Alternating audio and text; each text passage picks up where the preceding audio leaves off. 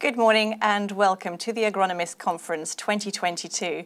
I'm delighted to see so many of you join us live online, although don't worry, I can't actually see you.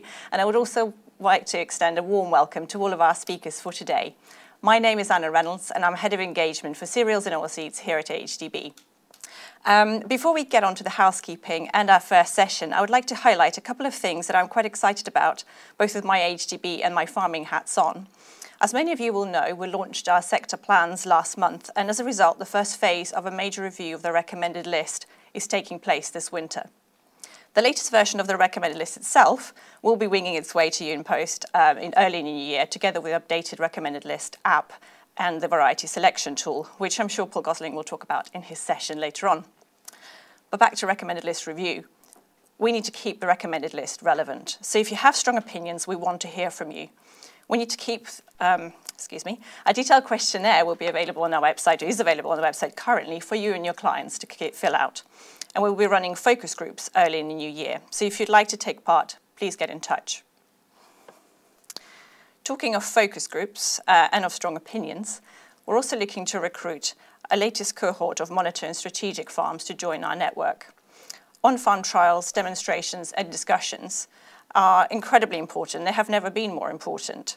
So we would welcome strong applicants and nominations. Applications are open until the 10th of February.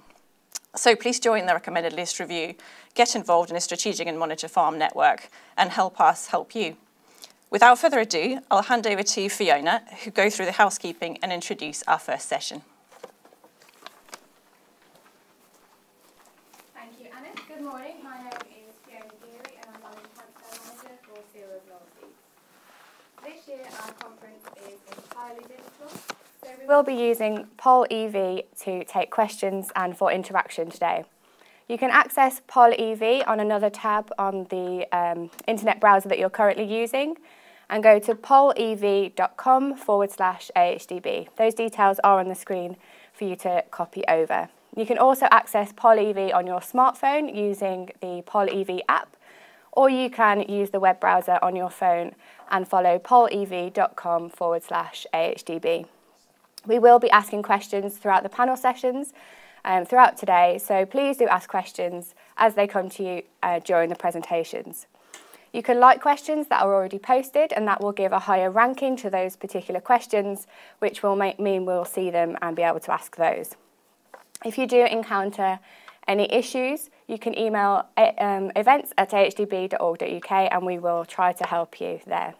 For those of you on Twitter, you can use the hashtag AgConf2022, which again is on the screen, so you can be asking questions and live tweeting throughout the day. There are six basis points and two NRoSO points available for today. If you haven't already given us your, um, your details for points, you can do so on the evaluation form, which will be circulated after the event. You can email my Katecha at ahdb.org.uk. Her details are on the screen. And her details are also available on the main agronomists conference page. Um, the, if you go to ahdb.org.uk forward slash events and click on the agronomist conference, or you can go to ahdb.org.uk forward slash agronomists, and you will see um, a plethora of resources that are available to you, including a bespoke video from the UK flour millers on ergot management. So this morning's focus is going to be on IPM. Our first session will look at um, trends in wheat bulb fly, followed by insecticide resistance and decision support management systems available to you. We'll then be followed by a focus on diseases, looking at stem rust, varieties and what's next for the recommended lists, and our annual independent fungicide performance data. This afternoon, we'll look at um, nutrition, uh, optimising nutrition for both economic and environmental sustainability, as well as uh, tools to help you in doing so, and we'll look at the environment, so looking at alternatives to nutrition, carbon, greenhouse gas uh, accounting, and net zero. So without further ado, that leaves me to hand over to our first speaker, Steve Ellis, who is the Principal Research Consultant at ADAS, who will be sharing the trends in data um, of AHDB's Autumn Wheat Bulb Fly Survey. Thank you, Steve. We'll hand over to you.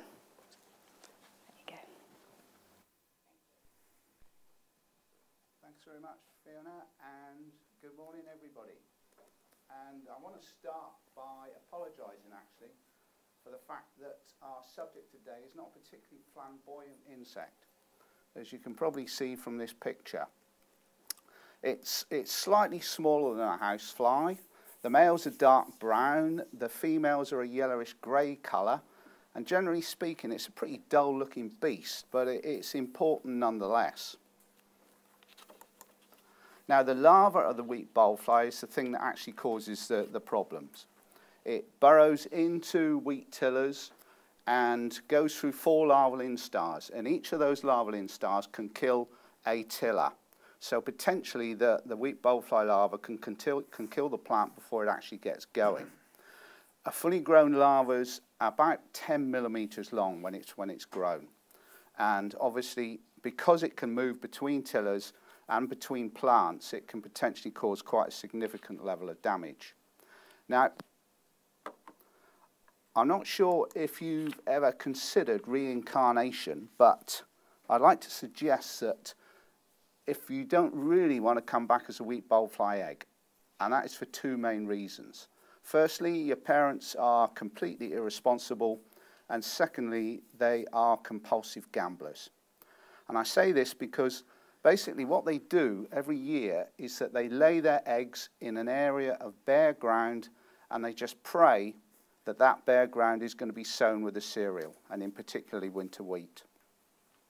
Now, to be fair to, to wheat bulb fly, generally speaking, they get it right. And the larvae then hatch, and the eggs are laid between July and September. They don't actually hatch until the following January or February. So there's quite a period in between while, while these eggs are laying dormant in the soil. Once they do hatch, they invade the plant, and as I said before, they go through four larval instars. And they move between tillers, and if they happen to kill the plant, they will then move to another plant. So, so once, the damage is, uh, once they've started damaging plants, they can potentially move on to others. Now, once you get to about April, March time, the larval development is complete, they pupate, and they then move out into the soil, and the, the new adults hatch. And of course, having learnt absolutely nothing from their parents, they then go on to lay eggs in bare soil and, and the whole cycle starts all over again. Now, if we're going to develop a sustainable control package for wheat bulb fly, it's absolutely crucial that we can predict risk. So we can do this by soil sampling. And this basically involves taking large volumes of soil and then extracting the eggs from this soil. This gives you an idea of what is actually involved with the soil sampling. So we normally take 10 centimetre diameter cores which are 15 centimetres deep. So if you imagine they're about a bag of sugar size. You normally take about 20 cores from about 4 hectares. If the land has been cultivated, you need to account for that, so you have to sample even deeper to cultivation depth. And to cut a long story short, you can end up with about 20 kilograms of soil, which is a significant weight of soil to have to lug around across the fields.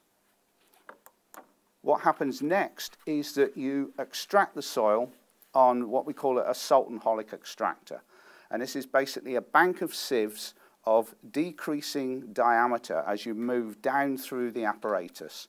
And you can see at the bottom there's a circular sieve, which is the collecting sieve, and ultimately what you end up with is small organic pieces of material and eggs and small soil particles in the collecting sieve. What you then do is you immerse the collecting sieve into a vat of saturated magnesium sulfate, which is incredibly dense, so the flies, the organic material, actually floats to the top. You can pick off the eggs quite easily, count them, and you know how many cores you've taken, so you know the area of ground that you've sampled. You can then make a calculation and calculate the numbers of wheat bulb fly eggs per metre squared or per hectare. And that is what you then use as a means of predicting the risk for the following crops. Now, we've been monitoring wheat bulb fly now since 1984, so we've actually got a bit more data than the title of the talk suggests. So we're looking at data going right back to 1984, and the question is how variable are wheat bulb fly egg numbers? And I think you can see from this graph that they are very variable. So the dotted line across the middle is the mean count since 1984, and you can see that the, the numbers actually fluctuate above and below that mean.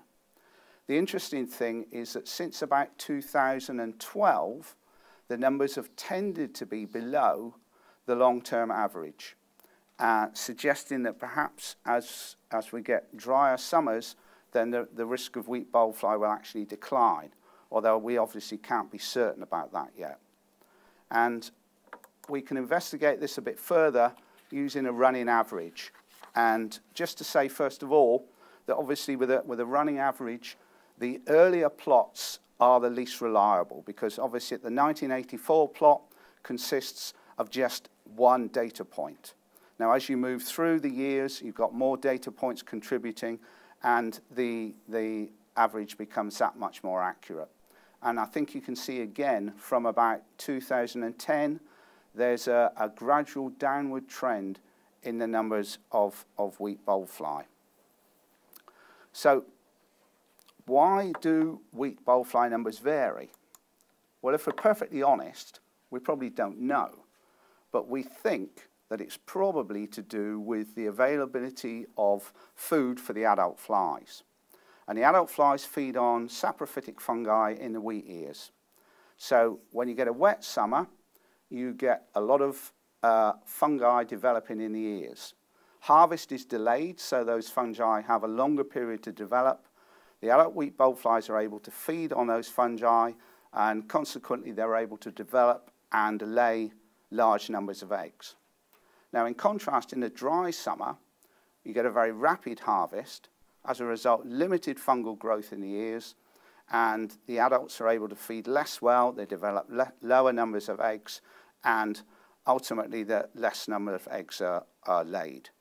So we think this is, this is probably the reason why the, the numbers vary up and down.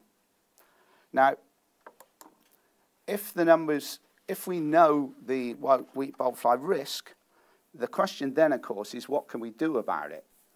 And to be perfectly honest, in terms of chemical treatments, we can do very little. On this table, you can see down the left-hand side, we have a risk category, which is the numbers of wheat fly eggs per million, millions per hectare. And then across the top, we got. And the reason sowing date is important is because, as I said, the eggs don't hatch until January or February. So the later sown the crop, the more likely its emergence date is likely to coincide with e wheat bulb fly hatch. And at that stage, the crop is very susceptible to attack because it's only got potentially one shoot. So at that stage of the year, wheat bulb fly becomes a significant problem. But as you can see, in September and October, there are no current chemical control options for wheat bulb fly. In November and December, there's only control options once you get above 1 million eggs per hectare, and that's a seed treatment.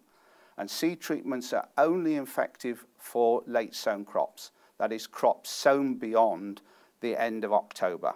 And the reason for that is because if you use a seed treatment earlier, it simply runs out of steam before the, the wheat bulb flies actually hatch.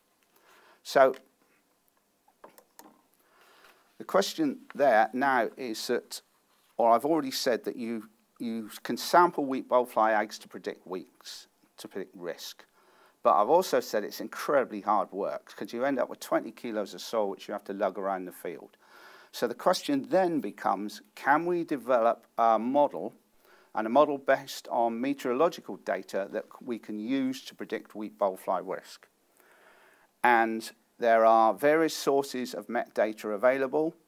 We've got also the AHDB wheat bulb fly survey results going back right to, to, well, data going right back to 1952 in some instances. And uh, we, we can therefore use that to make predictions of the risk in any particular year. And the benefit of developing a model to predict risk is that we get our results much earlier than we would from soil sampling. Soil sampling, we tend to get our results around about the end of September, early October. if we can develop an, an effective model, we can potentially predict the risk of wheat fly attack before the crop grows in the ground. And that gives us much more scope to be able to come up with potential means to combat the pest.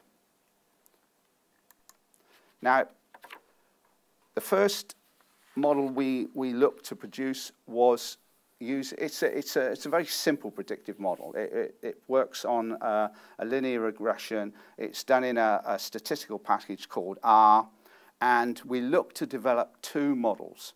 First of all, a seasonal model, which used mean temperatures from winter, spring, summer, and autumn, and also a monthly model to see if the, the increased amount of data would allow us to come up with a, a more precise prediction. And it also says there that model simplification through backward stepwise model selection, which sounds very grand. Basically, all that means is that you look at a whole range of meteorological parameters. If they don't have a significant impact on wheat bulb fly egg numbers, you discard them. Now, the other thing that we were limited with to some extent with our model is that we know wheat bulb fly eggs need low temperatures in January and February to trigger hatch. Now, data on frost days are only available from 1970 onwards. So we were only allowed, we're only able to do to put that into our model, model for data from 1970 onwards. So how effective were our models? Well, first of all, I should say that developing the model is not, is not something new. A chap called John Young and his colleague Joe Cochrane had a go at it back in the, the 1990s, and they produced a, a workable model, again based on metadata. Here you can see two graphs which summarize the, the models that we, we, we produced.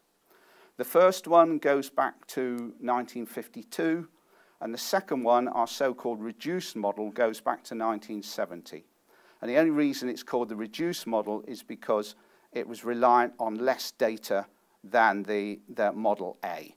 So, and that was simply because we didn't have data for frost days from 19, before 1970. Now, when Young and Cochrane produced their model back in the 90s, they were able to account for about 59% of the variability in wheat bulb fly numbers, which is quite reasonable. Our first model, uh, our monthly model, was able to predict at the same sort of level, so, so not much progress there. But in our reduced model, where we were able to include frost days, we were able to account for 70% of the variability in wheat bulb fly egg numbers. So that is a significant improvement on the, uh, the Young and Cochrane model and is a potential for, for developing strategies for control of the pest. Now, what parameters actually impact on the numbers of wheat bulb fly eggs? And I won't go through all of these, but these are some of the things that we actually put into the model. A whole range of meteorological parameters. And the reason we use metadata is simply because insects are cold-blooded, they, they respond to temperature. So generally speaking, as temperature increases, insects become less active. But you then, when you see these parameters and you see what impact they have on wheat bulb fly egg numbers, then you start to think about how you can explain this biologically. And I don't want to go through all of these, but um, you can see there uh, January mean temperature. As January mean temperature increases, the effect on wheat bulb fly decreases. And this seems to make sense because we know that the flies or the eggs need low temperatures in January in order to hatch. Similarly, frost days, as frost days increase, then that has a positive impact on wheat bulb fly egg numbers. And that probably is because it stimulates hatch, so more eggs hatch in any particular season. Now, from April onwards, right through to July, you could argue that all of those parameters have an impact of potentially accelerating the growth of the crop. And anything that accelerates the growth of the crop and potentially makes harvest earlier has the potential to reduce wheat bulb fly risk because the, the, the less development of saprophytic fungi in the ears. So, if we look at the observed values from soil sampling and then compare that with the predicted values from the model. The predicted values are on the horizontal axis, the observed values are on the vertical axis. You can see there's, there's a pretty good relationship between those two, and we can say that we're certainly on the right track in terms of developing the model. Now, we can look at that in a bit more detail, and in particular compare it with the results that we've got from the AHDB wheat fly survey. And you can see that there is a predicted uh, region category and also an actual risk category. So in each case, the model predicted the same risk category as did soil sampling. So that's a, that's a step in the right direction. If you look at the overall egg counts, you can see certainly from 2021 and 2022, there's a very close correlation between the predicted and actual egg counts. So again, that is good. Potentially, you could argue what is less good is the individual predictions for the eastern northern regions. And wheat bulb fly is a, is a pest of the eastern side of the country, and we monitor in the east and in the northeast. And you can see there that the, the, the difference between the counts, the predicted counts, and the actual counts, there is some variation. And clearly we need to try and address this to improve the precision of the model.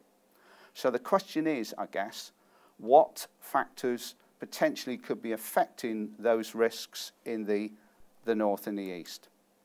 And one in particular is the presence of organic soil in the east of the country.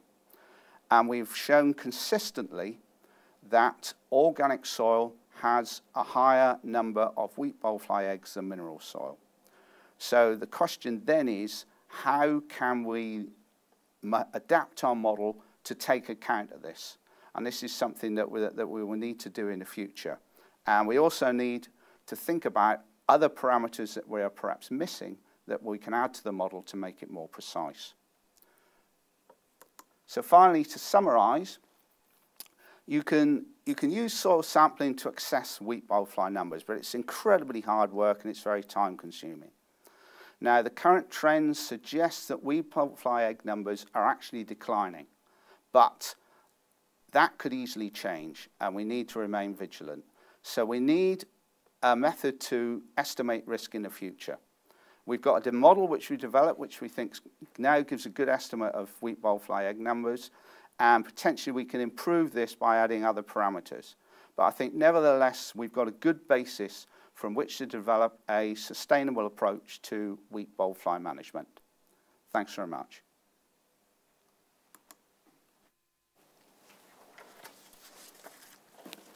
Thank you, Steve. Um, that was really interesting. So as we've just heard, there are only um, seed treatments available for wheat bulb fly, um, which just proves that uh, maintaining chemistry is really important. Um, and to do so, AHDB fund independent research to track resistance to inform the next generation of insecticide resistance guidance.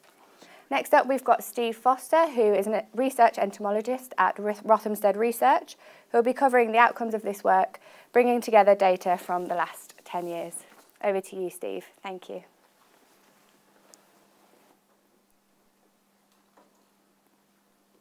Thanks very much. Um, just in case, um, hi, Mom. Right, let's, uh, let's talk about resistance and the monitoring that uh, has been done um, over quite a few years now at Rothamsted. This is a scene from Jurassic Park where Sam Neill and the children discover hatched egg. And he says, life will find a way. Well, life will find a way when it comes down to insecticide resistance. You apply an insecticide often enough, um, mutations occur, and life finds a way, and um, you get insects that survive. As I said, we've been monitoring uh, for insecticide resistance in a range of pests at Rothamsted now for quite a few years. Some more recent pests more recently, but as we've discovered resistance, while others like um, aphids we've been uh, looking for over 30 years or even 40 years in, in, with respect to some mechanisms. And the way we primarily do this is through bioassays where we uh, apply insecticides in different ways, and you can see different methodologies here, a systemic test, a topical test, um, a leaf dip test, and also a glass coated glass vial test, which we use for aphids and beetles. And we challenge uh, samples that come in to the insecticide and ask the question, are they really resistant? Because sometimes um, resistance isn't there, it's a, it's a, consequence of maybe poor application um, and, and, poor coverage um, to hit the insects. We'll start off with my favourite um, UK pest, the Myzus persicae, which I've actually been working on now for um, 30 years. And you can see it comes in different colours. Unfortunately, it's not color-coded for resistance. That would really help things and make, think, make things move along a lot quicker. So let's start with the neonics. They've been in the, uh, in the press uh, quite, a, quite a lot uh, over the last few years as a consequence of the um, perceived damage that they do to beneficials, including bees.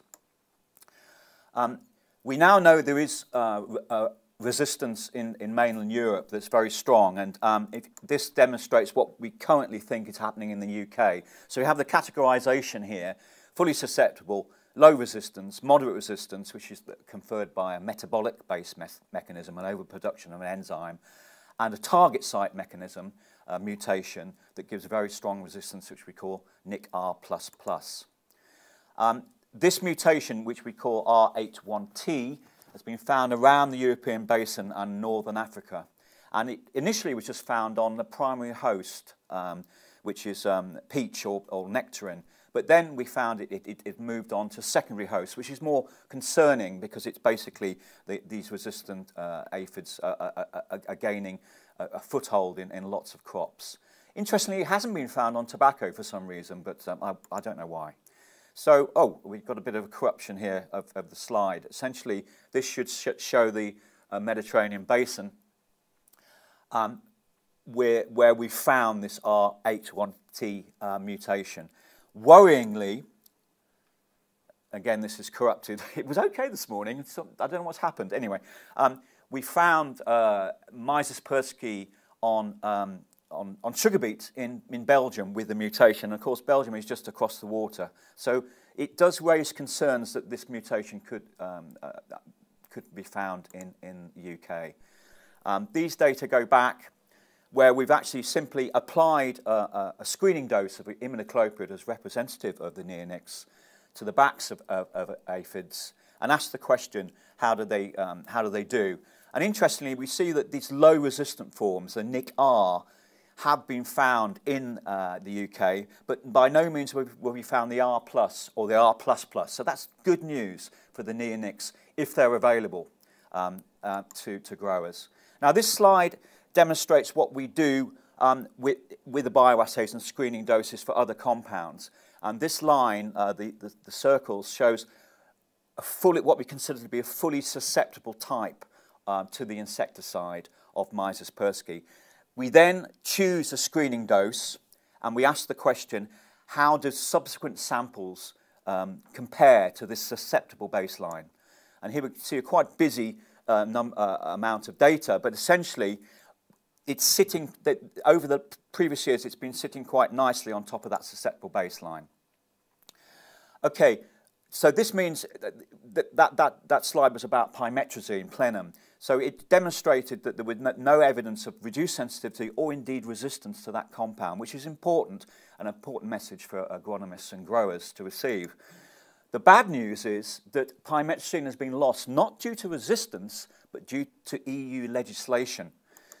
So not because of resistance, as I said, legislation, even though that compound would work very, very well in the UK and is kind to beneficials.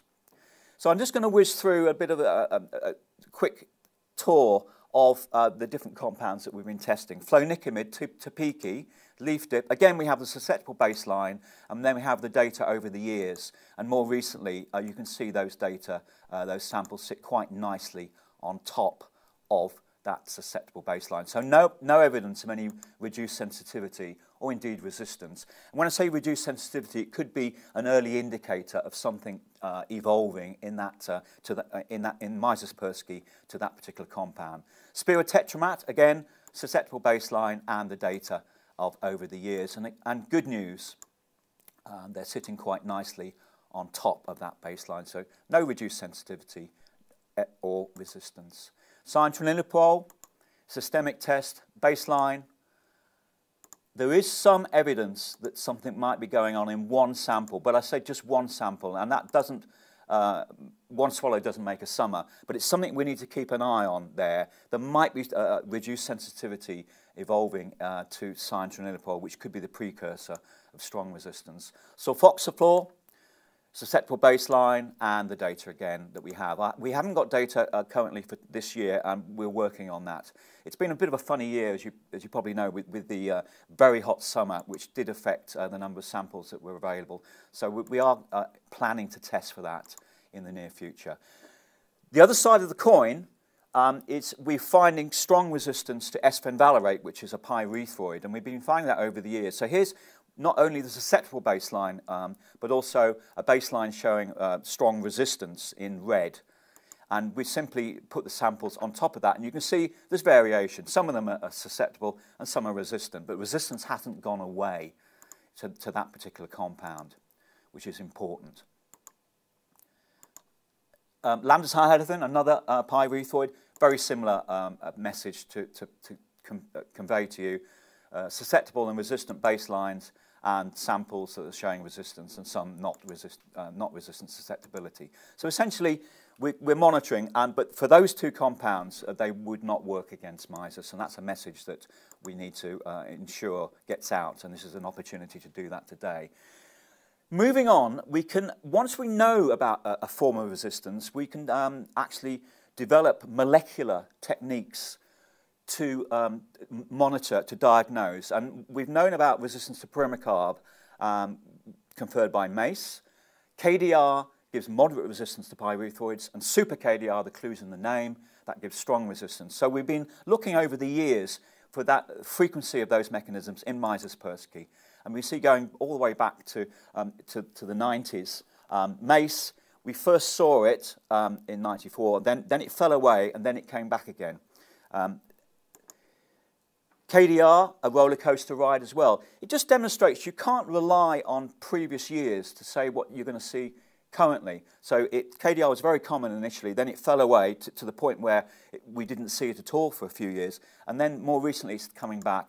And finally, the super KDR. That didn't suddenly appear in that year, 2012. It actually, that's the time at which we discovered a new mechanism. So it just demonstrates how important the bioassays are alongside the molecular mechanism, because the bioassays challenge the insects to that compound. They can't get away from it. But if there's a mechanism in there that you don't know about, that confers resistance, of course you don't see it until, until you actually, and that's why the super KDR was discovered, the new form of super KDR. You see quite clearly it's been very common over the last few years. So just to summarize, basically, um, we got um, sensitivity, we've got susceptibility to a, a, the, the, early compounds, we've got resistance to pyrethroids, which is bad news. So essentially, we need to keep monitoring, we need to keep informing agronomists and growers of what will work and what won't work. Moving on to other aphid species and cereal aphids, so Sitobion and uh, R. padi, which uh, confer, com convey um, viruses to uh, wheat and, uh, and, uh, and, cereal crops. And here we can see a slide that Alan Dewar from Dewar Crop Protection took of virus yellows. And virus yellows here is quite serious, and that will affect the yield of the crop. Um, because of the loss of neonics as a consequence of um, legislation on all outdoor crops now, including the cereals, Growers are reliant in controlling these, uh, this species, these species with just the pyrethroid insecticides. Unfortunately, we have been finding resistance to pyrethroids in, in Sitobion. So as part of um, um, an AHDB-funded project, um, which we did a, a, couple of years ago, we received live samples and we challenged uh, the two species to a pyrethroid, in this case lambda cyhalothrin, in the glass vial assay and asked the question, what is the latest with it? So here we can see a susceptible baseline, in, in this case in yellow, and what we consider to be a moderate resistant line in lilac. And we've asked the question, how do the, the samples compare? So these, the, this is a sample which sits quite nicely on top of the uh, susceptible baseline of Sitobion. This one is more intermediate, uh, and this one, again, edges towards the, the, the, um, the lilac um, points, which is uh, moderate resistance. That's about 30-fold resistance compared to the susceptible baseline. The good news is we haven't seen anything further to the right which would confer strong resistance to pyrethroids, and hence um, the pyrethroid wouldn't work at all. And I think we're currently in the situation in the UK where we have some resistance, we need to keep an eye on it, but it hasn't got so serious that, the, that if you hit the aphids properly, you get good contact, you'll be able to control them and hence hopefully control any um, transmission of virus. Uh, this is R. padi, and these are the samples uh, that have been tested. That's the susceptible baseline. So again, good news. There's no evidence at all of any resistance to pyrethroids in the UK um, in this particular species. But it's something, again, as I said, we've got to keep an eye on. Okay, let's move on to beetles. And here we can see um, a sticky trap um, from uh, a year or so ago, um, which, and the number of cabbage stem flea beetles that were caught. So this was a, it has become a very important pest of all oilseed rape. Um, it, it's, a, it's a pest because the adults and the larvae um, can uh, cause these um, uh, damage to the, to the crop, and to the point where actually, you can see on the left here, the crop is pretty much taken out, so you don't get any, uh, any, any, any crop at all, any yield at the end. On the right-hand side, we have a crop that was treated with a neonicotinoid seed treatment. You see quite clearly how important that seed treatment was, and I stress was because it's been lost as a consequence of legislation not resistance to, to uh, neonic legislation. Um, and this is just a slide illustrating the problems I had initially. I, I, I was screening with uh, pyrethroid and used the glass vial um, assay method. And these beetles play dead. They play possum. So they, I was thinking they were, they were um, susceptible, but actually they were resistant. So you, you, you prod them maybe for a few minutes, um, and you think, oh, okay, they're dead and then they get up and walk away. So it makes the bioassay quite hard to do, and you've got to be patient. But I've, at least I've got better at it now. You tickle them, basically, and you can get them to move if they are alive.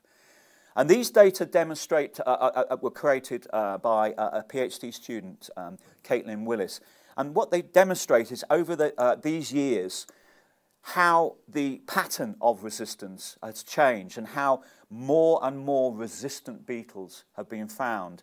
We, we didn't do anything in, in 2021. We had a few samples, but we didn't have enough to do this. We definitely still found resistance. And this year, again, we found resistance. But there were enough data in these years to demonstrate the shift and the very fast shift from year to year of pyrethroid resistant beetles, which would not be affected by a, um, a normal spray rate, a field spray rate in the field in the UK. So that's bad news. We need to keep monitoring though, because things could change. And just to finish off, I'm going to go through a few other species where we have been monitoring for resistance. Diamondback moth, you probably recollect uh, in the news in 2016, we had a in, huge influx of uh, adults from, um, from mainland Europe, we think from Scandinavia. We uh, didn't have a baseline uh, for, resist, uh, for pyrethroid uh, testing. I created one but, and found quite clearly that the majority of these moths were resistant to pyrethroids. And that was an important message because initially the first response uh, to a LEP, a Lepidopteran pest, is to spray with a pyrethroid. Um, I demonstrated through the assays that pyrethroid resistance was very, very um, prevalent in this species and widespread, and that allowed an emergency registration of a diamide and uh, um, uh, to, to, to, control this pest. So it just demonstrates how important monitoring and, and knowing what's out there is, is for, for recommending which sprays should be used. Willow carrot aphid, again, um, we've recently found pyrethroid resistance in this species. And we think it, pyrethroids would not work against uh, this particular pest uh, of carrots um, and fennel, etc. Okay, just to finish off, um, it was assumed that pyrethroid sprays would kill beneficial species, things like uh, ladybirds, parasitoids, um, um, lace wings, etc. But potentially, um, we, more recently, we think, well, possibly if evolution is working on the pests, why can't it work on the beneficials? And why can't they also develop resistance? And uh, a Euro European-wide um, project called EcoStack has been addressing that question, taking beneficials, putting them into these glass vials and asking the question, how do they respond? Is there any evidence of resistance? And interestingly, we are finding resistance in some species. We found resistance in, in some ladybirds, seven spot to pyrethroids, and also in parasitoid wasps. They appear to be able to tolerate the field rate of, um, of a pyrethroid. So it's not necessarily all bad news. Maybe some of uh, these beneficials are not being killed by these sprays. It's an important uh, finding to make. And it just demonstrates evolution can work in any species, really, if the selection pressure is, is, um, is enough. So in the past, we had this wide diversity of compounds available. Growers could alternate um, these compounds uh, with different modes of action and hence keep resistance down. Um, unfortunately, nowadays, not, that's not the case. We've not only lost a lot of compounds or some compounds to resistance, but also to legislation. And potentially, this could be the, uh, the picture in the future where we just don't have any compounds that are available to growers, or very few. And of course, those few compounds would be under much higher selection pressure for resistance to develop. So, time machine, what, what does the future hold?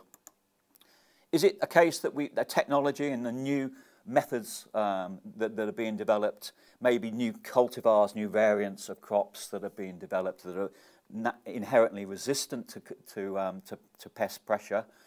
Who knows? That would be a good way forwards. However, uh, oh, just a slide about um, the climate um, and, and, and, cold. We think, particularly in aphids that overwinter as active forms, they don't like cold weather.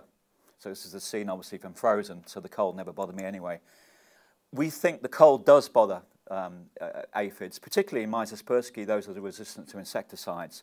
The bad news is, of course, climate change and the winters are getting warmer and warmer and hence more and more uh, aphids are getting through the winter period as ac active forms and hence more and more available early on in the season to infect, infect crops. So will this be the more likely to be the uh, pictures that we see in the future? Here's beet yellows and another uh, repeat of the virus yellows. So who knows? We will have to see. So just to finish off, just to thank all these sponsors that uh, are, are funders that have given money to the resistance monitoring over the years. Thank you. Oh, and also my colleagues that have been doing some of the work.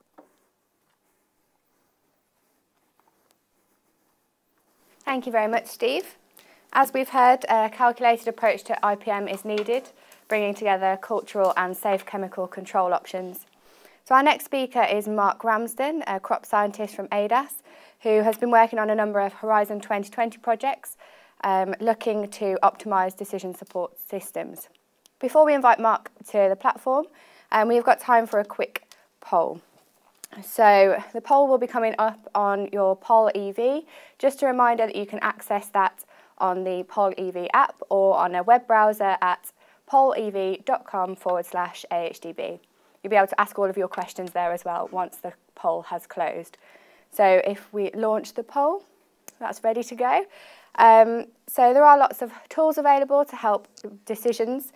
Um, so we've got AHDB's BYDV tool and Sclerotinia risk infection tool, which bring together um, years of independent research into a, a tool that's easy for you to use. As farmers and agronomists, we always welcome your feedback. So if you do use these tools and have got ways that we can improve, then you can let us know. Hopefully we'll be able to launch those results very soon.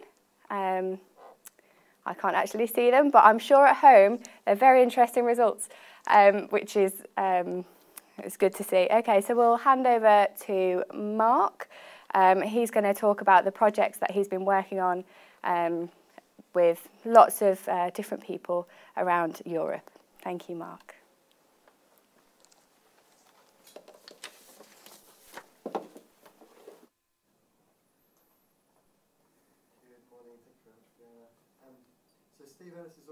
It's an excellent summary of, of how a model can be used in pest support.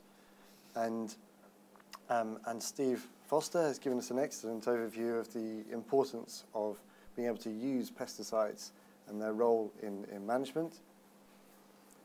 And uh, so today I'm just going to give an overview of the bigger picture of where we are with decision support systems uh, and some progress being made and collaborative work across Europe. Um, I believe that the, the results of the survey, although I can't see them, um, are everyone who's responded is saying that they are using decision support systems uh, and either sometimes or quite often. Uh, very few are never using them. So we know that these systems are getting used and what we're trying to do is improve the number of systems available uh, and the, the, the way in which they're supporting decision-making processes. So decision support systems are part of that, that process uh, in making robust, context-specific specific decisions, um, but they are, they are there to be used as part of the picture and as part of, of the process. And they're no replacement for years of experience, they're no replacement for uh, training and discussion and considering the, the site-specific needs of a, of a crop uh, in a given season. So in the UK, there are various systems available already. Um, I just pulled up four here from the HDB website. There's um, systems that support uh, understanding when crops are at risk from BYDV or from light leaf, leaf spot, phoma leaf spot, and uh, sclerotinia. Um, and most of these are, are forecast systems that, that, use weather data in a way similar to how Steve was uh, describing before in predicting when these pests are likely to become a problem in the crop. So for the UK, we're talking about a couple of dozen systems at most spread across different crops and different sectors. Um, and their use is fairly patchy, and they're largely used to inform decisions rather than really um, uh, make decisions for anyone. And the support for these systems comes and goes. And that's largely because it's not always clear um, where people should go to get access to these systems. It's also not always clear uh, how effective they are, what the benefits they, there are to, to using them, um, but also because these systems are developed often in response to a problem. And so there's a, a short-term investment to develop them, and then the support behind it goes away. Um, and this is something we've seen happening not just in the UK, but across Europe as well. In other countries, uh, there are similar networks that have established to help farmers and agronomists make decisions about pest management. So I've just highlighted a few here. Um, in Germany, there's a long-standing uh, system, ISIP, which uses not only decision support systems, but also observation networks uh, to, to identify uh, risks of different pests through the growing. A similar system is just being established uh, called Edwin in Poland. Um, in France, they have a, a long-established network of farmers um, looking at integrated pest management. And in Norway, uh, there's a, a, decision support system that's been online uh, for several years and actually, actually has been running with farmers for over 30 years, um, using weather data uh, and observation networks to inform agronomists about upcoming risks. That system in Norway, uh, called VIPS, um, is open access and makes it uh, makes the uh, details behind models as transparent as possible. And that, um, that online platform is something that we have now been extending across Europe in the IPM Decisions project. So the IPM Decisions project is a, is a EU-funded project. It's been running for a few years with a whole range of different actors and stakeholders, uh, not just in the UK, but across Europe, um, to develop a platform that increases access to and uptake of decision support systems. So we're not just trying to come up with what researchers think is solution, we are talking to farmers and agronomists, researchers, software developers, platform developers, advisors, weather data suppliers. We're getting that full picture and we've designed a platform uh, that hopefully will make it as easy as possible to get a quick analysis of what the upcoming risks are. Now, we have created the platform and we are now uh, bringing in systems that have been developed by external providers across Europe onto the platform so you can go to one place and see, uh, access all of them in, uh, in one arena. And um, if, you're, if you want to have a look at the platform while I'm talking, please feel free to do so. You can scan that um, QR code with your phone. It'll take you to the login page, or you can go to the web address um, listed there, and you can set up an account. Doesn't take very long. um, or you can do that after the meeting, uh, after the uh, conference, um, and do let us know any feedback you have.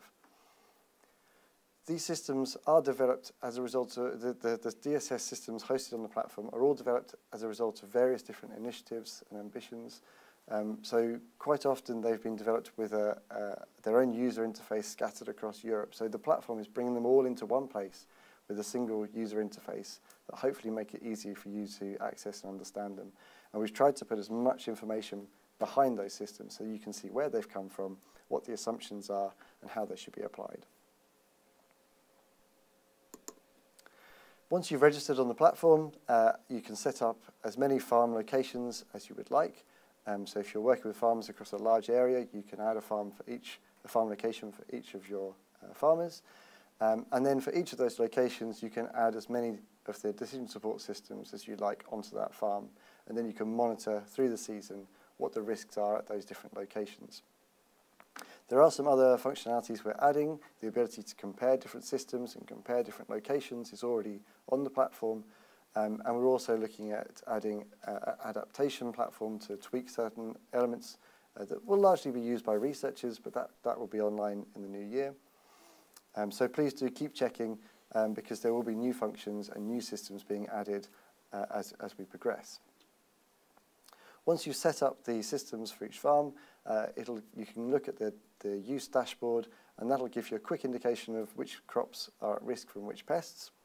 You can then click on those to look at a more detailed um, view of, of, that of a particular system. So in this case, this is showing the barley yellow dwarf virus um, uh, system that many of you will be familiar with because it's exactly the same as on the HDB website, just presented in our platform here um, indicating where a high risk is, uh, is forecast and showing that it then resets once a, an application of insecticide um, has been added to the system as a, uh, as a parameter. So again, you can look at this on the platform uh, and see, uh, see how it works. Um, we encourage you to explore what's on there at the moment. There are going to be a lot more systems added, hopefully next year, um, reflecting the wide range of different pests uh, in the UK and across Europe. Right now, though, um, these are the systems that are available, um, and about half of them are relevant to UK growers, uh, to uh, arable UK growers, and there's a few others on there as well.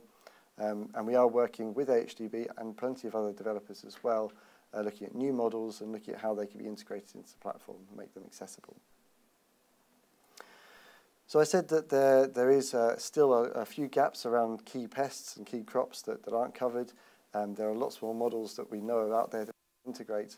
Um, uh, but it's worth saying that, that the UK is not particularly ahead or behind other countries across Europe, but there are complementary systems available. So that's why we're trying to work uh, with developers right across Europe so that if a good system is developed in a different part of Europe, we can make that accessible to UK growers as quickly as possible.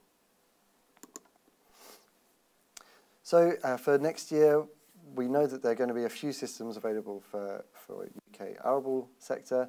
Um, the BYDV system is already on there. There's going to be some systems for forecasting emergence of orange wheat blossom midge uh, and saddle gall midge. There are already systems there for Septoria, tan spot and glume blotch.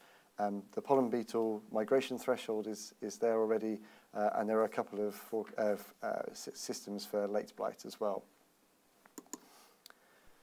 And we're working with those, um, with VIPs already. We've uh, brought a lot of their systems into our platform. We're talking to uh, both ISIP and the Edwin groups in Germany and Poland uh, to integrate their systems.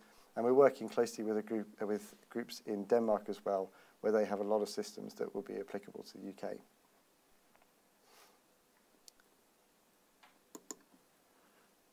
These are all very good in, in theory, and these are good models that have been validated and demonstrated, but we want to keep growing that demonstration uh, of the systems in practice because it's really important to see these systems working and see, see how they work in, in a kind of farm context.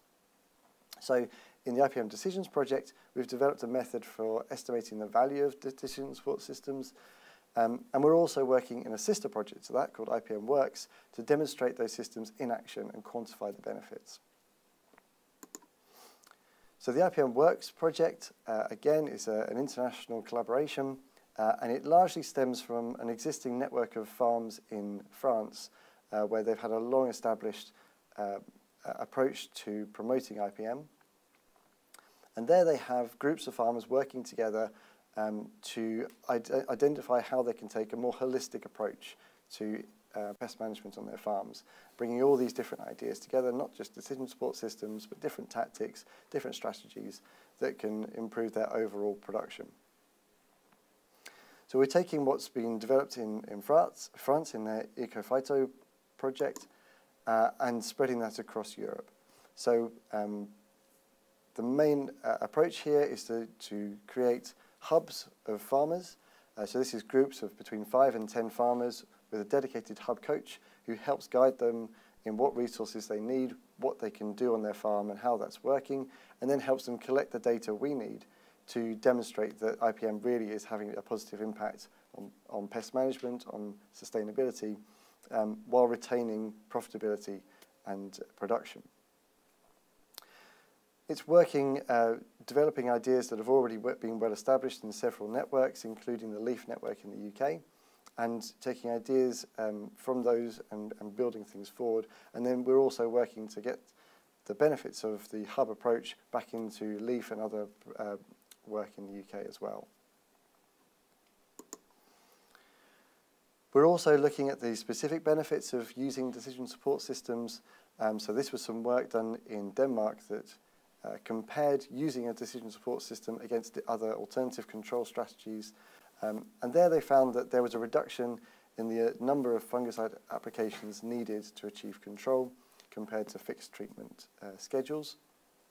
And the really key thing here, here this, this was work done over 12 years across two sites on six different cultivars per year. And they found that the, the decision support system gave the same level of control as standard approaches, but reduced the overall amount of fungicide needed to achieve that control. That was more practical work. We've also been looking at some uh, more theoretical work, so saying if you use this system, if it worked perfectly, and that's a big um, assumption, but saying this, this the, the system worked absolutely perfectly, um, what are the benefits to you, uh, the agronomist and the farmer, in terms of the economics uh, and, and the performance of the crop?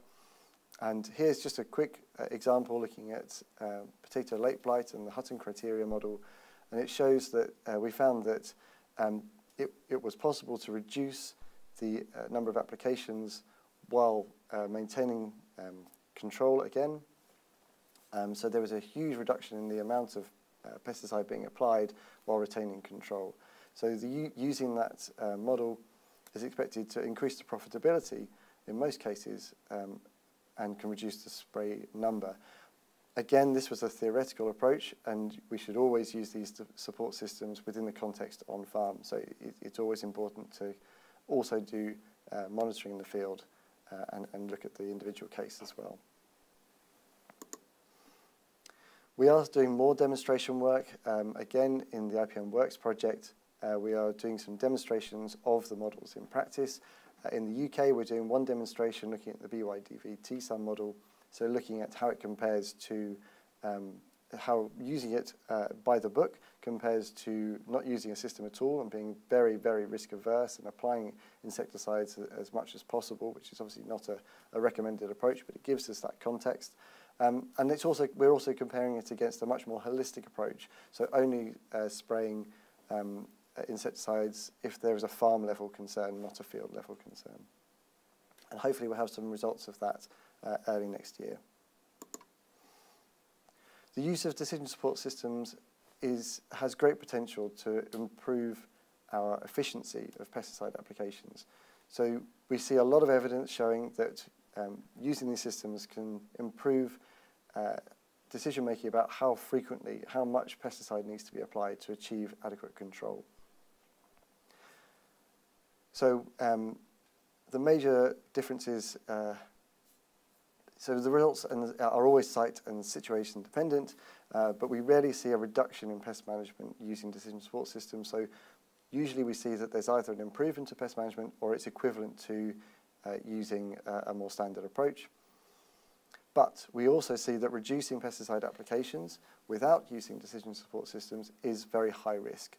And if you get it wrong, if you don't use the systems and you try and reduce pesticide applications without those systems, there is a much greater risk of, of, uh, of a damaging crop um, infestation. We are really keen to be increasing access to and uptake of IPM decision support systems.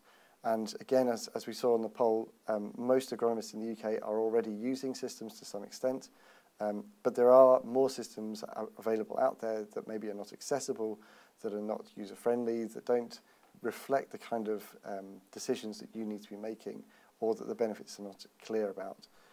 Um, we also know that they're all isolated and that there's a lack of trust in some of the outputs sometimes, and there's a lack of support in how to use them. So across the IPM Decisions project and IPM Works and other initiatives that we're running in the UK, we're trying to bring all these things together um, in the IPM Decisions platform, uh, as well as the networks associated with it uh, and the IPM Works project, to try and build this user-led approach to present supporting data, to provide the, the details on the benefits of using the systems, to bring them all together and provide that support and that network to improve uptake and make sure that they're working for you.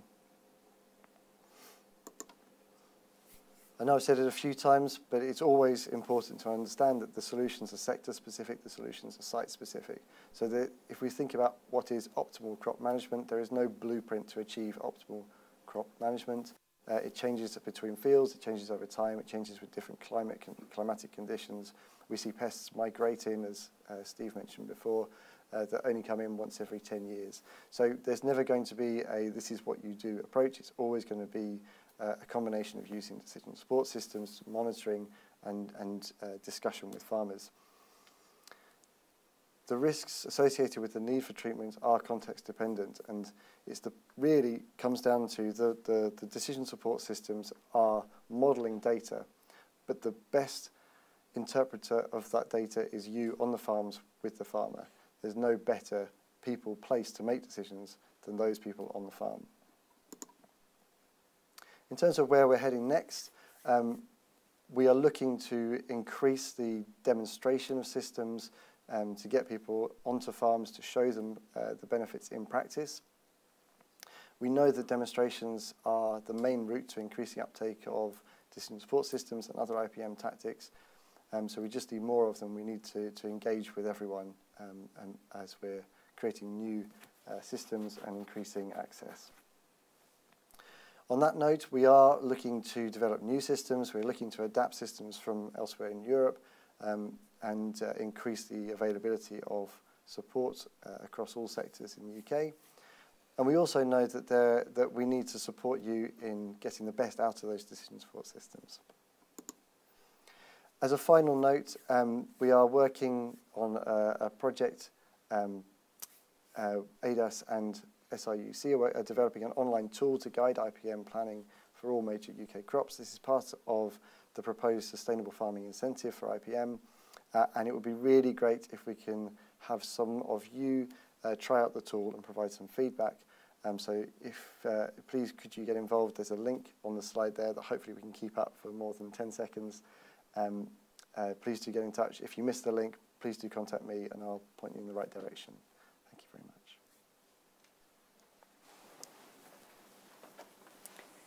Thank you very much, Mark. That was a really interesting talk. Uh, we're now going to move over to the panel session. Just a reminder that all questions can be asked at pollev.com forward slash AHDB. You can also like questions that have already been asked, which give them a higher ranking, which mean they're more likely to be seen by our panel. So I'll hand over to Anna, Anna to chair the panel. Thank you. Excellent. Thank you very much, Fiona. Thank you very much, everybody, for your presentations. Um, let's kick off with some questions. So I think the first one on our list is on farms that do use insecticides, how do we harness beneficials as a pest management approach? Is, is it actually a viable option?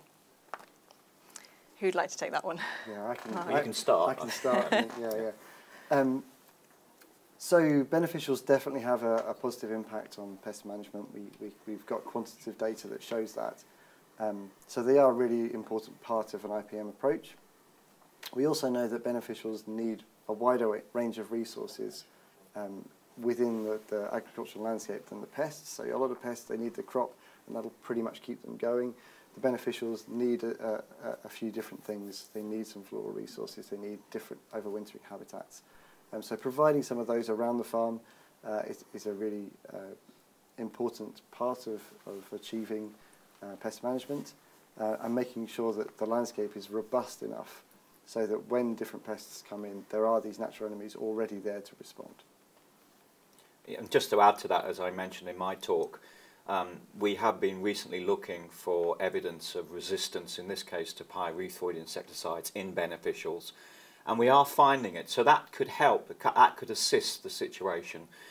But knowing um, what resistance is out there in the pest is very important as well, of course, because if you're applying it unnecessarily because resistance is there, you're un un unnecessarily killing your, your friends, your beneficials. So the monitoring side of things and, and knowing what won't work is very, very important as in, in, in addition to knowing what will work.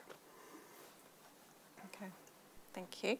Um, the next question we have on our list, and then moved around a little bit, but let's let's go to the wheat bulb fly. Do we know why they prefer organic soils?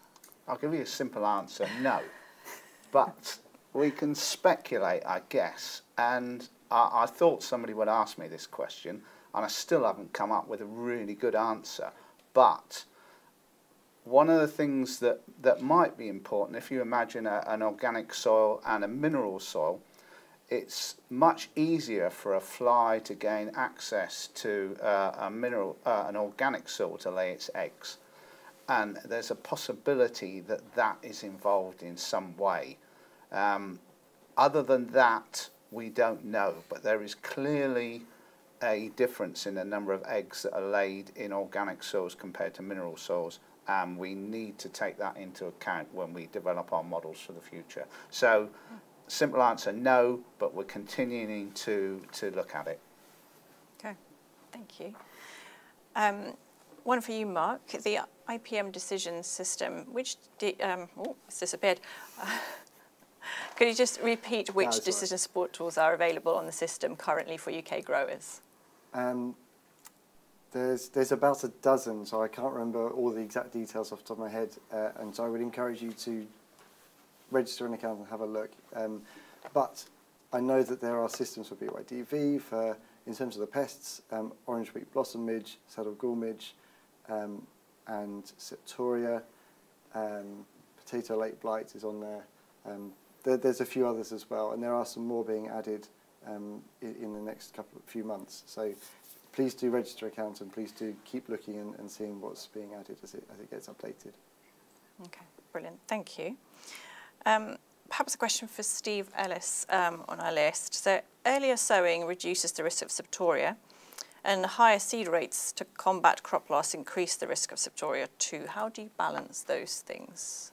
Well, I guess this, this goes, this relates to the way that we propose to manage wheat bulb fly in the future, and that is to manipulate seed rate and sowing date in order to create a robust crop which is able to tolerate the level of predicted damage. And as the question suggests, it's certainly a balancing act because we know that obviously if you sow earlier, you increase the risk of BYDV.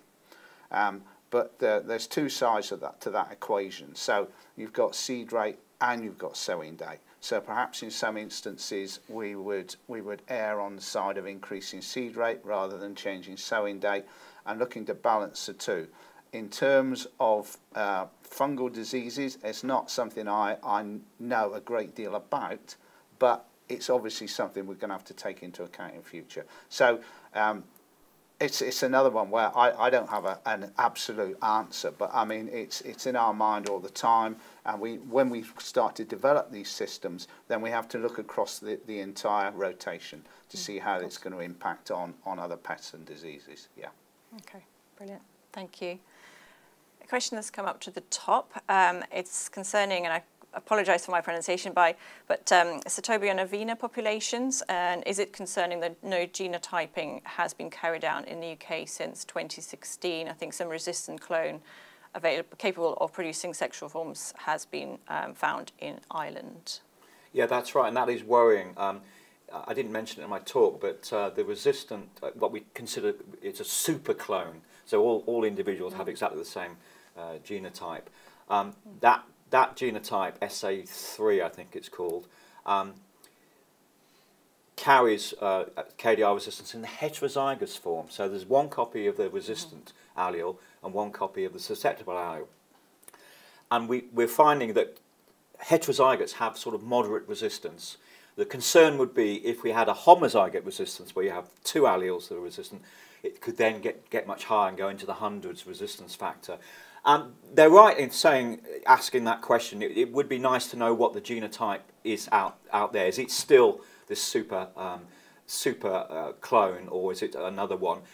But for me, the key is the monitoring, uh, challenging these uh, insects, these aphids, with um, uh, uh, the, the actual insecticide itself. And we're not finding any evidence of any highly resistant clone which could develop. Now, with respect to the sexual side of things, yes, that would be worrying because potentially if a male and a female that are heterozygous mate, then you could have a quarter of the offspring in, in, in Mendelian genetics homozygote resistance. In Myzus, homozygotes are far more resistant than heterozygotes. Until we find the homozygote, until it comes in, I don't know the answer. My main concern actually with Sitobion would be something like a super KDR mechanism. So we got KDR, but if super KDR developed, which is a mutation in another part of the sodium channel, that confers resistance factors of, of thousands, and then it would would totally not work at all. So, but it would be nice to know what the microsat genotype of the population is more recently, and that unfortunately it hasn't been done. Okay, Thank you. Um, so the question here that's just come up, three thumbs up for this one. Does the panel know of any specific research into viable cropping systems in the absence of insecticides, which looks more likely to be the future for conventional farming systems? Well, I can, I can, I can offer a suggestion, and it's some work that uh, I mean they always say you shouldn't blow your own trumpet, but it's some works that we've been doing with the physiologists in ADAS and it's specifically geared to taking account of crop tolerance. So becoming aware of how much damage a crop can tolerate before it actually stops to actually starts to lose yield. And basically what we're saying is just because you see damage doesn't mean you're going to lose yield. And we've, we've done it with wheat bulb fly, we've done it with pollen beetle, and basically what we're looking to do is manipulate against seed rate, sowing date, all these different, all different aspects of agronomy to enable us to produce much more robust crops which take into account the predicted risk of damage in any particular season. So for wheat bulb fly, you might, if you know you've got a high risk, you might look to sow a higher seed rate. You might set, you might to sow, seed, look to sow earlier, so you, project, you produce a much more robust, robust crop when those wheat fly eggs actually hatch. And equally in pollen beetle, we know the crop can tolerate a loss of so many buds. The physiologists have got a target number that you need in order to produce potential yield. So what we're looking to do is link that, that target number with the actual damage that the pest can do and then in turn, you know, only respond when we know that potentially the level of pest damage is likely to reduce yield. That's brilliant. Um, Mark? Yeah, just, just to kind of add on to that, the, the, the other side is that we know that we need a much more diverse cropping system and landscape approach um, in order to, to kind of be able to tolerate more damage or avoid uh, pest infestations becoming a problem. And there's been some good work um, across Europe showing that, but also showing that that um, that drive for a wider diversity of crops means you've got to learn new crops, you've got to have different supply routes and, and all those things. And so the complexity of actually stepping up to uh, a, a, production approach without or with very low pesticide use actually takes quite a big change in, in the whole infrastructure. Um, so it is a huge challenge to, to overcome. Okay, Brilliant. Thank you. The next question is concerning seed treatments. As we're using less insecticide seed treatments, are we seeing new pests or increased damage from previously minor pests? Yeah, that's interesting. I less seed treatment. I there. I think there are some instances. I mean, certainly in the case of something like gout fly, you might potentially argue that seed treatments for BYDV control. We're giving potentially some incidental control of gout fly. Um, whether that is having a knock-on effect uh, for that pest, we're, we're, not quite sure yet, and it's something we need to continue to monitor. But I'm not sure we're necessarily seeing uh, damage from pests which we haven't seen in the past. I mean, well, I disagree with you there. Okay. Uh, just look at the situation with cabbage stem flea beetles. Before the neonics were taken out by legislation, they were very well controlled. As soon as we lost that seed treatment, they, they came to the fore. So the, yes, pests can uh, can benefit from, from, from the, the loss of the seed treatments. Also, I think on on cereal crops, um, Alan Dewar was telling me last year that he was seeing more leaf hoppers, um, and that hadn't been seen before. So I think, yes, I think the, the door is open. There's a window of opportunity with the loss of, of seed treatments. I, th I, I think the other aspect as well, of course, is that we're, we're not going to get more insecticides. The future is going to be low level of insecticide usage. I'll be out of a job. Yeah, uh, I mean, uh, potentially, but that that thing that does make things more interesting as far as, as crop protection scientists are concerned because it means you have to come up with alternative methods of control. Now that's not necessarily what people want to hear at the moment, but you're always looking for the silver lining and if we're losing less using less insecticides there's less impact on beneficial insects generally and so there, there could be a development in natural control of pests, which, which potentially we don't have to pay for in the future. So that's something I think we also need to take into account. Yeah, absolutely. Good. Okay, I think we're all nearly up to time, so maybe one final question. Question for Mark, and that one has come from YouTube. Is it possible to combine the light leaf spot forecast and phoma leaf spot forecast into one dashboard to give one output for these two important oilseed rape autumn-derived diseases?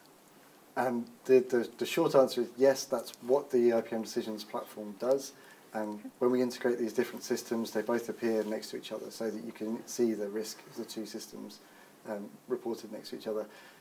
As we go forward, we can also um, develop more complicated models based on those two together that, that could mean something a bit more elaborate.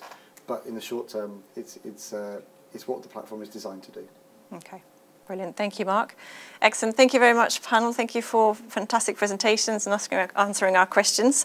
Um, we now take a few minutes for a comfort break and we will be back at 10.35. Thank you.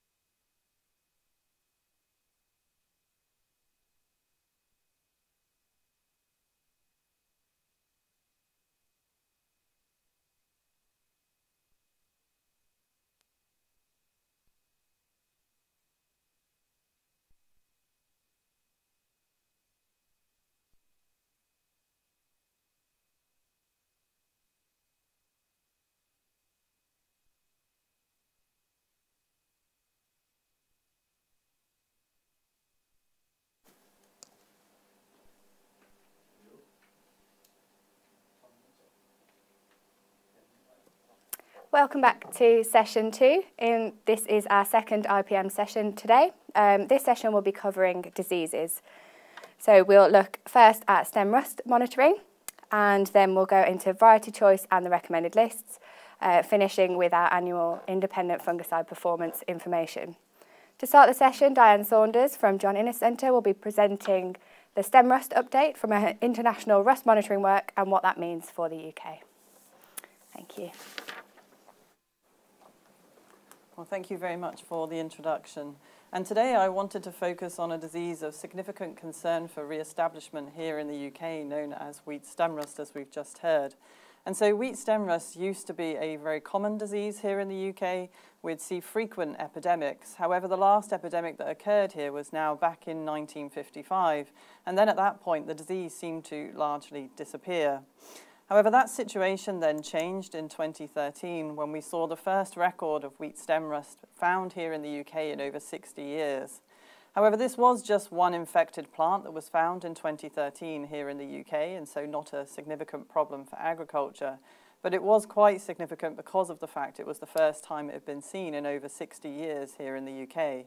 And also in 2013 and in subsequent years, many of our colleagues across Western Europe also reported wheat stem rust in their wheat fields. And for many countries neighbouring us in Western Europe, this again was the first time that they'd seen this disease in many, many decades.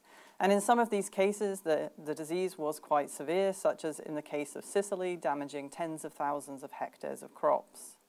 However, here in the UK, since 2013, we've also seen a gradual increase in the number of plants that are being recorded every year as being infected by wheat stem rust.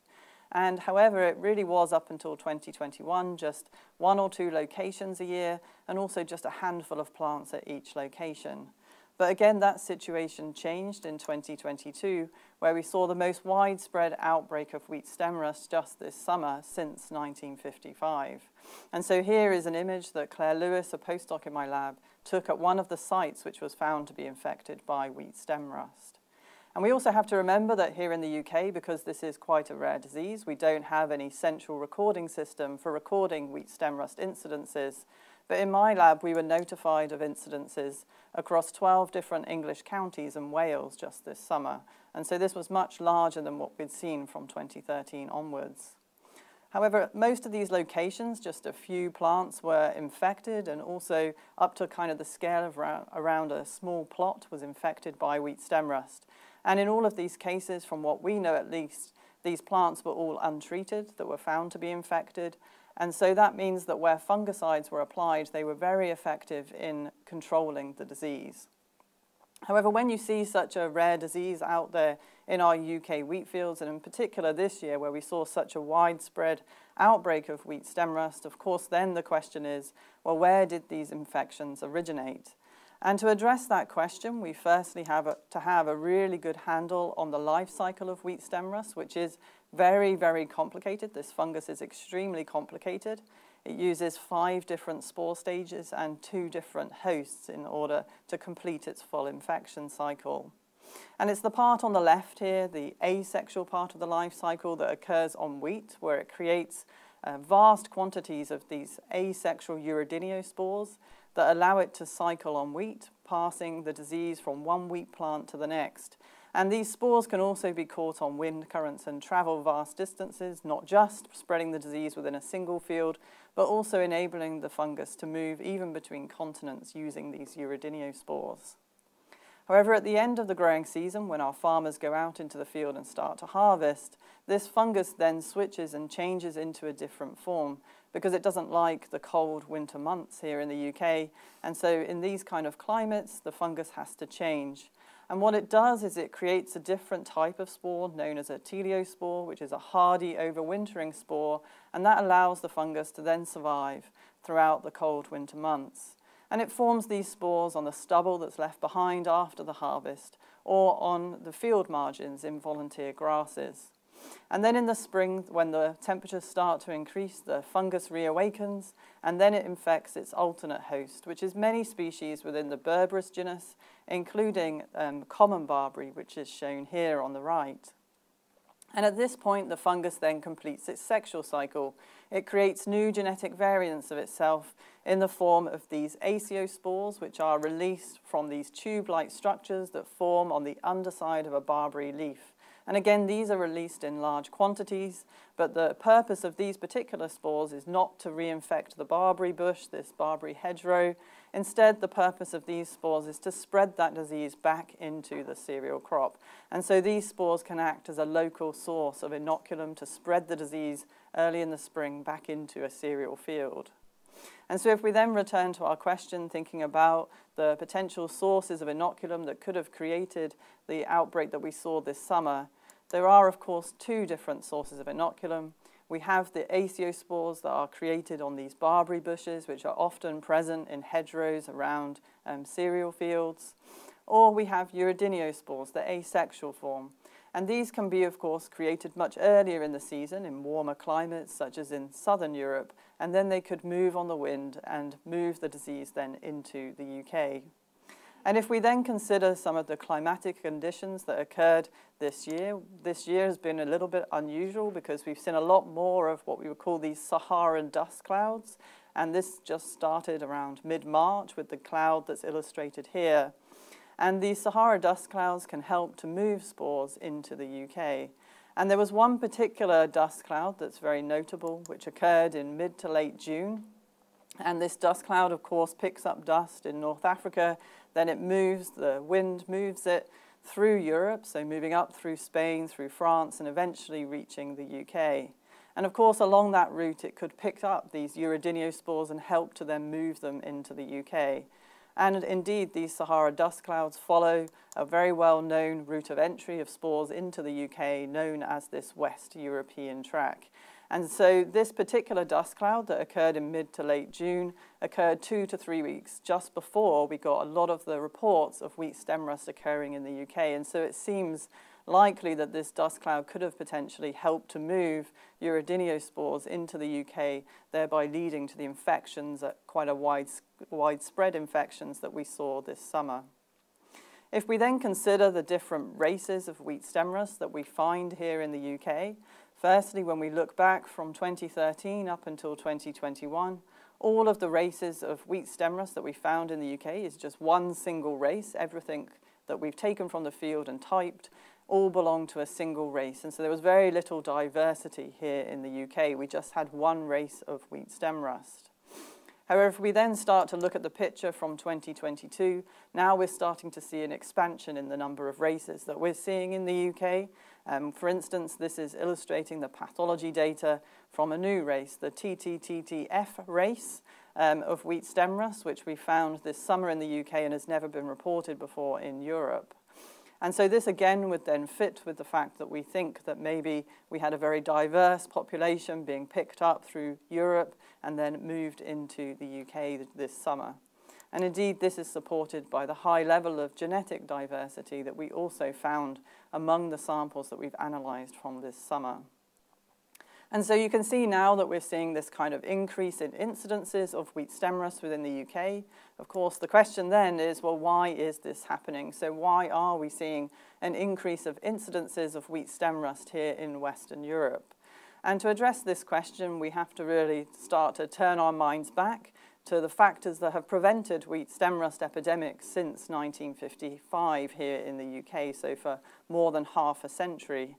The first of these was, of course, removal of the alternate host, these barberry hedgerow shrubs, because this then prevents that local source of inoculum and also limits the amount that the fungus can undergo sexual reproduction. We also have breeding, where breeding for resistance is very important in kind of helping us to protect our wheat crops against such diseases. And also we were selecting for earlier maturing varieties because this is a warm temperature disease and so that can help to provide some pr protection. And I'll return to this point in a moment. And also now we have modern fungicides, which are very, very effective in controlling wheat stem rust. As we already saw just this summer, um, where we had fungicide application, we didn't see stem rust incidences occurring on those plants. And so now as we look to the future and we're seeing more incidences of wheat stem rust, the question then is, well, how many of these factors remain effective today? So if we firstly consider um, barberry, the alternate host of wheat stem rust, we know that throughout history there has been a lot of legislation and removal campaigns in place across many countries in Europe, America and also Canada to try to limit the amount of barberry around wheat growing areas to thereby prevent it acting as a local source of inoculum. If we consider just one of those campaigns, and the best documented has to be the one that occurred in North America, these are just some of the leaflets and posters that accompanied that campaign. And if we think about that campaign, it began in 1918, it went on into the 1970s. And if we just consider the first 15 years of that campaign, in that 15 year period, 18 million barberry bushes were removed from the landscape in North America around wheat fields. And this was extremely effective in dampening down the scale of epidemics that occurred in North America as you didn't have then that local source of inoculum. And it also reduced the number of races that were being picked up every year because it was reducing the amount it could undergo sexual reproduction. But here in the UK, our farmers were even more proactive. They actually started ripping barberry out over 300 years ago. And this was because when the farmers went to their fields, they saw that if they had one of these barberry hedgerows next to their cereal crop, the crop tended to get more infected. So as Stakman said in this article, they just showed their good sense and they destroyed these bushes. But of course now with wheat stem rust being a distant memory here for many of us in the UK, this means that the number of these bushes is slowly starting to increase. Because our farmers were so proactive, it meant in the UK we had no legislation introduced to restrict plantings. And so, of course, with wheat stem rust, a distant memory, the number of these plants is slowly starting to increase here in the UK. also, within my lab, we've been able to show that Within the UK, we can identify the full infection cycle of wheat stem rust. And so here is an example where we found a barberry hedgerow that was infected by wheat stem rust. And then in the summer months, we identified a small number of barley plants. We have to remember that wheat stem rust can also infect barley. And these barley plants were right next to this hedgerow, and they also got infected by wheat stem rust. And it was clear at this particular location in Suffolk that there was a cycling of the fungus from the barberry bushes into the cereal crop. And so it can actually complete its whole infection cycle here in the UK. And so now with the number of these bushes starting to increase here in the UK, the question then is, well, how do we manage the risk of all of these bushes? And so here I wanted to introduce some work that was done by a very talented PhD student in my lab, Vanessa, where she decided to address this question by trying to work out whether in modern times we could actually guide some policy around where barberry bushes should be located and to identify bushes that might be high risk for monitoring. And to do this, what she set out to do was to identify how many spores are being released from a barberry bush, so how much inoculum would come from a barberry bush and how far it might travel. And so Vanessa did a huge amount of work to try to address this question, I'm just going to touch on a couple of points here. So to work out how many spores could be released from a barberry bush, so the kind of amount of inoculum being released from a barberry bush, she took many images working with our exceptional bioimaging team at the John Innes Centre, where she took these small cluster cups, um, the aecium, which form on the underside of the barberry leaves, and then she measured these cluster cups, which form the infection site, to work out how many spores are present within um, a single infection site. And so she could measure the size of these cluster cups, the number of rows of spores, the number of cups that were present in a single infection site, and work out how many spores were present. She also looked at a number of leaves, looking at the amount of infection present on those leaves and classified them into different levels of infection and then took this to the bush scale, analysing barberry bushes out there in the field and also looking through the literature to see how many leaves on average would be infected by this fungus. And so from this analysis, she could then work out the average amount of spores that would potentially be produced from a barberry bush at different scales of infection. She then put that information into a very simplistic Gaussian plume model, which allowed her to create a point and click web interface, which you can now go and use. You can put in the location of your barberry bush, and then it will pull down current weather data and work out how far spores will travel within your particular location. And so this information around the density of spore dispersal projections can then be used to hopefully guide policy around safe planting distances for barberry hedgerows around cereal crops and also to identify current hedgerows that might need some careful monitoring.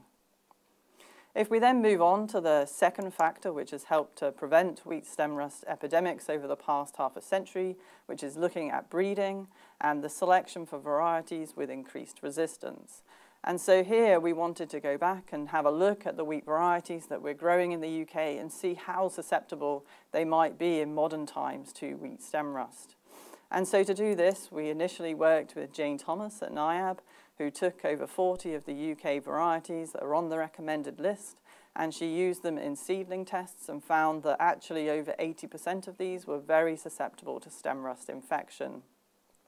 We also took this a bit further because this is a warm temperature disease and so it's much more likely that these plants will be infected at the adult plant stage. And so we took around 60 different UK varieties. We planted them out then in South Africa where they would be naturally infected at the adult plant stage working closely with Willem Boshoff at the University of the Free State there. And what he showed over three years of field trials was that all of the varieties he analysed from the UK were highly susceptible to wheat stem rust. And so we don't actually have much resilience within our current wheat varieties that we're growing. But it wasn't just inbuilt resilience that our predecessors relied upon to prevent wheat stem rust epidemics here in the UK. They also relied on selection for earlier maturing wheat varieties. And so to explain this a bit further, here is an image that illustrates the development of a winter wheat variety that has early maturity. And you can see that just like with the winter wheat varieties we grow today, it's planted in around September, October. It then slowly starts to develop throughout the season and it remains green until around the end of June and then it starts to senesce and mature. And so, of course, this fungus wants to gain loads of nutrients from these plants, and so it can only do that when the plants are green in the field.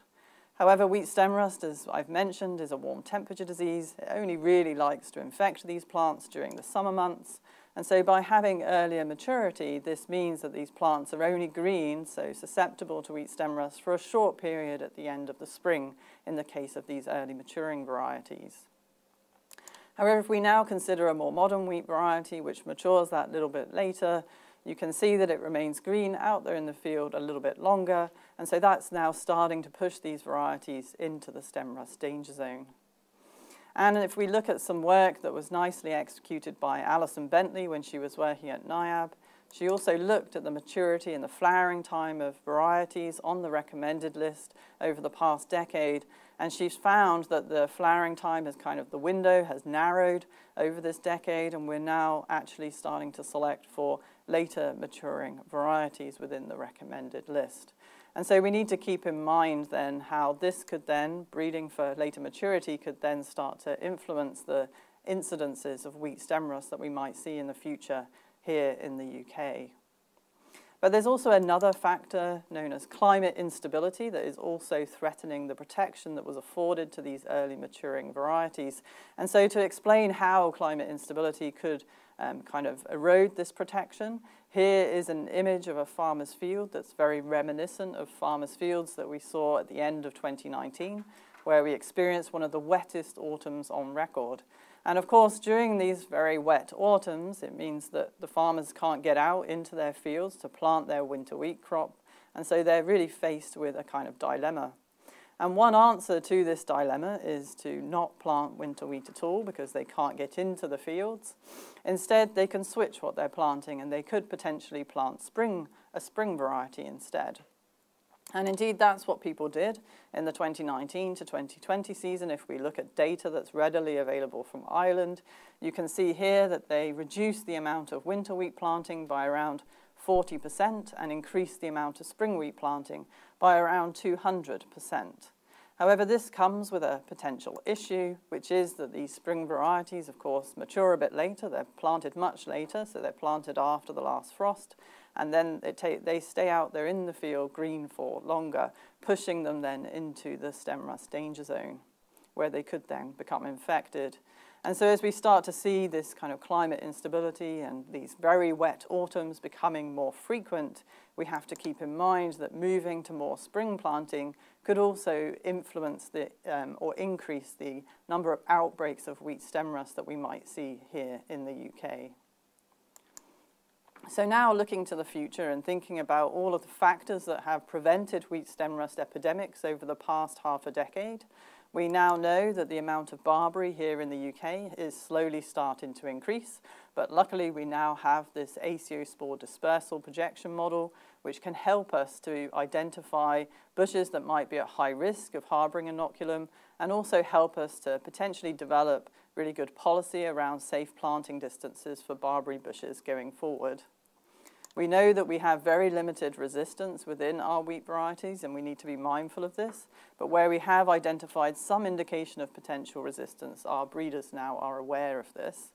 And we have to be very mindful about how changes in our wheat planting strategies and varietal selection could impact um, warm temperature diseases such as wheat stem rust. But luckily, we still have modern fungicides that are currently very effective as a control measure against wheat stem rust, and so that's a really important point. So as we look to the future, of course, keeping wheat stem rust in check is going to take the efforts of an entire community. And at the heart of this has to be all of the lessons that we've learned throughout history that have kept wheat stem rust in check for the past half a century. And so there I'd just like to leave it. We're acknowledging, of course, my lab and all of our collaborators and our funders. And thank you very much for your attention. And I look forward to taking questions later on. Thank you very much, Diane.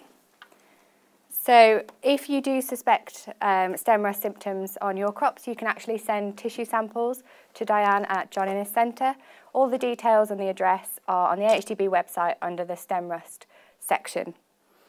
So stem rust was actually seen on some untreated winter wheat recommended list trial plots in Lincolnshire in 2022, which does bring us nicely to our next speaker, Paul Gosling, who's going to cover what's next for varieties of the recommended lists. Before we do that, we have got time for another poll. So this can be accessed on PollEv, which again, a reminder is found at pollev.com forward slash AHDB. So the question you're being asked now are yield and quality more important than agronomics and disease resistance? So that poll is open and you can, um, you can select your answer now. We did actually ask this poll at the Agronomist Conference in 2017 and 25% uh, of people said that yield and quality were more important. So we should be able to see the results coming up on the screen now. Interestingly, that figure has changed to 88%. Um, Oh, 78 still. Votes are coming in still. Um, you'll have to be quicker next time. So our next poll, um, we also asked in 2017, and that's whether you preferred the recommended list to be in print rather than digital formats. So you can say yes, no, or that you value them equally. In 2017, 75% of attendees said that they preferred print formats. So it'll be interesting to see if that has changed now. And see all the, re the results coming in, lots of votes coming through. Um, so we can have a look at the results quickly there as well.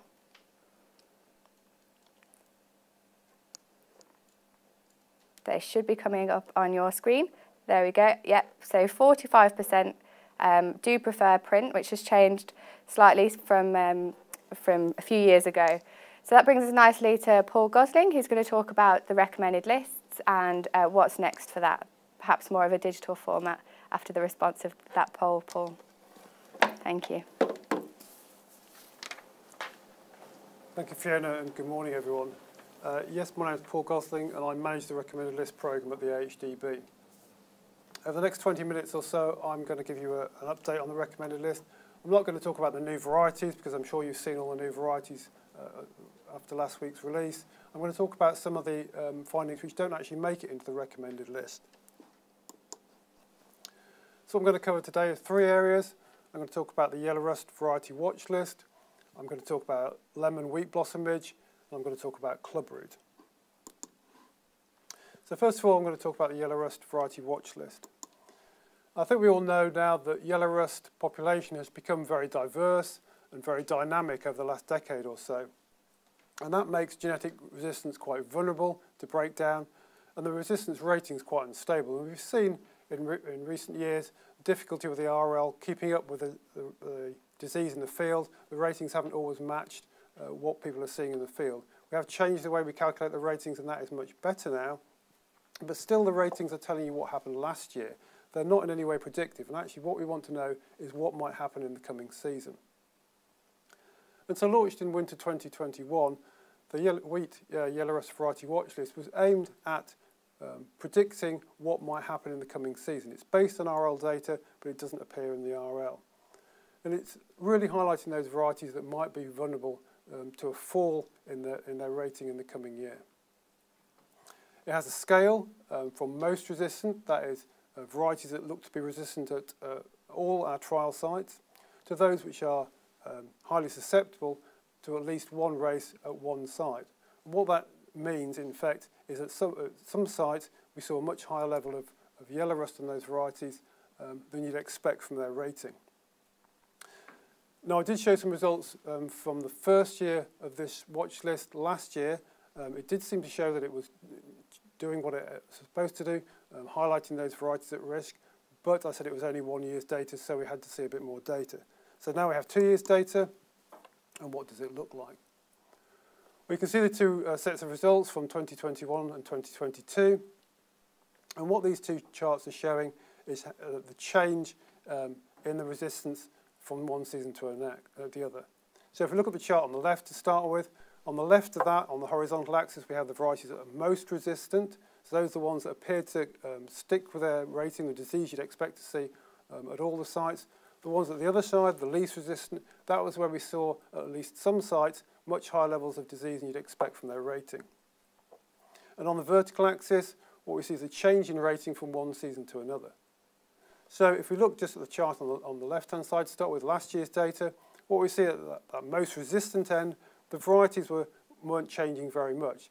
We do see a little bit of movement up, up and down by small amounts each year, just depending on the amount of disease in trials, but not much change. We go to the right-hand side where we see the least resistant varieties, the ones we predicted might see a fall in rating. We do see some big falls in rating, um, up to one whole rating point in those um, varieties. And a trend for, as you move from left to right, uh, for more uh, or larger falls. So that looked like uh, it was working. If we look at the chart on the 2022, so that's this year's data, a slightly different pattern. Those varieties which looked like they were most resistant um, they went up slightly in ratings, and as I say, we can get these uh, shifts in ratings from year to year. But again, at the least resistant end, the variety we predicted might be vulnerable to a fall in rating. We did see varieties falling off in rating, not quite as much as last year, but definitely the pattern was there. So with two years of data now on this, on this new uh, method of looking at yellow rust, most of the varieties classified as most resistant had stable ratings. They didn't uh, see those big falls. The largest falls in ratings were seen with those classified as least resistant. So it is picking out those varieties that might be susceptible. But it's important to emphasise that not all the varieties classified as least resistant do see the falls. So wheat yellow rust variety watch list, yes or no, is it worth paying attention to? Well, the evidence from two years now uh, suggests the list is highlighting varieties that are at risk of their fall in ratings, so in the coming season. What do you do about that? Well, the advice is to monitor those varieties, um, identified as least resistant, um, perhaps do more field walking, and if you see more yellow rust than you expect from their rating, be prepared to up the use of rust-active fungicides on those varieties. We will update the um, yellow rust watch list in January, so that will be for the coming season. And because it looks like the yellow rust variety watch list is working, we are going to try a brown rust uh, variety watch list. That will again be produced in January. Now, we don't always get very much brown rust, depending on the season. It may be that not every year we can produce a brown rust watch list, but we will attempt to do that. And of course, we'll review it and monitor it to make sure it is um, providing the information which the yellow rust watch list does seem to be doing. So moving on now uh, to wheat blossom midge. Is it a problem? Well, there is some evidence that it is an emerging problem. Um, we certainly had anecdotal reports, uh, both from agronomists and also from the breeders who have their trials around the country, that lemon blossom midge is starting to become more common. It appears earlier in the crop than orange wheat blossom midge, so if you're walking crops for orange wheat blossom midge, you might not actually see the lemon blossom midge because you, by the time you're walking for, uh, for orange wheat blossom midge, it's actually been and gone. And it feeds slightly differently to orange wheat blossom midge, so it attacks the actual flowers themselves, um, preventing pollination and thus reducing yield. However, if you look in the, liter the literature, there's almost no information um, about how damaging uh, lemon blossom midge is to, uh, to yield. And we have seen lemon blossom midge in our real trials. In 2022, there was a second week trial in North Yorkshire that was badly affected. And the pictures on the right-hand side of this slide show that trial and show um, quite severe damage that can occur um, with missing grain sites. But rather than abandon this trial, we decided we could, might be able to get some useful information from it. One of the breeders um, kindly scored the trial for us on a, on a damage scale 1 to 9, and we took the trial to yield uh, to see what would happen uh, in terms of yield loss. And this is the results we got from that um, trial. So on the horizontal axis, we've got damage uh, from 1, no damage on the left-hand side, through to 9, the maximum level of damage. And what's on the, on the vertical axis is the difference in yield um, between the varieties in this trial and the overall trial set for 2022. Fortunately, in this trial, none of the control varieties were affected by lemon blossom midge. They scored either a 1 or 2, so we could use those controls as normal. This is the difference uh, between how they perform in this trial compared to other trials. Anything below the line is it performed worse in this trial. Anything above the line, it performed better.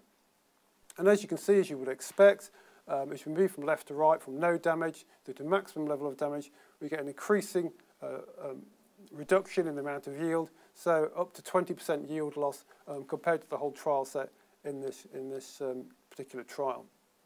And that equated to a yield loss of up to 2.14 tonnes per hectare at a damage level of 9. So is lemon wheat blossom midge a problem? Well, it is a single trial, obviously, uh, so we do have to caveat some of what I'm going to say. Um, but it does suggest from this trial that lemon blossom midge can have a very significant impact on yield where it occurs. We don't fully understand um, how lemon blossom midge um, life cycle works, but we think um, from the literature that it probably needs very similar conditions to orange wheat blossom midge. So warm and wet in May, it needs the, the, the moisture in the soil and temperatures above uh, 13 degrees C in the soil um, to appear.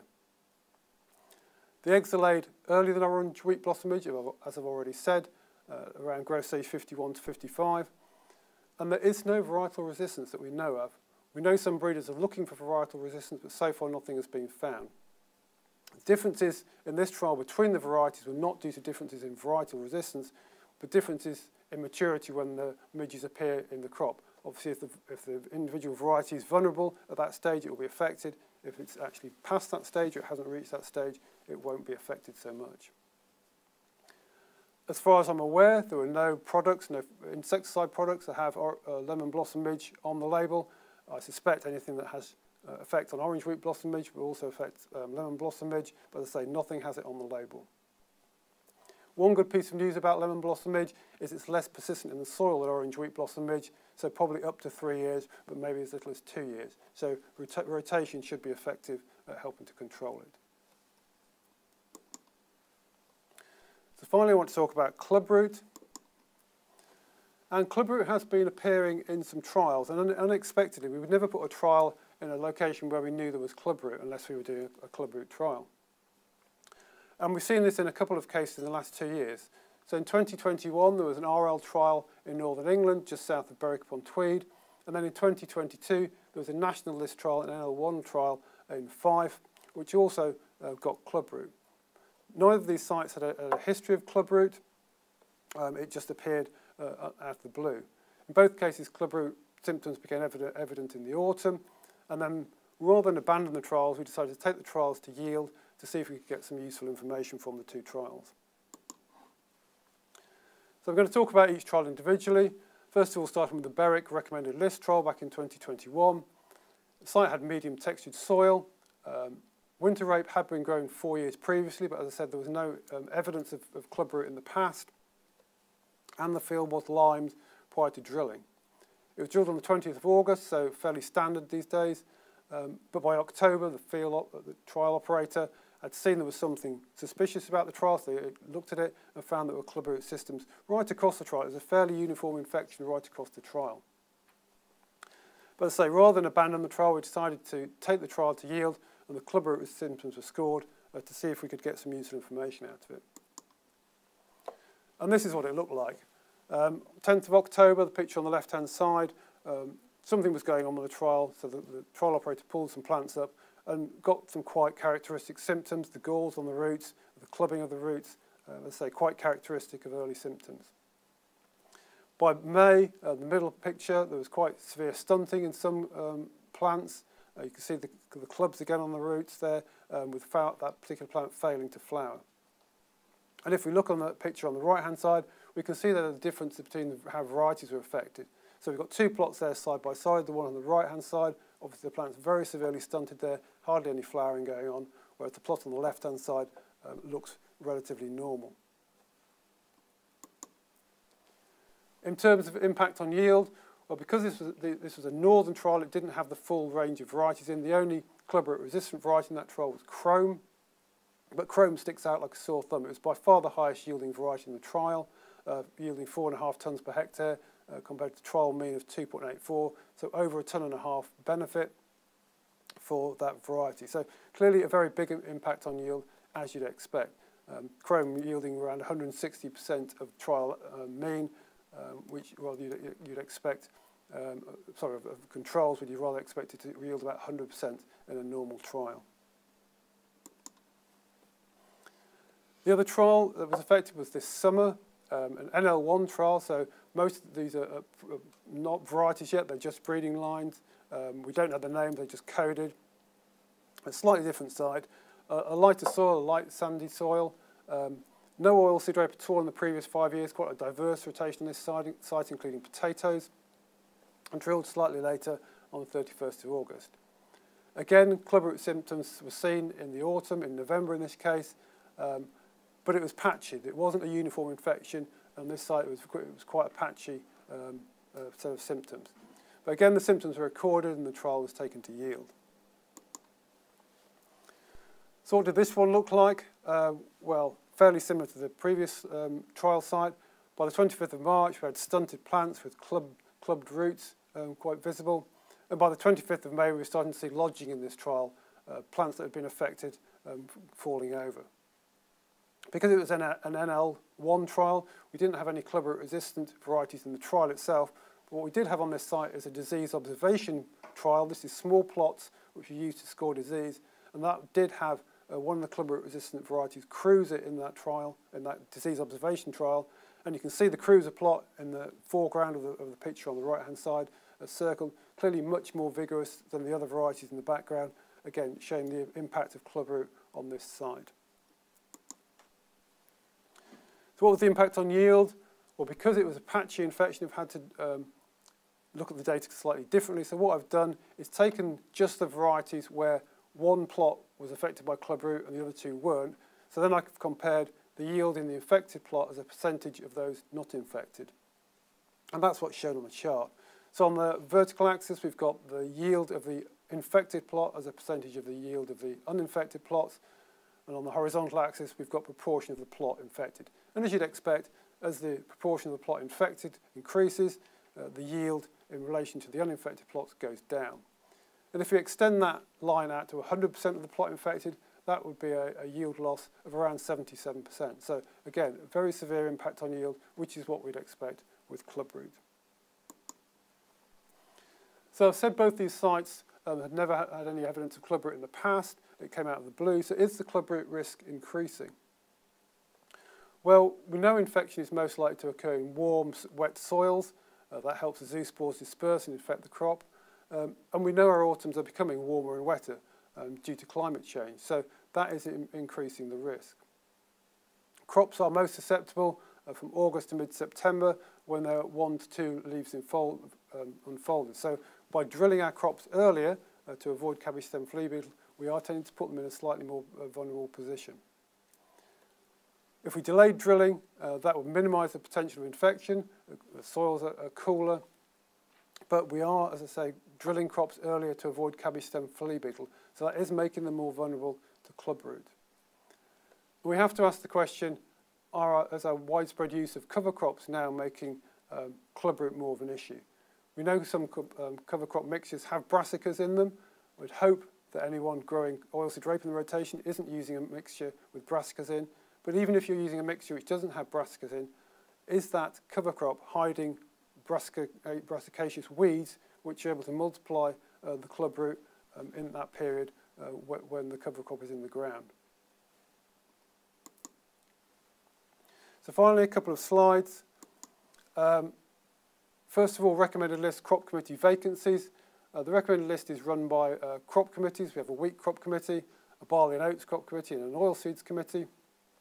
And each of those committees has representatives, representatives from the whole of the supply chain, from farmers right through to end users, and it includes agronomists.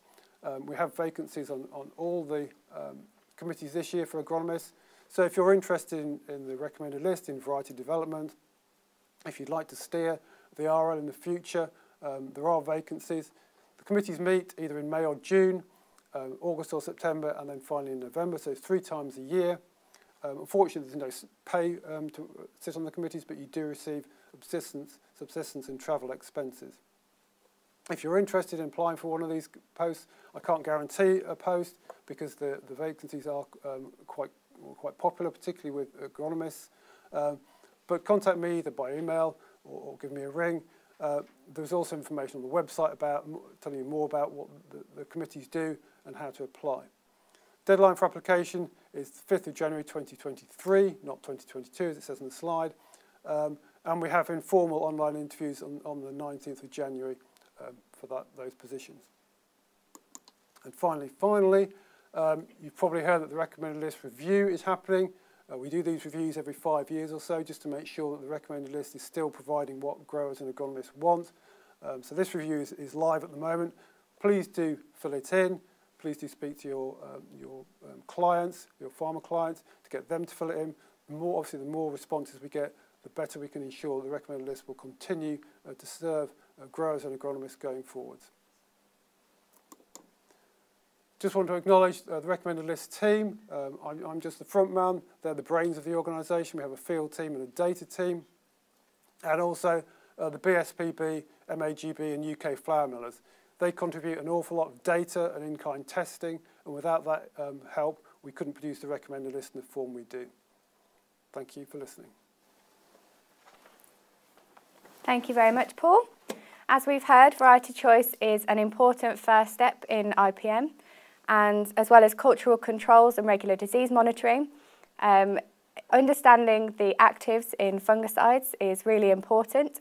AHDB fund independent fungicide performance research, which has been running in wheat since 1994, uh, bringing in barley in 2002 and oilseed rape in 2006. Next, we have Rebecca Joynt from ADAS and Fiona Burnett from SRUC, who are going to share this year's results. So I'll firstly hand over to Rebecca. If you have any questions, just a reminder you can ask them anytime at uh, pollev.com forward slash AHDB. Thank you very much. Hi, so as Fiona said, I'm Rebecca um, and I'm here today with Fiona to share the fungicide performance update for wheat, barley and oilseed rape. So the fungicide performance project um, builds on the work Paul's just been discussing about varietal resistance as a factor of your fungicide programs. The fungicide performance project aims to evaluate different fungicides and their relative performance against different diseases to provide independent data to help support your decision making when building a programme. The trials are designed to create high pressure scenarios. So these include highly susceptible varieties, high risk locations, and we use a single spray timing. These maximise the options to pull out differences between treatments against different target diseases. We use the data to fit dose response curves, um, and we show these today up to 200% of full label rate um, and they'll be available online afterwards up to 100% of full label rate. The trials also allow us to separate fungicide activity into protectant and eradicant.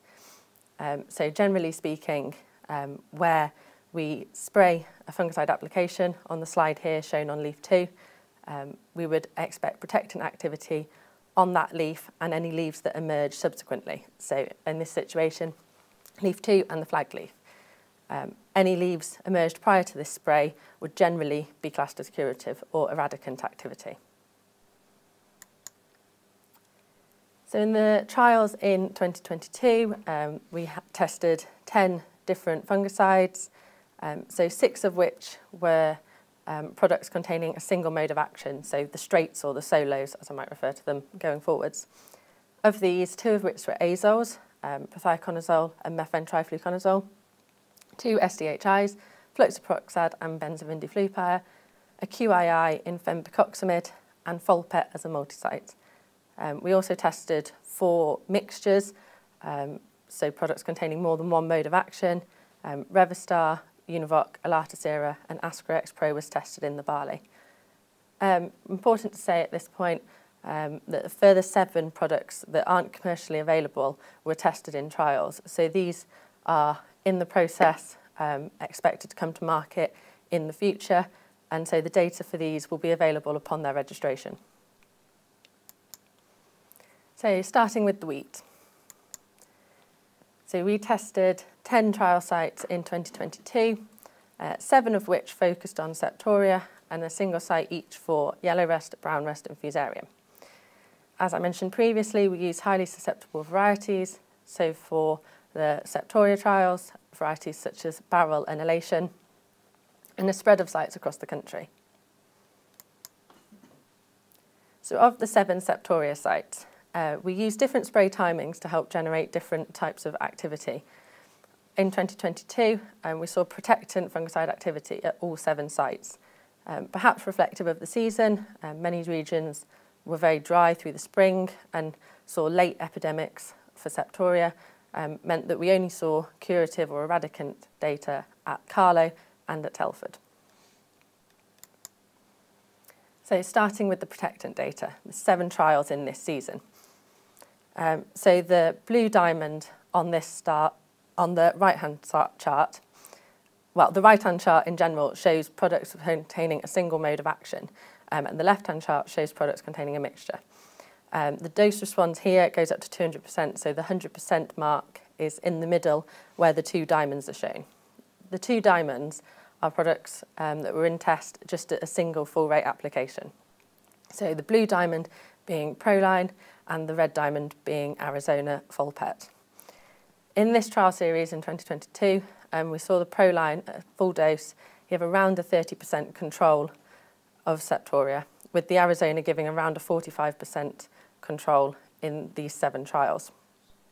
The two lines at the bottom there, the brown line being mefentrifluconazole in Myresa and the grey line being fenpicoxamide in Peqtiga, were giving good levels of control of the target disease.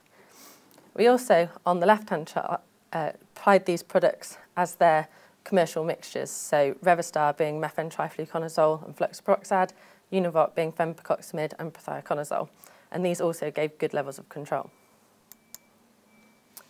In an eradicant situation in 2022, so just two trials, um, we saw similar levels of control from Proline as we did in the protectant situation overall. Both Peqtiga and Myresa perform very similarly at a full dose rate. You can see there the lines overlapping. Um, Myresa appearing to give slightly greater levels of control when applied dose for dose at lower rates compared to Peqtiga. On the left-hand side, you can see uh, Revystar and Univoq, um, and consistent with what we saw in the Protectant trial series, there's a small degree of separation between the two products, with Univoq giving slightly greater levels of control. And these trends carried through to yield. So across the trials in 2022, um, we were seeing around a 0.2 tonnes per hectare yield response from a single application of either Proline or Arizona compared to the untreated.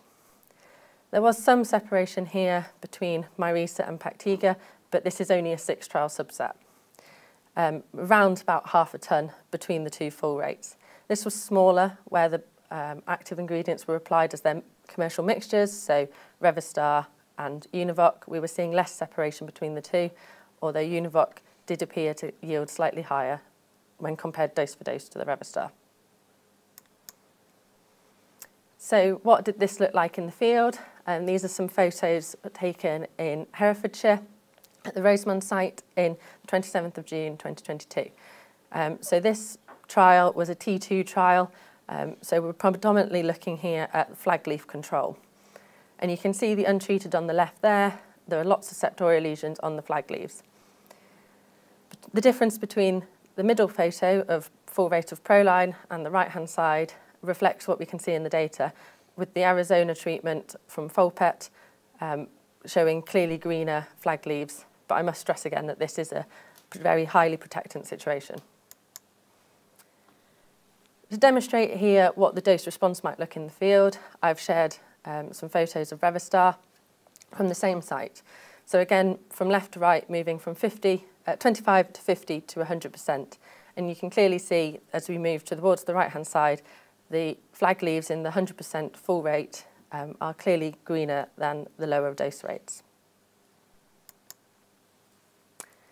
So you can also share data across the last three seasons. So this is a larger number of trials, 17 trials across 2020 to 2022. Um, so these trials have, this graph has a slightly different uh, subset of products in. Um, we include products in these graphs where they've been tested in at least two of the three seasons. This means that we can share data on Proline and Imtrex, but Peqtiga drops out of the chart as it was only in trial in 2022. So you can see here uh, on the right-hand side chart, the Arizona giving consistent performance across the three years to what we saw in 2022, with around a 50% control of that single application at full dose rate. Applications of Proline, prothioconazole, and Imtrex, fluxapyroxad, are still providing useful levels of control in a protectant situation, However, there's a clear step change to the newer active of mefentrifluconazole in Myresa. When you look at the chart on the left-hand side, you can see that the Revystar and Univoq lines are sitting closer together than what we saw in 2022, perhaps reflecting uh, the earlier seasons in this data set. Looking then at eradicant data, so this is 10 trials um, across the three years, you can see broadly the same trends. Um, the two things to point out that are slightly different on this chart um, is the difference between Myresa, mefentrifluconazole, and Revystar. So looking from the right-hand side chart to the left-hand side chart, you can see a benefit of the mixture partner fluxapyroxad in Revystar adding to disease control. Also, in these charts, the slope of the gradient changes up to 100%. We can see a shallower dose response showing that there's a benefit to increasing dose rates in curative situations in comparison to improtectant. And these trends again carried through to yield across this 19 trial subset.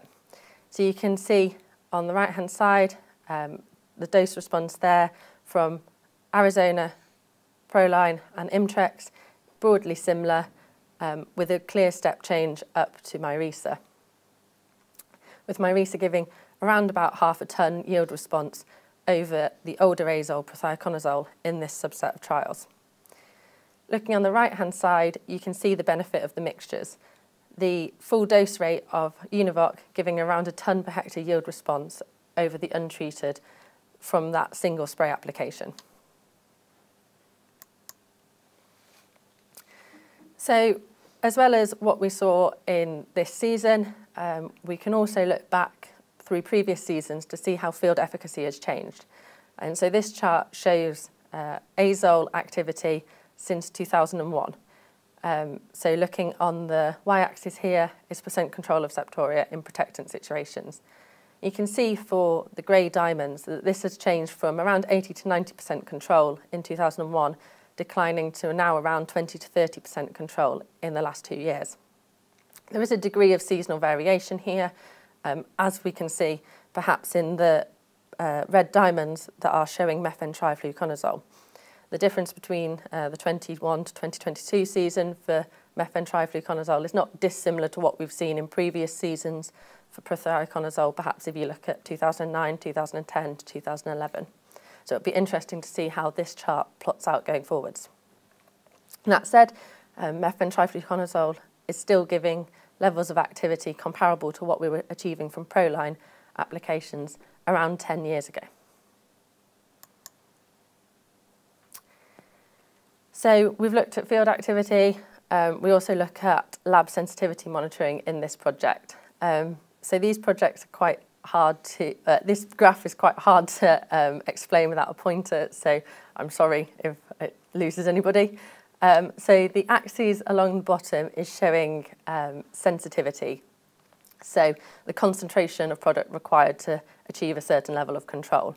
Um, more sensitive is towards the left-hand side of the chart and sensitivity decreases as you're moving to the right-hand side.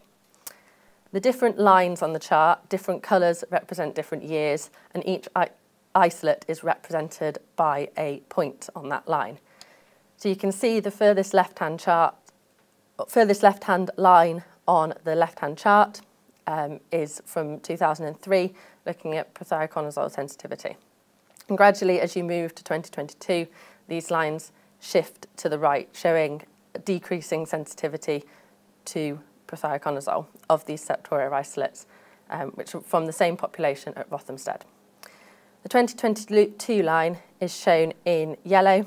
It's orange uh, circles, and you can see that this is broadly in line with what we've seen in previous seasons, um, with perhaps just a slight change in the middle with more isolates showing uh, moderately reduced sensitivity. Looking at the chart on the right-hand side, which is mefentrifluconazole, um, you can see the 2022 line compared to the three previous seasons sitting in line with what we've seen previously, suggesting that there's been no shift in sensitivity. So going back to the field, um, this is field performance, field control um, from the products containing mixtures of different modes of action up to a full dose rate since 2017. Um, so you can see that there is a degree of seasonal variability um, as you look 2017 to 2018 and back to 2020, um, the overall level of control changes. However, in 2021 and 2022, uh, for both Revystar in the green line and Univoq in the red line, you can see that the overall level of control is lower. Um, this may be a seasonal factor. Um, it may also be, as we've just shown previously, the activity of the mixture partners, such as prothioconazole in Univoq, is declining over seasons. The other thing to point out in these trials is the relative rank order of products. So from 2017 to 2019, you can see the green line of Revystar was giving slightly higher control than the red line of Univoq. But in recent seasons, this has switched and we can see that Univoq is giving slightly higher levels of control than Revystar. So to round up on Septoria, um, just to cover a few more points on lab sensitivity monitoring. Uh, so the 2022 data, as I've shown for prothioconazole, but also for SDHIs, shows no significant shifts. All the isolates were within the bounds of the previous ranges. That being said, um, we are seeing that these isolates with reduced sensitivity are slowly accounting for an increasing proportion of the population, and these isolates are becoming gradually more complex. It's important to remember, though, that Septoria populations are heterogeneous, um, and samples will vary by site and season and even within a season. Um, so monitoring in this project pre and post application has shown that a single fungicide application is sufficient to drive changes in the population and therefore really um, sort of coming back to the point that resistance management, so mixtures, alternations and multi-sites are key considerations when building a programme. So to move on to yellow rust, um, I hope the photo is showing as clearly on your screen as it does here. Um, you can see this picture um, on the left, which was taken at the yellow rust site in Norfolk early in the season. You can see a clear line where the trial area starts and the field turns yellow, um, showing what a high pressure situation this was. And that's reflected in the data with the untreated having 45% disease severity in the field. Um, all products gave good levels of control. Um, on the right-hand chart here, uh, Myresa and Peqtiga are giving good dose responses up to a full label rate. Um, and comparing across to the mixtures on the left-hand side of the chart, you can see the benefit of fluxapyroxad in Revystar and prothioconazole in Univoq adding to the level of control. The green line on the right-hand side of the chart is benzovindiflupyr in Elatus Plus, um, which remains a leading active against yellow rust. This is consistent across seasons. Um, so you can see the green line on the right-hand chart, again, giving very high levels of activity, as does the green line on the left-hand chart, which is Elatus Era, so benzovindiflupyr and prothioconazole. Looking across seasons, this chart also allows us to include Proline, so prothioconazole in the dotted blue line, and Imtrex fluxapyroxad in the yellow line. And you can see here that these actives are still adding very good levels of uh, activity on yellow rust. When you look to yield, uh, the trends seen carry through uh, with Imtrex and Proline giving around a tonne yield response at a full label rate from uh, the over the untreated in three trials across 2020 to 2022. The standout here um, is the products containing benzovindiflupyr, so Elatus Plus and Elatus Era, both showing the persistence of control reflected in the yield responses, uh, achieving around a tonne and a half for a full rate of Elatus Era in this subset of three trials. So moving on to brown rust, um, four products to share with you this year. Um, again, reflecting that there are unregistered products in the trial that will be available to you when the products are commercially available. Three of these products in trial this season were active, uh, straight actives, so Peqtiga, Elatus Plus and Myresa. Of the three, Myresa, mefentrifluconazole, showing the greatest level of activity in 2022. Again, you can see the benefit of the mixture partners in Revystar, so uh, mefentrifluconazole and fluxapyroxad showing the highest levels of control. And this again is consistent across this trial over the last three seasons. Um, the, on the left-hand side, the orange line of Revystar there, proving highly effective even at low dose rates. On the right-hand side again, you can see uh, mefentrifluconazole uh, showing strong levels of activity in the brown line, as does the green line of Elatus Plus. Um, the two other lines on the right-hand side chart are Peqtiga in the grey and Proline in the dotted line. And you can see these are also giving useful activity, although less than mefentrifluconazole or benzovindiflupyr. And looking across these three trials into yield, um, you can see these trends remain. Uh, so seeing around a tonne yield response from the full application of mefentrifluconazole, benzovindiflupyr, or the mixture of mefentrifluconazole and fluxapyroxad in Revystar. Um, again, this is a, a single T2 spray um, on a highly susceptible variety. So finally, uh, on the wheat, uh, just a slide on fusarium control. Um, so two products to share with you are Proline, so prothioconazole, which remains a, a leading active for fusarium control, giving around a 50% reduction in visible ear blight symptoms. Myresa also adding a small amount of activity. So to summarise on wheat before I hand over to Fiona, uh, for Septoria, mefentrifluconazole and fenpicoxamid remain the leading actives, both when applied as solos and when applied as the proprietary mixtures of Univoq and Revystar. Um, on yellow rust, all mixtures performed well. Um, Elatus in particular, benzovindiflupyr, standing out in yield. Again, with the uh, brown rust, mefentrifluconazole and SDHIs showing high levels of activity. So with that, I will hand over to Fiona. Thank you, Rebecca. I'm uh, Fiona Burnett from SRUC, so I'll be following Rebecca and describing the barley fungicide performance uh, for last year and then moving on to the oilseed rape. And Rebecca's given a, a, great introduction to the, the format of the, of the trial series and broadly the barley follows a very similar protocol. So we're looking at um, sites that predispose to the disease, so high-risk sites, weak varieties um, and single timings of the fungicides. The sites that we had last year um, are set out there. So usually we would have eight sites uh, in the trial series for barley, two targeting Rhynchosporium, two targeting net blotch, um, and then we have the sites that target Ramularia, and we have the Irish sites um, that similarly we have one there that targets Rhynchosporium and one that targets Ramularia. clearly the 2022 season was particularly dry early on, so we lost one of the sites um, at Cardigan where there was high levels of BYDV, which is why we have nine sites shown there, um, and the Powys site was brought in to replace that Cardigan site. Similar to the wheat that we're looking at single timing, so that's important. These series help guide you to programmes, but they're not representing programmes, so we're testing products at a single timing. Um, and for Rhynchosporium, we tend to go for a T1 timing in barley, which is helpful because that's broadly representative of commercial practice.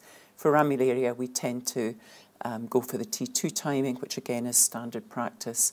And you can see there that for some of the sites we were on a T1 and a half. So we treat once we've got disease in the trial rather than obliterating it early doors and then failing to generate useful data.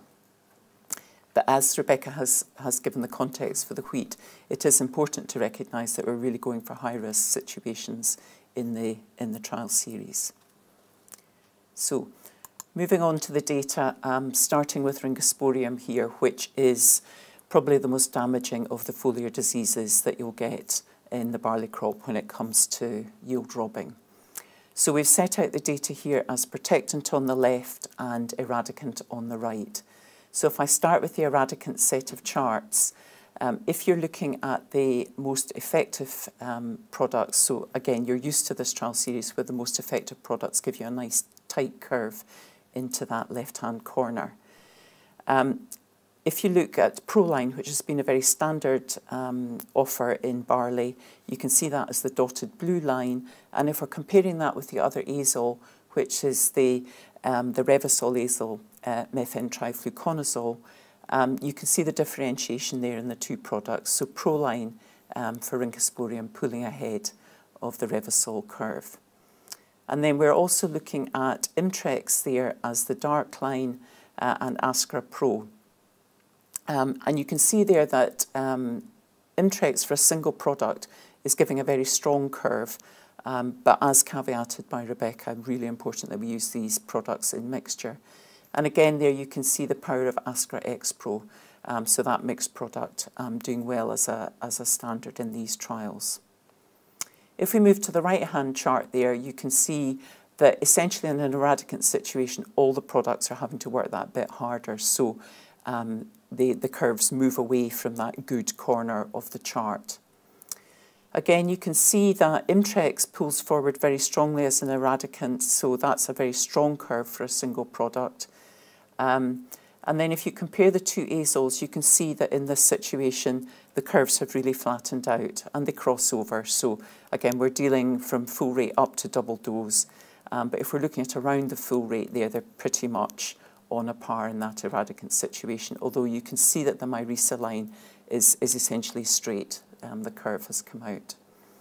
Um, and again, you can see that Ascra Xpro does well in an eradicant situation. So again, the power of a, of a joint product um, in, a, in a practical situation.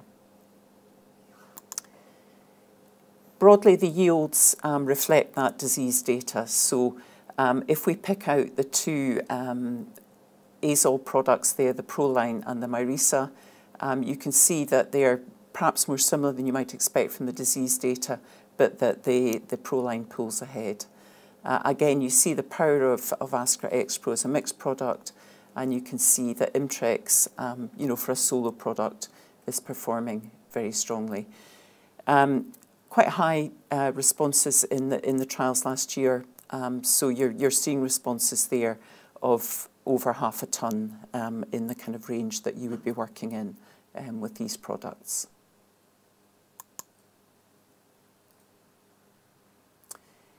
If we look at the over-year disease data, so we're starting to pull in products from previous um, trial series. So again, as Rebecca set out, this allows us to compare products that we couldn't keep in trial this year. So um, you can see that from the previous slides, we have space for eight products in the trials. We only had four products we were showing you, so we have four that are coded products that will come through.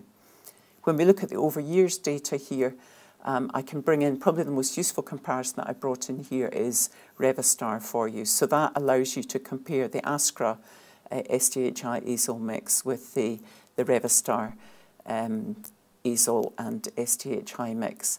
And here you can see that, that Revystar really performs very similarly to Ascra, so that gives you a choice of, of two strong mixed products um, for Rhynchosporium protection. And again, if we're comparing Proline there uh, with Imtrex, you can see those two solo products um, sitting quite close together when it comes to a protectant situation. Um, but again, that you know strong message that we're really operating in mixtures in every situation. And then if we look at the right-hand side of the chart there, we can see the Rhynchosporium eradication charts. So we have six trials in this mix. Um, probably the one to pick out there, you can see that the Proline curve, it, it's a good curve, um, but a single azole there um, trailing behind the other products. Um, but again, you see Imtrex really being extremely strong as an eradicant um, product for a solo. And you see both the Ascra Xpro and the Revystar XE um, performing in a very similar range uh, within the commercial usage that you would be using. So that gives us a, a, you know, a strong position to be managing Rhynchosporium going forward. And then looking at the yield um, that comes out of those, those trials, so we've got eight trials in, in this uh, merged data set that I'm showing you. Um, the one that comes out there, particularly at lower doses, is the Revystar XE, um, coming to the top of the chart there. And then the other three products, um, the Ascra, the Proline, and the Imtrex, are really running in a very similar, very similar fashion. Um, and you can see there that the yield responses again are around that half a ton range um, up to the up to the full dose there. So moving on to net blotch, um, it was a kind of lean year for, for net blotch uh, data. Uh, as I've said, a, a, very dry and very unusual start to the season.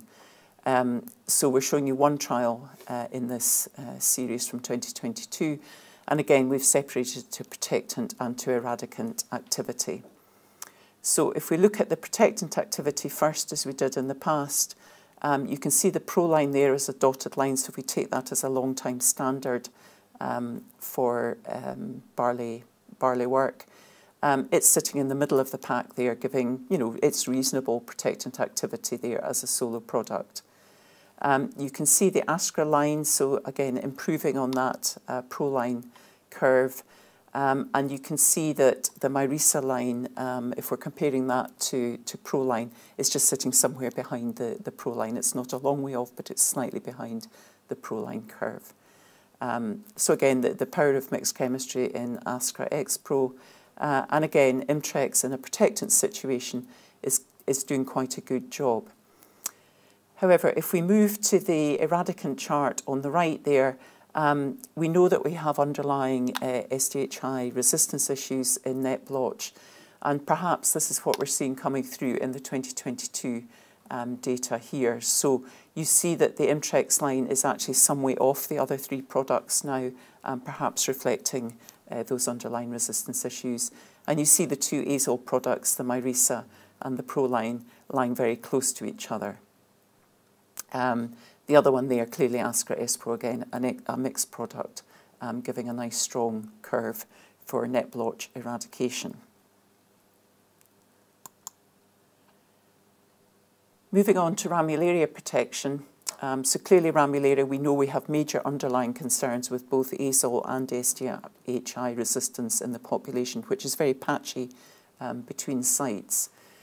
Again, I'm showing you four products um, in the, the trial series uh, from last year, but that means we had four um, products in tests that we hope will come to market um, in, in the future.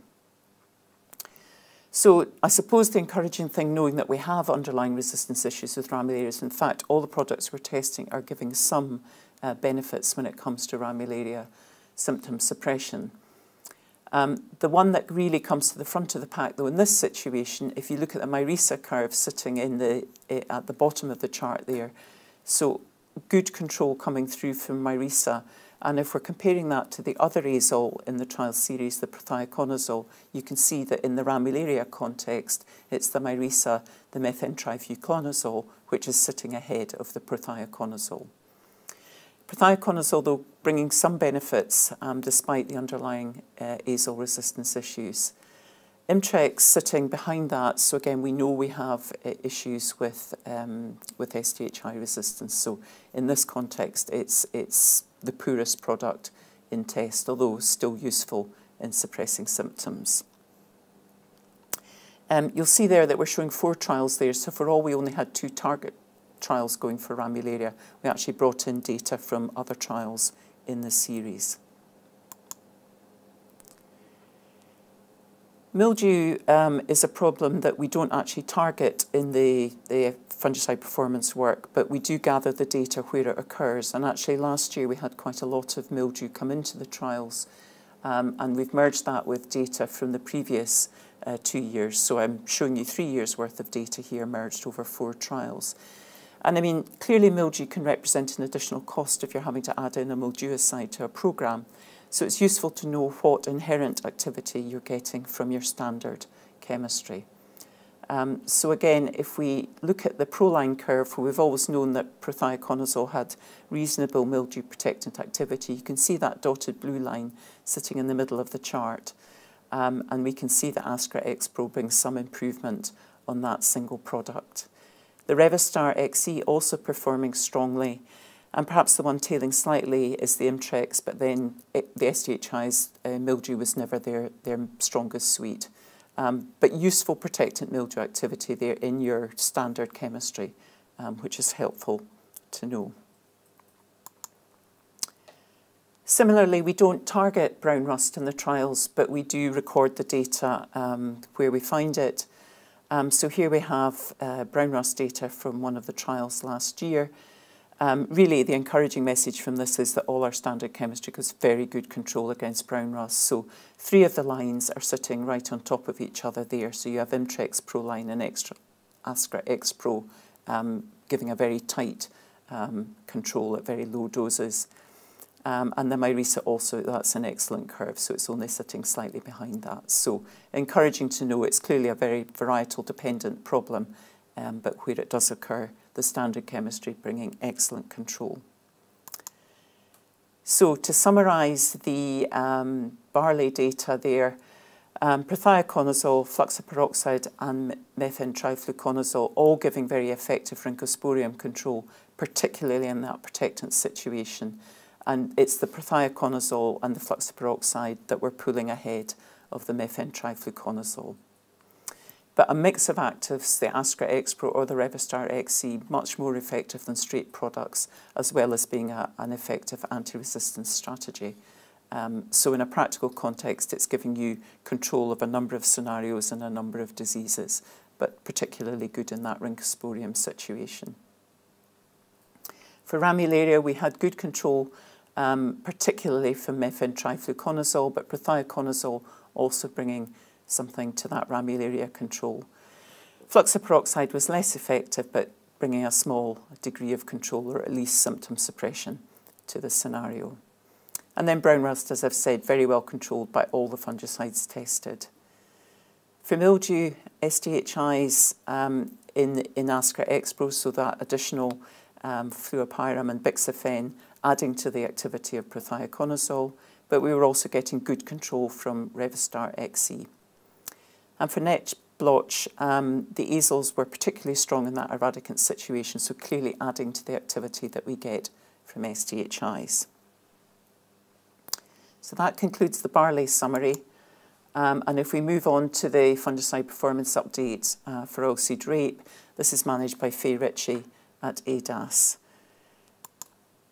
Again, broadly, the trial protocols are similar to the barley and to the wheat um, except that we're treating twice um, for, uh, for the oilseed rape diseases. But again, it really is a situation where we're trying to um, set up sites and situations that really predispose to getting the disease, so they're the highest risk scenarios. So here we have the varieties that were in trial last year, two uh, phoma sites and two light leaf spot sites. So doing our best to pick varieties that are as weak as we can find um, for those two diseases. These are the oilseed rape products that we either had in trial this year or that we've got in the trial series when I start to merge the data um, and show you previous year's data as well. Um, and really quite a positive situation. So after a long period of years where we were very, very reliant on azoles when it come to managing oilseed diseases, you can see that we now have a range of products which either mix a DMI with a QOI or an SDHI, or in fact move away from azoles entirely. So running down that list, we've got Proline as probably a very standard DMI or azole uh, inclusion in the trials. We've got Priory Gold as an older um, and an older azole. Um, and then we move on to slightly newer products. We've got Aviator there, uh, an SDHI azole mix, a straight SDHI in Filan, um, we've got architects, so that's mix, mixing a growth regulator with a strobilurin. Um, we've got Shepherd, so again, a newer product um, that came in in 2021. So that's one of the newer products that's allowing you to move away from azoles and SDHI and a strobilurin or QOI there. We've then got Plover as a straight DMI, so a comparator to Proline, Amistar, uh, and Pictor. So again, that's representing a product that's mixing a QOI and an SDHI. So if I move on to the phoma um, data from last year, where we had two sites uh, in Norfolk and Herefordshire, um, again, you can see from the sparsity of lines on the chart how many we've got in test at the moment, which is kind of promising you jam tomorrow. Um, but again, a fairly consistent message as I begin to go through these slides that the newer products are bringing advantages when it comes to disease control, but they're also um, bringing an advantage in terms of, of yield. Um, last year, 2022 season, we were really just at low to moderate um, canker levels, um, and you see the levels uh, shown on the, the axis there. Um, but again, just to reiterate, if you look at the Shepherd line, so that's your QOI uh, SDHI mix, um, it's giving you the tightest curve there. Aviator Xpro um, sitting just behind that, and then Proline as a straight product um, sitting behind that. You'll notice that these charts only go up to 100%, so that's probably another key difference in these trials, um, being that bit more sensitive to phytotoxicity damage if we go over um, the full dose. If you look at the yield coming through from those trials, you just see the additional benefit of those newer products, so the Aviator and the Shepherd coming to the top of the pack there, so tending to add around 0.2, 0.3 of a tonne to existing chemistry in the form of, of prothioconazole proline there. If we start to look at the merge data, um, the charts look a little bit more generous for you. So here we're merging data going back to 2015, and it sets out the full range of available chemistry. Um, but again, if you look at the two extremes, you've got the, the newer products there in the form of, uh, you know, Shepherd coming to the front there uh, as, a, as an offering, a newer offering. You can see uh, Aviator, which you could see on the previous charts. And at the top of the chart there, um, you can see um, plover, so the older uh, azole chemistry, difenoconazole, um, sitting at the top of the chart. Priory Gold, again, another older set of chemistry, um, sitting you know, at, at, a poorer end of the chart. Prothioconazole sitting kind of in the middle of the chart there for you, just ahead of Filan. And again, if you look at the yield there, it's a fairly consistent story with what we saw in 2022.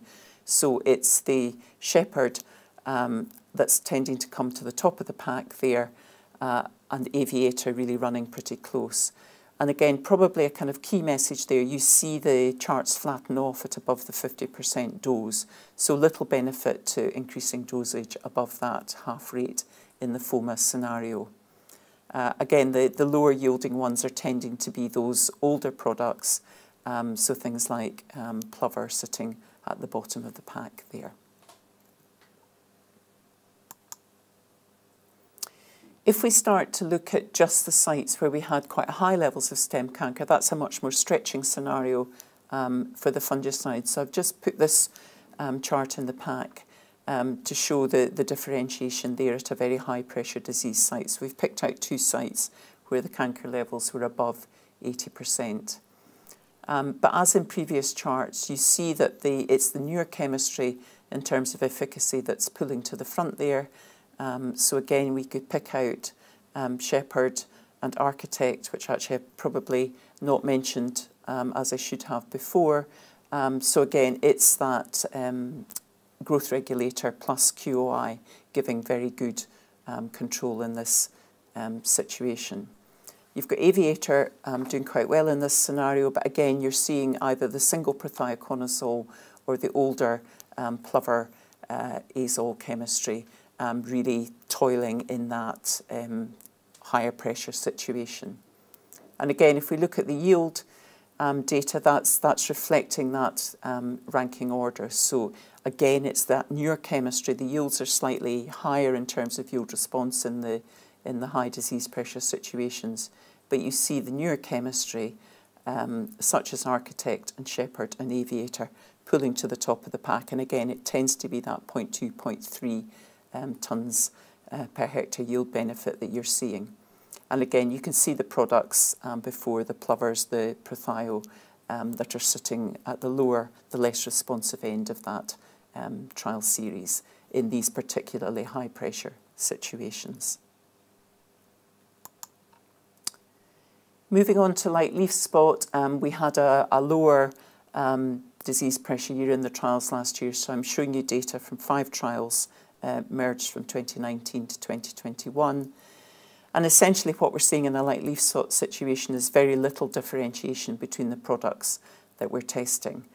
Um, so they're all sitting really quite close together, although you can see some benefit to the, the more mixed chemistry. So again, if we look at um, prothioconazole, which is probably a, a product that you're all very familiar with, it's sitting sort of nicely buried within the other lines uh, for the, the spot um, control that we're getting. Um, you see the control there from Filan um, sitting at the, at the top of the pack there, so marginally poorer than the, the Priory Gold. Um, and you're seeing Shepherd there um, as quite a strong curve, particularly at the, at the lower doses. But like I say, those, those curves are all really um, pretty close together when it comes to light leaf spot uh, management. Again, the curves flatten off, so um, there's little benefit to going above the half dose, although we would still recommend that in the particularly high risk um, sites. So, you know, particularly the northeast of Scotland, where we have particular issues with light leaf blotch, we may, we may go higher. Looking at the yield responses, you can see that um, yield responses are, are, you know, relatively encouraging. Um, so we're, you know, well over the, the half ton for some of the the best options there. Um, but again, um, very pleasingly, it's the newer chemistry that's coming to the front there. So we see a very strong um, curve there for Shepherd. Um, so that, like I say, it's moving us away from azole chemistry, where we've been so reliant, particularly in the light leaf spot context. Um, so we're using a QOI and an SDHI there and getting a good disease, a, a good yield response. And then the Aviator Xpro also giving a very strong um, dose response there. Um, so actually at the 50% dose, it's, it's matching Shepherd. So that's very pleasing to see. Really for the other three products, they're sitting very close together. Um, so, you know, not much to choose between um, the Priori Gold, um, the Proline or the Feline when it comes to um, yield responses there.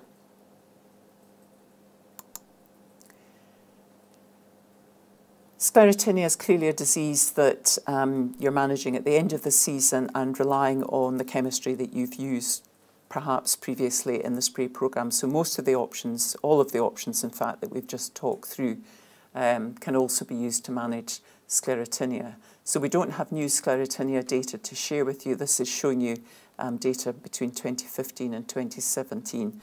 And it's really here just to highlight what the products we've talked about previously bring you in the sclerotinia context.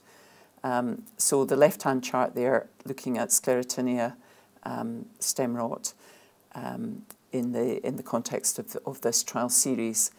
Um, and again, you can probably see there the sort of range of, of options that we've seen before. So Priori Gold um, giving a slightly poorer curve um, than the other products.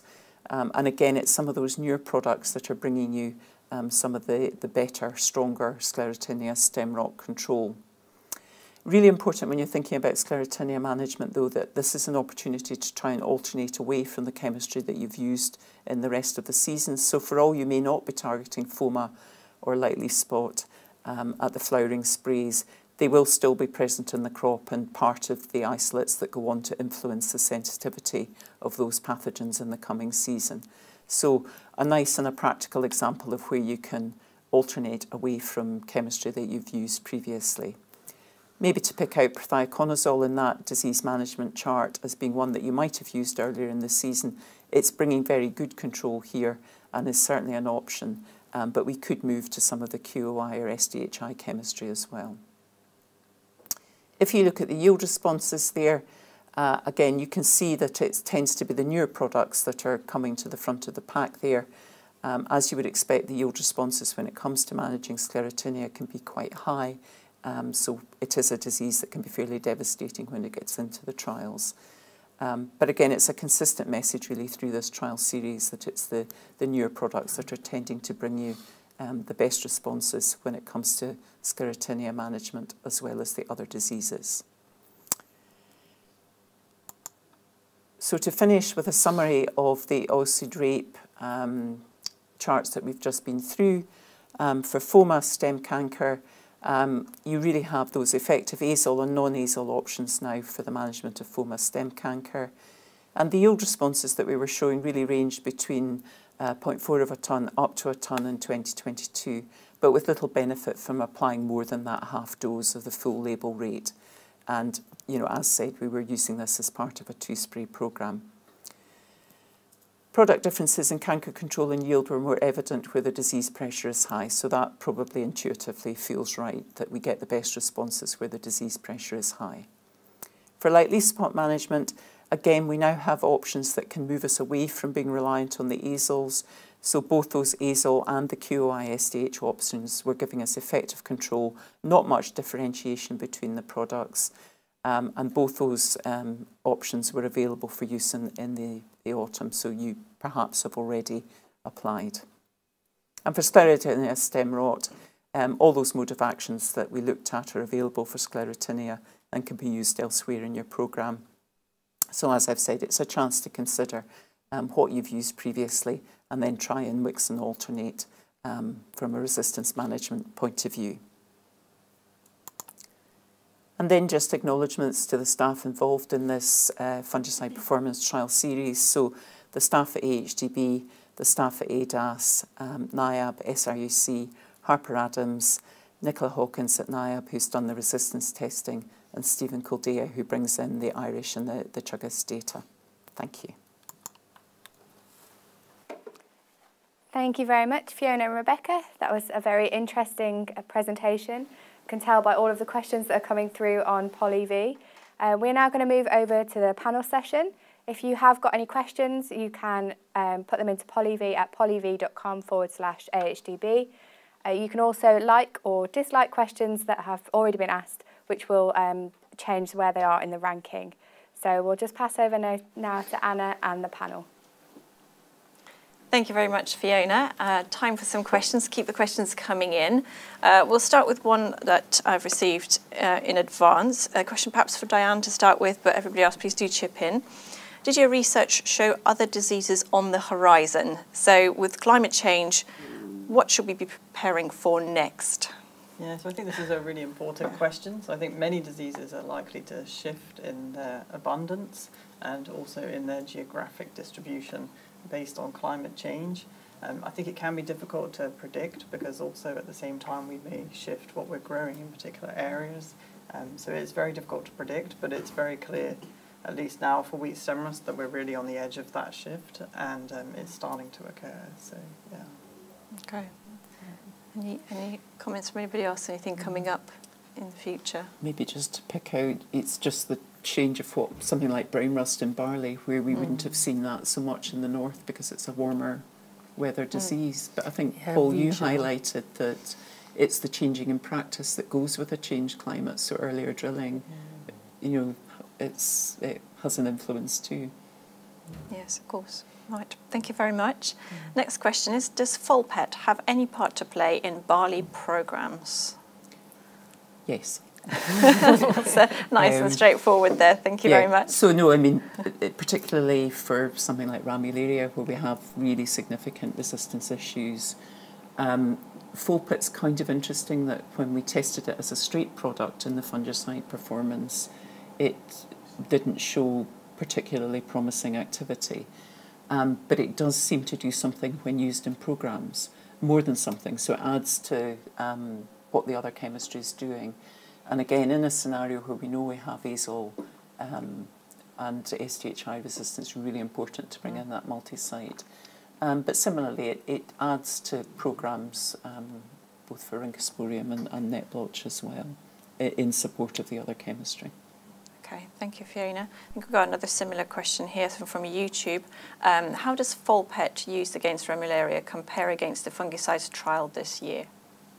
So, kind of as I've highlighted, if you look at it on its own, it doesn't give it a particularly um, fair shot.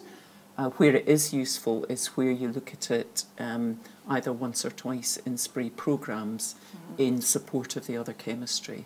Um, so I think I'd rather see what it adds to the other chemistry than yes. to see what it does individually. Um, whether you use it once, once or twice um, is, you know, a, a discussion point. It does tend to add to the efficacy. When that then follows through to yield, it's less clear whether once or twice is the most beneficial when it comes to um, margins. Um, but I think if we just think in terms of efficacy, then we do see it um, where it's used twice in supported programs actually doing quite well. Okay, thank you, Fiona. And barley seems to be very popular, so there's another question that's voted quite highly. Um, so where is the alternation strategy in barley for anti-disease resistance when we constantly base our programs on PTZ? That's been a concern for a long time. So, I mean, I think at one point we were sitting at about 85% of the barleys all getting prothioconazole. Um, so, yeah, clearly that ongoing pressure has been a concern. Mm. I think the nice thing, though, in barley, it, it perhaps more genuinely than wheat, it has been an opportunity where we could um, use QOIs and SDHIs. So they still in the barley context, um, QOIs are still quite strong for. Rhynchosporium protection. So we could more genuinely mix um, we also tend to be on lower doses than in wheat, and again, for fungicide resistance, we know that that's helpful in reducing the selection pressure. Um, we've had sort of strong usage of, you know, previously CTL, but you know now we've got Folpet, so we've been able to bring quite a lot of other things to the party, and then we still have, if you like, older actives like Cyprodinil, which for a winter barley crop um, if you're doing a very early T naught after winter cleanup, um, you can actually start with something that's not prothioconazole based. So, yeah, we are very reliant on what's been a very strong um, piece of azole chemistry, remains a very strong piece of azole chemistry, but we do have options um, that perhaps we didn't have until recently in wheat. That's great. Thank you. Next question is something quite topical, I think, for, for this season, this year. Does the panel have any information, maybe even anecdotal, about any products that may have an effect on ergot development? there are seed treatments available with ergot on the label. So some seed treatments. Okay, maybe have a look um, at those. Thank you. Do the panel have any comment on claims being made within the industry that yellow rust is becoming more aggressive and that we are at more risk from changes in virulence due to sexual reproduction? Yeah, maybe I could comment there. So um, we know that yellow rust doesn't undergo sexual reproduction in this part of the mm -hmm. world. So we know that it only occurs in the near Himalaya region, and so it's not undergoing sexual reproduction here. However, we know that around 2011 that a new set of races of yellow rust moved into the UK and those were highly diverse. And so we have now got a much more diverse population than we ever had previously, where previously it was just a clone that was slowly developing over time. Um, that very diverse um, population that came from sexual reproduction then moved into the UK and in many places in Europe and now that has really replaced what was here previously, so we do have much more diversity. Um, so, yeah. Okay. Any Thank further you. thoughts on? No. Thank you, Diane. Yeah. Okay, another question, prothioconazole. Um, is it an effective mixing partner in septoria control relative to other triazoles? I'd like to take that one? um, yeah, so we still see fluconazole adding um, activity when you when you look at the curves um, over the last three years. Um, we still see activity from fluconazole, um, and it is still adding resistance mm. management in a program, and probably adding to control of other diseases. Um, so, for example, yellow rust. Um, when you compare um, some of the straight active ingredients and then them in mixture with fluconazole, you are seeing a benefit there as well. So, when looking sort of in commercial situations where you're unlikely to have a, say, purely protectant septoria situation, there are benefits. Mm-hmm. And I suppose what we're always trying to do is get aim for a balanced mix. So if you're doing your own prothioconazole mix, it might be a question of flexing the dose with your mixing partner so that you begin to just aim at that idea that they're equally balanced. Okay. Thank you very much. The next question is Do you have any comment on the message coming out from certain quarters that it's not worthwhile treating oilseed rape for light leaf spot in the autumn or winter? Well, the correct answer is it depends on the season because what you want to be is ahead working protectantly with a light leaf spot situation. So where the risk is high in the autumn and the disease establishes early, then absolutely it's worthwhile doing that early protectant spray because if you're waiting to try and treat in the spring, mm. it's too well established. If, however, we're in a season where light leaf spot doesn't establish until after Christmas and into the spring, then the autumn spray may not have been beneficial, but we don't know that with any confidence until retrospectively. Um, so, um, with the value of the crop at the minute, um, the protectant approach may well be one that people steer for at the moment. Okay, thank you, Fiona. Um, another topical question on cover crops. Uh, with the use of brassicas in cover crops, would determination of a winter cover crop in January or February mitigate against increased clubroot incidence in oilseed rape later in the rotation? Probably not, um, because actually it can cycle really very quickly. So in a warm season within, I mean, Paul's data showed that beautifully. You could see the problems in the autumn. Yeah. Um, so four to six weeks might be enough to cycle and leave stuff back in the soil. Okay. Thank you. And can you report whether differences between products, both for reduction of disease and yield response, are statistically significant? Rebecca? Yeah, so we, we don't put stats to the curves. Um, but I think as a general rule, we say if the products points and lines are separate between products, then you could probably say they're significantly different. Okay, thank you, Rebecca. Question on the recommended list. So the recommended list fungicide programs have been increasing in cost as we chase shifting sensitivity is it time to wean the trials off of very high fungicide inputs and select the varieties under a more commercial program? So one for you, Paul. Uh, Tough question. yeah, the, the issue with the fungicide program in the recommended list has been a discussion for many years now. And the issue is if you move um, away from uh, what is effectively a, a disease elimination program uh, to one which is a commercial program, and you change the nature of the trials themselves. It no longer becomes a test of genetics, it becomes a test of genetics by fungicide. Um, and, and, from a practical point of view, um, if you think about the varieties that are in trial, you, you wouldn't commercially, or at least you shouldn't put the same program you put on Crusoe as you would on Zyatt, as you would on um, Skyfall. So actually in a trial, which commercial product system do you put on? Um, it becomes very difficult, difficult logistically um, as well to do. And you wouldn't use the same fungicide program in a trial in Devon or in a variety in Devon as you would in Cambridgeshire. Mm. So actually there are some quite difficult practical things you'd have to overcome to try and use a commercial product or commercial program, as well as moving away from that, fun, that fundamental change that it would no longer be a test of, of um, variety by environment, it would be a test of variety by environment by fungicide program, and then it becomes much more difficult to actually interpret the results. Um, as I said, there is a review going on. We will look at this again, but I suspect we'll come back to the same position that actually um, having a series of treated trials and a series of untreated trials is the best compromise. Hmm.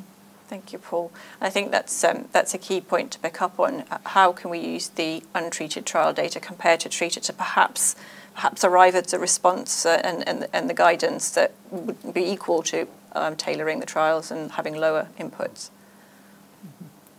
I think that would be um, is that something that is already included in the Yes. RL app, perhaps. Um, I mean, the, obviously there's, um, we have the untreated trials and we have the, the fully treated trials and there's a, a curve in, in terms of response between those and, and different varieties, will, that curve will be a different shape. Um, interpreting where your program sits on that curve would be very difficult to do. Okay. You've just got two points, one at each end. Um, so actually, that, again, it'd be something very difficult to do. Okay. There was a piece of work done, a five-year project looking at how you can adjust fungicide inputs. I can't think what. Um, the agronomy project, looking at how you can adjust fungicide inputs by variety. Um, Mhm. That's an HDB project. If that would be on the website. Yeah, there have been a number of, of, of different projects over the years Yeah. looking at different programs on different varieties uh, to try and find where that curve is. Supporting the RL Yeah. data set. Yeah. Okay, brilliant. Thank you. And as, and as Paul said, certainly these things are, are part of the recommended list review. So if you've got you know, strong opinions and views, do fill out that questionnaire and take part in the focus groups so we can perhaps find other ways of getting the answers to you. Um, thank you. Uh, next question, again, uh, re- uh, the RL. Uh, so recommended list trials, are they affected by pests and diseases? Are trials affected by pests and disease included in the RL data, Paul? It depends on the trial. So um, the trials I was talking about today, so the um, the club root trial that was very patchy club root, that was included because um, we could cut out effectively the bits of the plots or the whole plots that were affected and just use the rest of the data. And we, where we can do something like that, we try to include the data um, because obviously we pay for that trial, we want to use the data. But for a trial like the, the lemon wheat blossom midge trial, because that um, affected different varieties differently depending on when the um, the varieties were in flower. Obviously, that would be unfair to include that because the variety, none of them are resistant, but some of them are affected much worse than others. So in a situation like that, we wouldn't include the data. We do try and include the data where we can, and uh, because we've, as I say, we've already paid for the trials, we want to include the data. And if we can't include the data, there might be situations like today we can report on the information but not include it um, in, in the actual RL itself. Okay, thank you very much, Paul. Um, a question here perhaps for Rebecca and Fiona. Is there any work comparing the resistance of various clubroot resistant varieties to give an indication if any are more aligned to the pathogen population that is prevailing in the UK?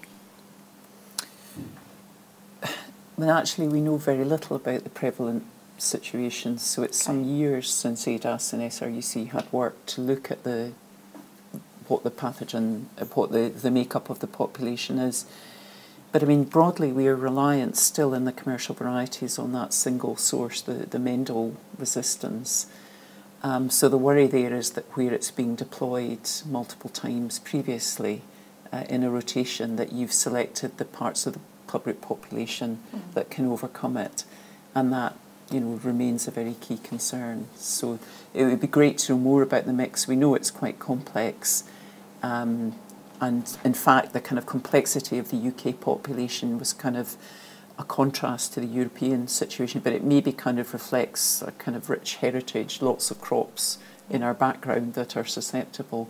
But it's a complex pathogen, and we had a complex population, and complexity only adds to the risks of shifts and problems. Yes, thank you, Fiona.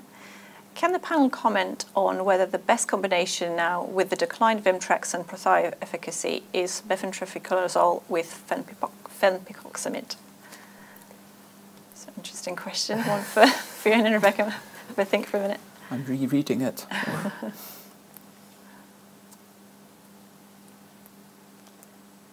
Okay, so Okay. Sorry, the screen changed. Yes. so we're, um, so it both um, the charts show that you know Revystar and Univoq um, you can see the benefit of the fluxapyroxad in um, Revystar and the prothioconazole in um, Univoq when you compare to the um, products tested as straights, so the Myresa and the Peqtiga. um, in terms of a resistance management point of view, um, your ideal mixture partner would be something that is um, equally balanced. Mm-hmm. So I don't know if Fiona has any comments. Yes, I mean, clearly the best mixes will be the strongest yeah. individual products put together. Yeah. Um, but as we kind of alluded to in the previous one, it doesn't mean you can't use the slightly weaker ones mm. if you just adjust the dosage yeah. properly. And I think for me, it's the kind of practical power that comes from a mixture as well. So we have the luxury of separating the data yeah. today into protectant and eradicant. Yes. In a real life situation, you're dealing with both, and you're probably dealing with other pathogens as well because um, real life is not that simple. So again, the mixed chemistry brings you that practical resistance management. It brings you those kind of the win-wins that actually it's it's covering many of your bases. So um, yeah, absolutely, the newer chemistry is taking us some way forward, but that idea of balance mm. remains very important. Okay, fantastic. Thank you both. And perhaps a final question, um, one from YouTube. Bearing in mind that TEB is a much cheaper fungicide than most others, what are your thoughts on including it in yellow rust programs and wheat and oilseed rape disease programs? Maybe if I take oilseed rape. yeah. Thanks, Fiona. Yes, I mean, clearly um, it's so much cheaper than other options that its use is, is very prevalent um, in rape. So it would be excellent to include it as a direct comparator to the other azoles that we've that we've got in trials. Um, we know from our own work that you know that it, it can sit somewhere around the sort of older azole chemistry that we're looking at today because again we we suspect there are azole issues well we know there are azole issues going on in light leaf spot. Okay, thank you Fiona. Yeah, and I think many of Fiona's comments apply to yellow rust in wheat. Um, we, we know that um, tebuconazole has good activity against yellow rust in wheat, so yeah, definitely worthwhile considering including it in a programme. Thank you both. Fantastic. That was our final question. Thank you very much, panel, for fantastic presentations and just a wealth of data. I'm definitely going to go back and rewatch some of those just to absorb it all. Um, yeah, thank you, thank you for your time and for joining us. We will be breaking up for lunch and we'll be back by one. So see you at one o'clock. Thank you.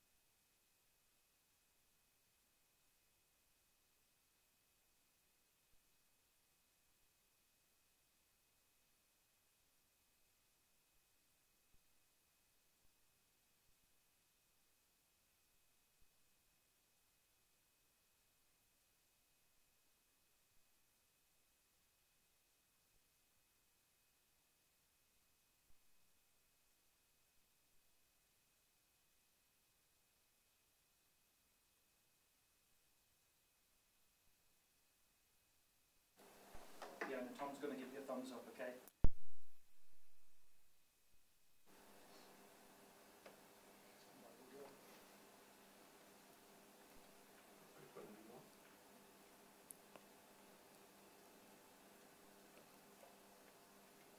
Welcome back to session three of the Agronomist Conference.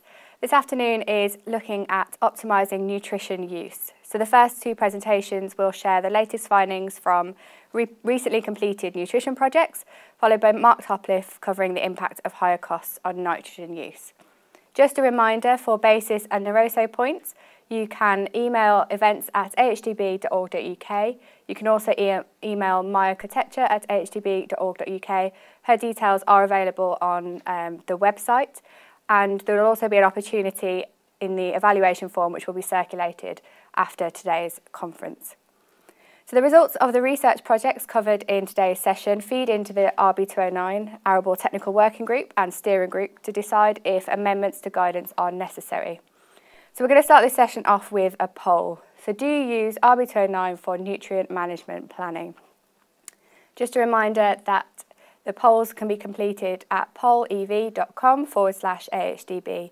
So you can just click um, on yes or no as whether you use RB209 for nutrient management planning. So as mentioned before, all of the um, updates to the Nutrient Management Guide are in partnership with a lot of other organisations.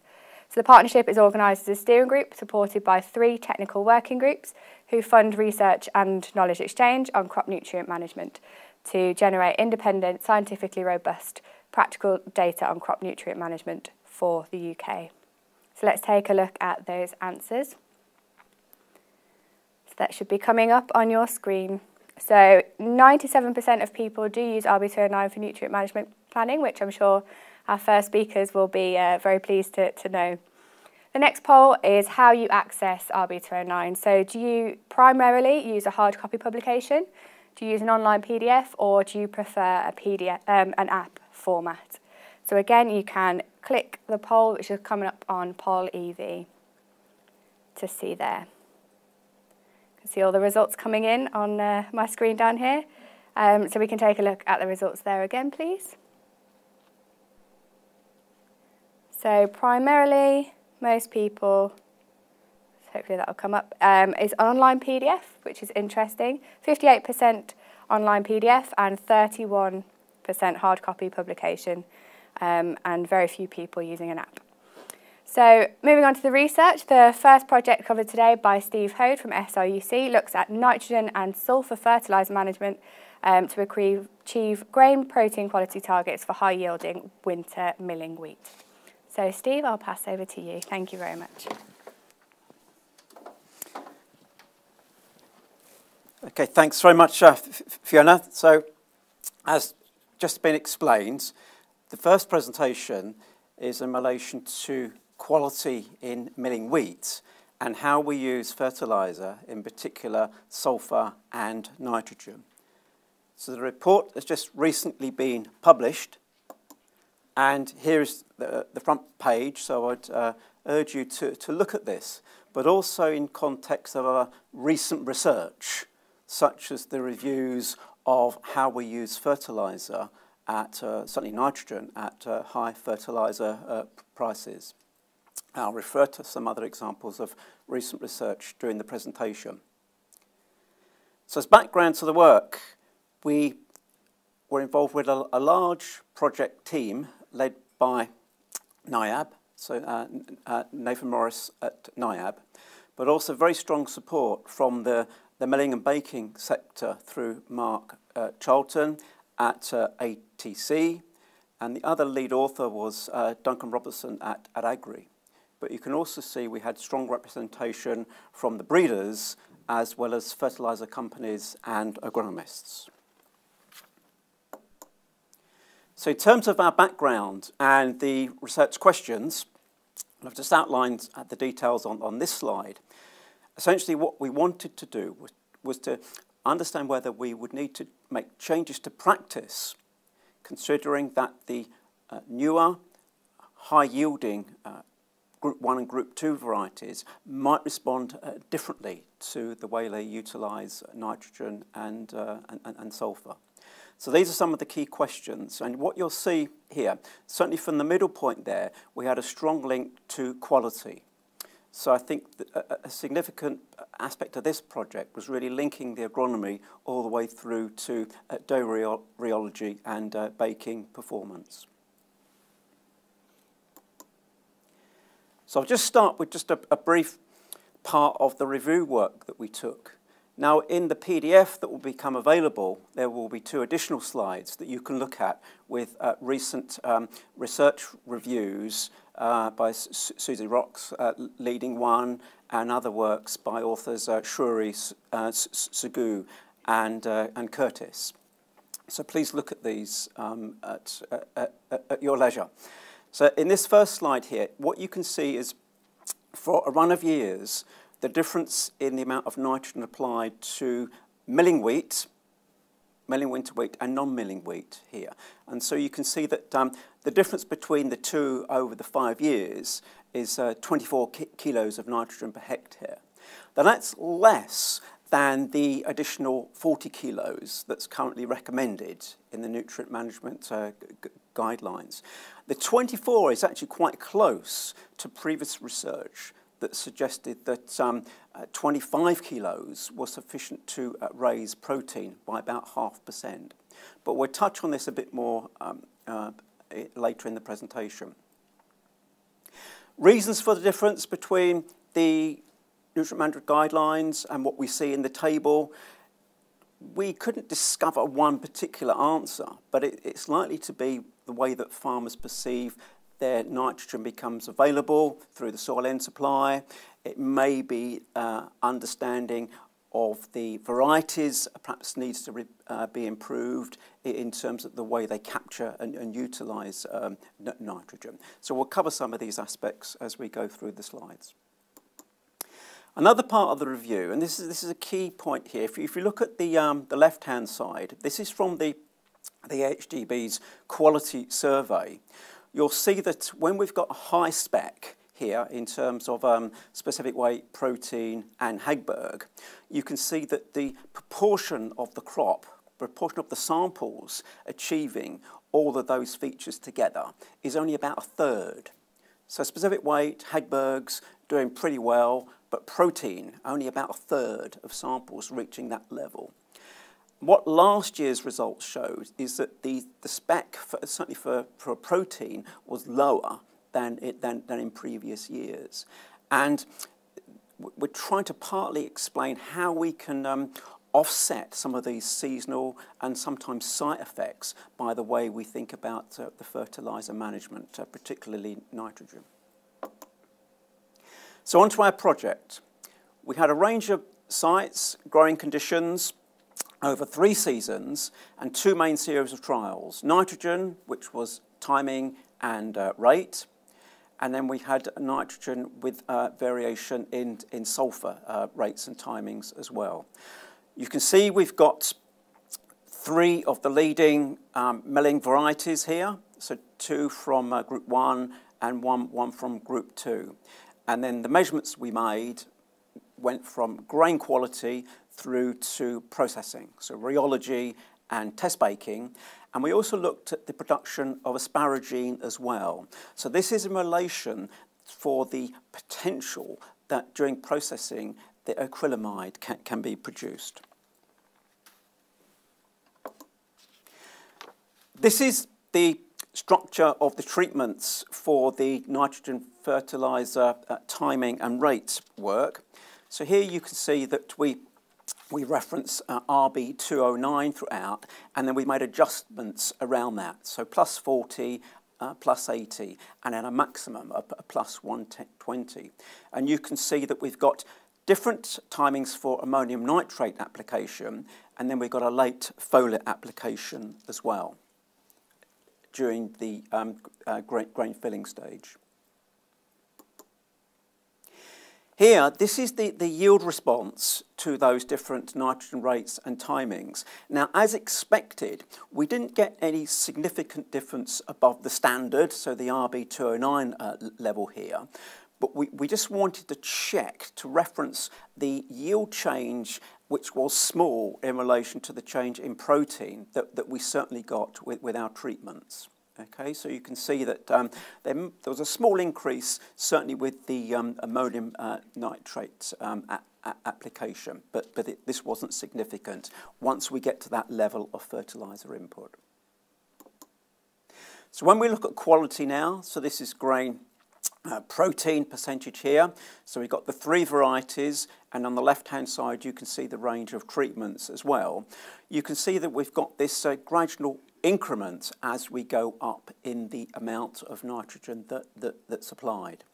If we look to RGT Skyfall at the RB209 um, row there, that that particular percentage is, is fairly consistent with what we might expect under the RB209 um, amount of nitrogen that, that, that's applied. So that amount of um, pr protein is, will be fairly typical, and the, the and siskin values are perhaps a little bit under what we might uh, expect. The right-hand side just shows the, the increments there uh, with um, e each of the treatments.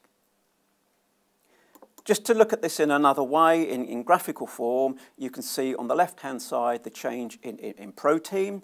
There's a slightly different um, response uh, among varieties.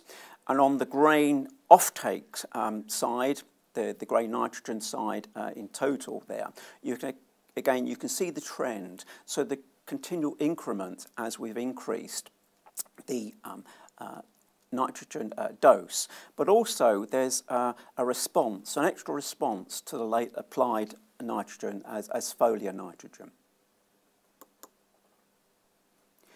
We wanted to bring in other measures of quality, and it's really quite clear that we have to consider specific weight, especially uh, uh along with Hagberg, when we're thinking about milling quality and processing quality. You can see from this slide different sites and variation in specific weight. Very large site season effects here. Varieties were consistent in their performance according to the recommended list, a rank order. And you can see that we had some quite challenging years where we, we weren't up to the UK FM um, um, threshold level.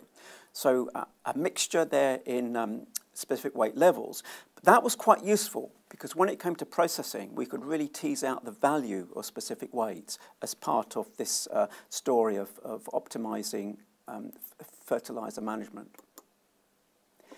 Hagberg falling number here, again, quite a range of different responses across the sites.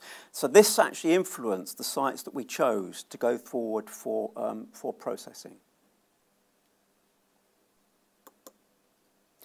This particular slide, we could actually spend quite a bit of time on, actually, but, uh, but briefly, what, what this is showing on the x-axis here, we're showing the grain uh, nitrogen uptake in relation to the N that was applied, and on the y-axis, we've got yield in relation to the nitrogen that was taken up.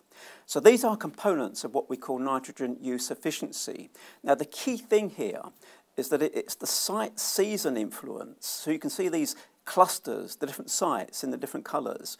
It's the site season effect. It's, it's really highly variable. So our challenge really then is to be able to influence um, the uh, efficiency of, of, the growing system, improving quality, but improving efficiency by taking into account the appropriate variety choice and the way that variety is, is managed. The negative slopes that we can see in some of those trends relates to the, um, the lower levels of efficiency that we tend to get at the, at the higher levels of nitrogen input. Just moving on to sulfur now, so this is just a brief um, summary of the, the way we uh, applied the treatments across, across these uh, multiple sites. And again, we used ammonium nitrate as well as foliar N as well. Now, in terms of yield, there was no consistent yield response of the different sulfur treatments. You can see on the uh, left-hand side here. This particular slide is actually for, for, for protein. So we tended to get um, uh, a small protein response over uh, zero application of, um, uh, of, of sulfur here, but, but, but this, this was non-significant. Now, this is, it is probably because uh, our sites were perhaps uh, not uh, so deficient in, in sulfur during these um, growing seasons. Just onto asparagine here just got the range of asparagine levels. So asparagine is, is an amino acid um, in, in the grain. And as I said before, um, high levels of, of, asparagine can, during process, processing, lead to um, uh, high levels of, uh, of acrylamide. And the asparagine concentrations here are typical of those that have previously been recorded in research such as that by uh, Tanya Curtis. Again, at our sites, there was no significant difference in asparagine um, uh, across the uh, the end uh, sorry the the, sul the sulfur fertilizer treatments or between the varieties. You can see that there's a small um, increase in concentration of asparagine in Skyfall, a small negative in, in but, but this, this wasn't significant uh, across the different treatments. On to just rheology and baking now. This particular slide uh, summarises the samples that were taken across the different um, uh, sites or, or certainly seasons and, and, varieties. And you can see some of the measurements that we uh, made. The, the farinograph measure is, is actually uh, a measure that's made to, to look at the, the, the, the dough uh, qu quality, the, the way it mix, mixes, and particularly its, its, its stability. So we included this, this measure along with um, uh, um, dough uh, elasticity and extensibility as well. This slide is particularly important because it shows grain protein on the x-axis with flour protein on the, uh, on, on the y-axis. So this is a typical loss between those two uh, particular uh, measures. But um, what's really important here is that um, once, once milled, um, flour proteins were significantly increased at the higher end doses. And certainly good specific weight contributed to having good uh, flour extraction. And we can see that from this slide here, where we've got four slides on the left-hand side, and then some quality measures, um, you can see at the top there. So you can actually see that where specific weight is significantly compromised, we start to lose flour extraction rates and also um, increase protein loss. Just on uh, rheology now, just um, working towards uh, finishing up now. You can see here in the top um, figure, this is protein across the range of different treatments. And you can see a trend here where uh, flour proteins were higher as, as the um, nitrogen uh, was increased, particularly where we were using foliar uh, urea. And you can see the figure, there is a difference there, certainly 11.2 to 8, 11.8% uh, there. The bottom figure shows one of the quality measures that, that, that I mentioned here. Uh, not great significant difference uh, along here, but certainly this was really establishing the relative strengths and weaknesses of individual varieties and certainly shows um, a variety like Skythor with, with strong gluten does perform um, consistently well. Just completing now, just a little bit more on the, on the individual varieties here. So we've got the graph, so a measure of uh, resistance and, and uh, extensibility in the top figure, and then a bread score in, in the lower figure here.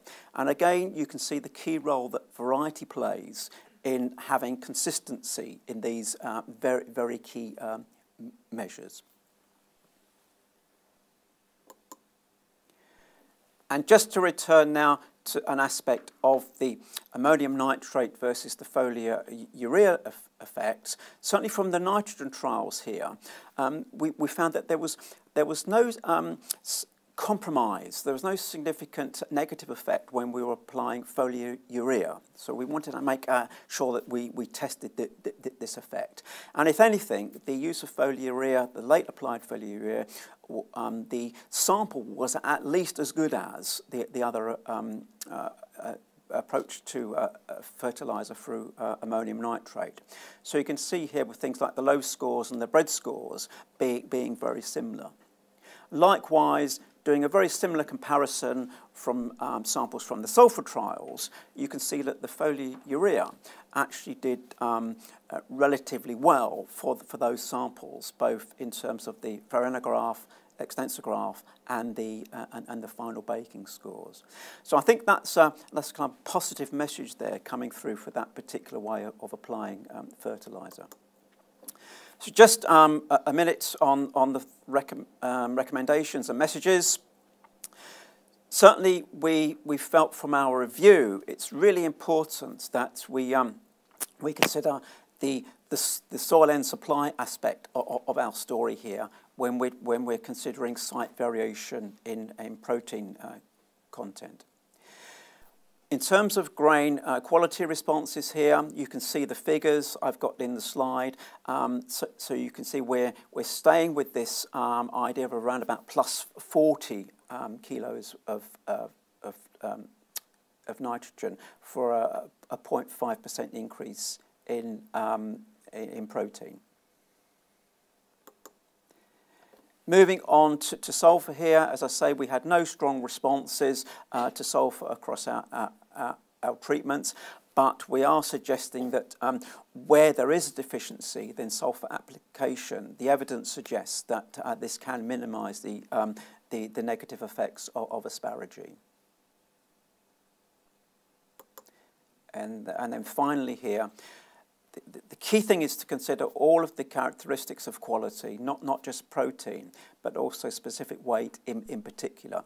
And certainly uh, the bullet point there that says that um, processing performance, when all the attributes are, um, are, are optimized, means we can have flexibility in the, in the actual grain protein concentration. That's a very good point going forward and could have a key role to play when it comes to the nitrogen use efficiency story.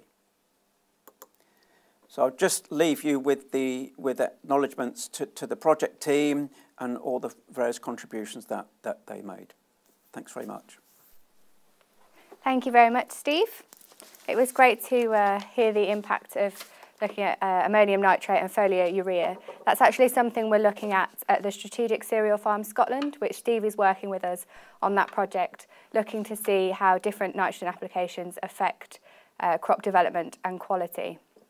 So next up, we have got Sarah Clark from ADAS, who is going to be covering uh, nitrogen and sulphur use for oats. This project came from a 2016 review of RB209, which highlighted the need for additional research on winter and spring oats. Um, so without further ado, I'll hand over to Sarah. Thank you very much. Thank you very much. Good afternoon, everybody. It's really good to be here today. Uh, my name's Dr. Sarah Clark. I'm a crop physiologist at ADAS. And uh, as we've heard, I'm going to be talking about uh, nutrient management for oats, for winter and spring oats, for yield and quality. I've put this presentation together with Catherine Howarth, who's based at Aberystwyth University, who's developed most of the quality aspects of this report. So as you may well know, there's an increasing demand for oats um, and also there's been in increasing supply by growers responding to this demand. We're not seeing any slowing down of this increasing demand, but I think we need to uh, satisfy this demand not just by growing more oats, but also by thinking about the quality of those oats that we're producing. Achieving quality specifications is really important for milling oats. There's a couple of aspects that we usually see uh, when we have to uh, uh, grow oats for quality. The first thing is specific weight. The recommended list threshold that we see is over 52 kilos per hectolitre, although that may vary depending on your contract and the miller that you're working with. and then also screenings is another important aspect. And we want screenings levels to be below about 6%, but again, this may vary. it can be quite difficult for some growers to achieve these quality specifications, especially specific weight. And certainly in areas like East Anglia, growing spring oats can lead to some lower quality if the dry springs that we've been seeing continue. There are also other parameters that are really important to the millers. Uh, one of those is kernel content. So that's the percentage of the kernel um, to the whole grain, which includes the husk. And then the other is the ease of dehulling. And this is really important to millers because uh, an easily dehulled oat makes milling a lot smoother and quicker and more efficient. So we need to think about how these may be affected by fertiliser inputs. They're obviously affected by variety, but we've also been thinking in a project about how it can be impacted by fertiliser. So when we last looked at the oats data available for RB209 back in 2016, we found that there was rather a lack of information about oats we found that there was not enough data to derive robust recommendations for winter oats. But what we did see was that actually there seemed to be, uh, N rates seemed to be too low for what uh, the optimum nitrogen rates were, were for the trials where we looked. So we've actually increased the uh, nitrogen recommendations for all SNS indices and all soil types um, by 40 kilos. So that was done after the 2016 review. There weren't any data on winter oats nitrogen timings, nor were there any data on spring oats rates or timings, and there was nothing on sulphur either. So uh, there is obviously a need for further understanding. So in 2018, um, AHDB commissioned a project with the aim of providing advice on appropriate rates and timings of nitrogen plus sulphur uh, for both winter and spring oats. And as well as looking at yield, quality was a really important aspect of that. The project was led by us at ADAS and the lead on the quality aspects was Aberystwyth University we were really lucky to get really good engagement from the whole oat supply chain, from breeders to millers and everybody in between. And I'd like to thank them for all their contributions because we wouldn't have managed to achieve what we have done without them. So what we did in the project is that we looked at a number of different trials, both on winter oats and on spring oats. So for winter oats, we had two seasons worth of trials. And you can see in the map here on the right, the blue markers show the locations of the winter oats trials. So they were carried out in Herefordshire and North Nottinghamshire. And we had three varieties in each of those trials. Uh, Mascani, which was and continues to be the most popular milling oat variety. Uh, RGT Southwark and also Penrose. For spring oats, we carried out trials in Scotland and the east of England, and they're marked by the green markers on the map. So we had three seasons of spring oats trials, and we looked at three varieties at each of the sites. So in Scotland, we looked at Canyon, WP Elian, and Conway. But in the east of England, we swapped the Conway for Aspen. So in each of these sites, we had two lots of experiments. We had one experiment which looked at six nitrogen rates, which meant we could fit a nitrogen response curve and calculate the economic optimum nitrogen rate. And we also had six nitrogen timings, um, and also included a sulphur treatment as well. We also were lucky enough to have additional trials hosted by the project partners including ones in uh, West Wales and in Ireland.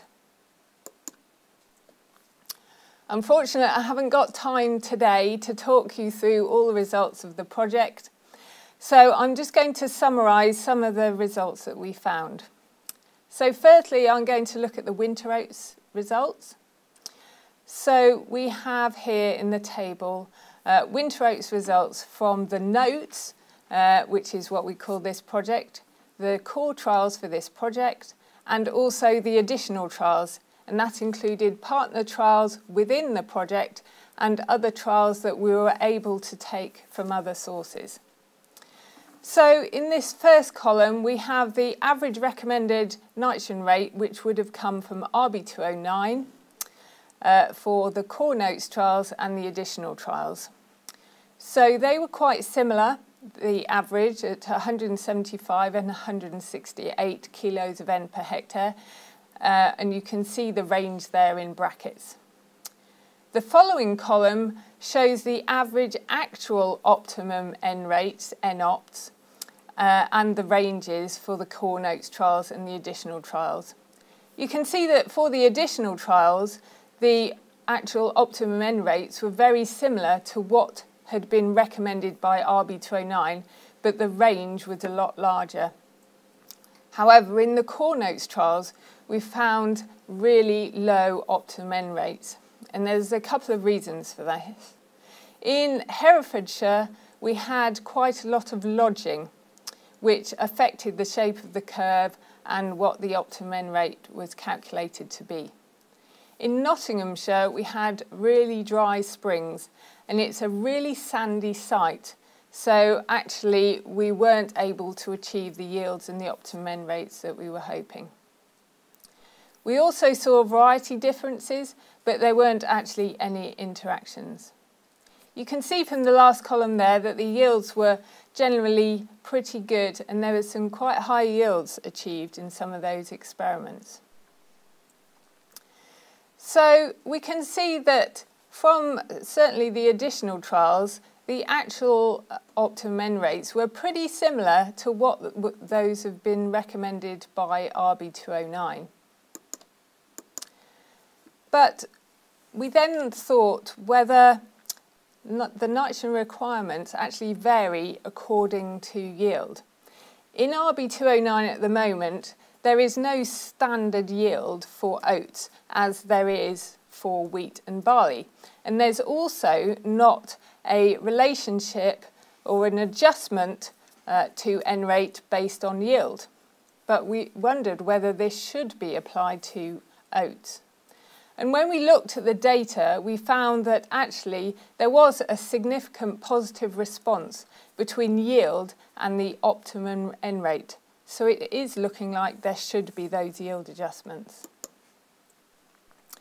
Then we thought a bit about the effect of uh, nitrogen rate on quality in the winter oats trials. We looked at how the nitrogen affects the plant architecture and increasing yield, but this can have a detrimental effect on quality sometimes. So we see when we increase nitrogen applications, we get an increased number of grains per metre squared. And this is a result of increased panicle numbers and also the increased numbers of grains per panicle. Unfortunately, sometimes in oats, when you increase this grain number, not all their grains can be filled effectively, so actually you end up with a lower thousand grain weight, higher screenings and a lower specific weight. And this is what we saw uh, when we increased the nitrogen rate in some of the winter oats trials. We looked at uh, the three different varieties. You can see here the Mascani, Penrose and Southwark.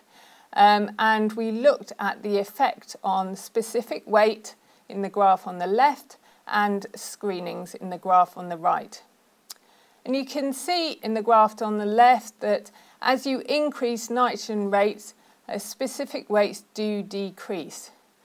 Um, however, there is a variety interaction and you can see that Mascani um, and Penrose maintain their specific weight um, more effectively than Southwark.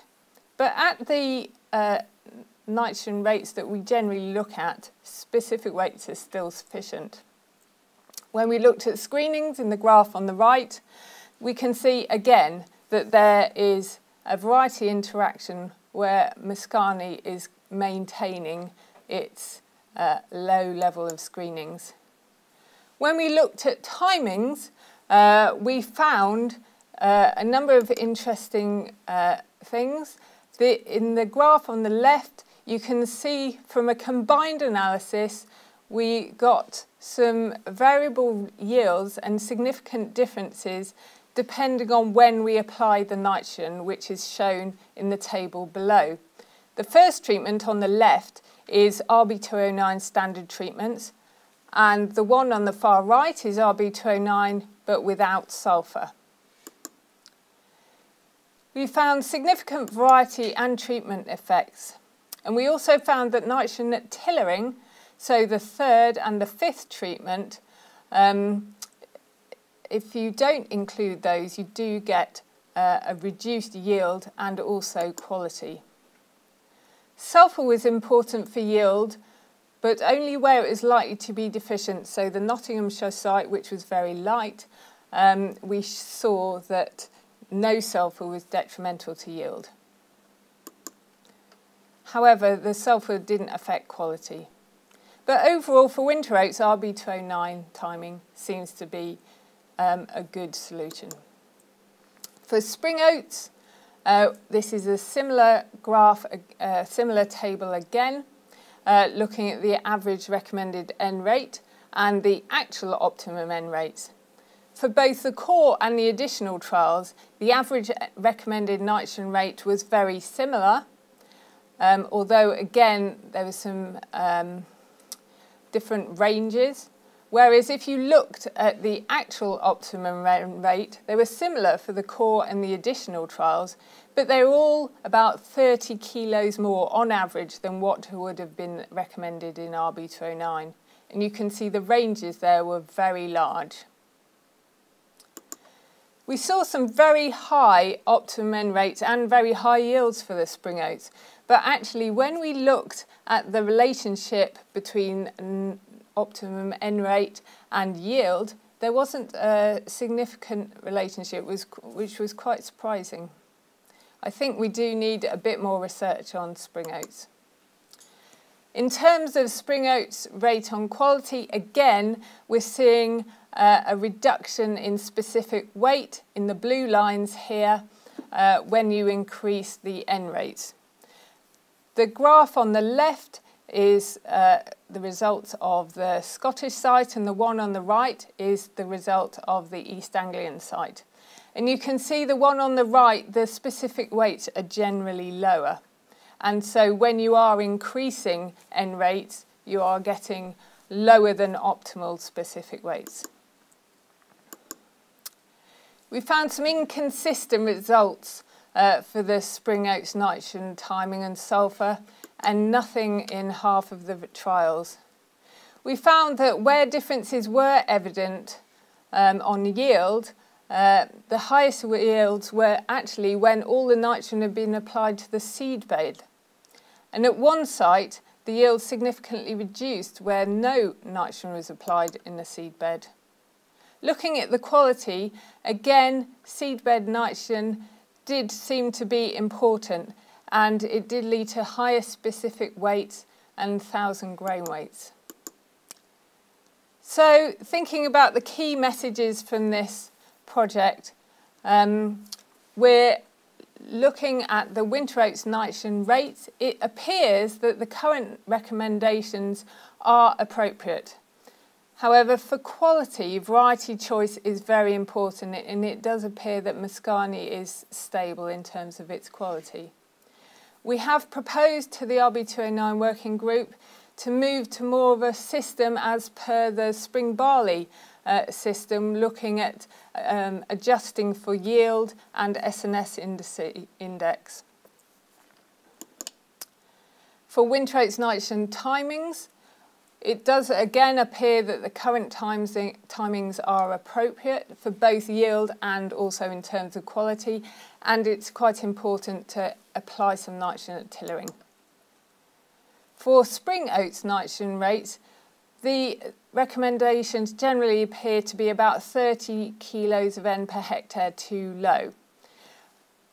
There's no clear evidence that high yielding crops need more nitrogen, um, but quality might be reduced with higher N rates um, at sites in East Anglia. I think more research is needed.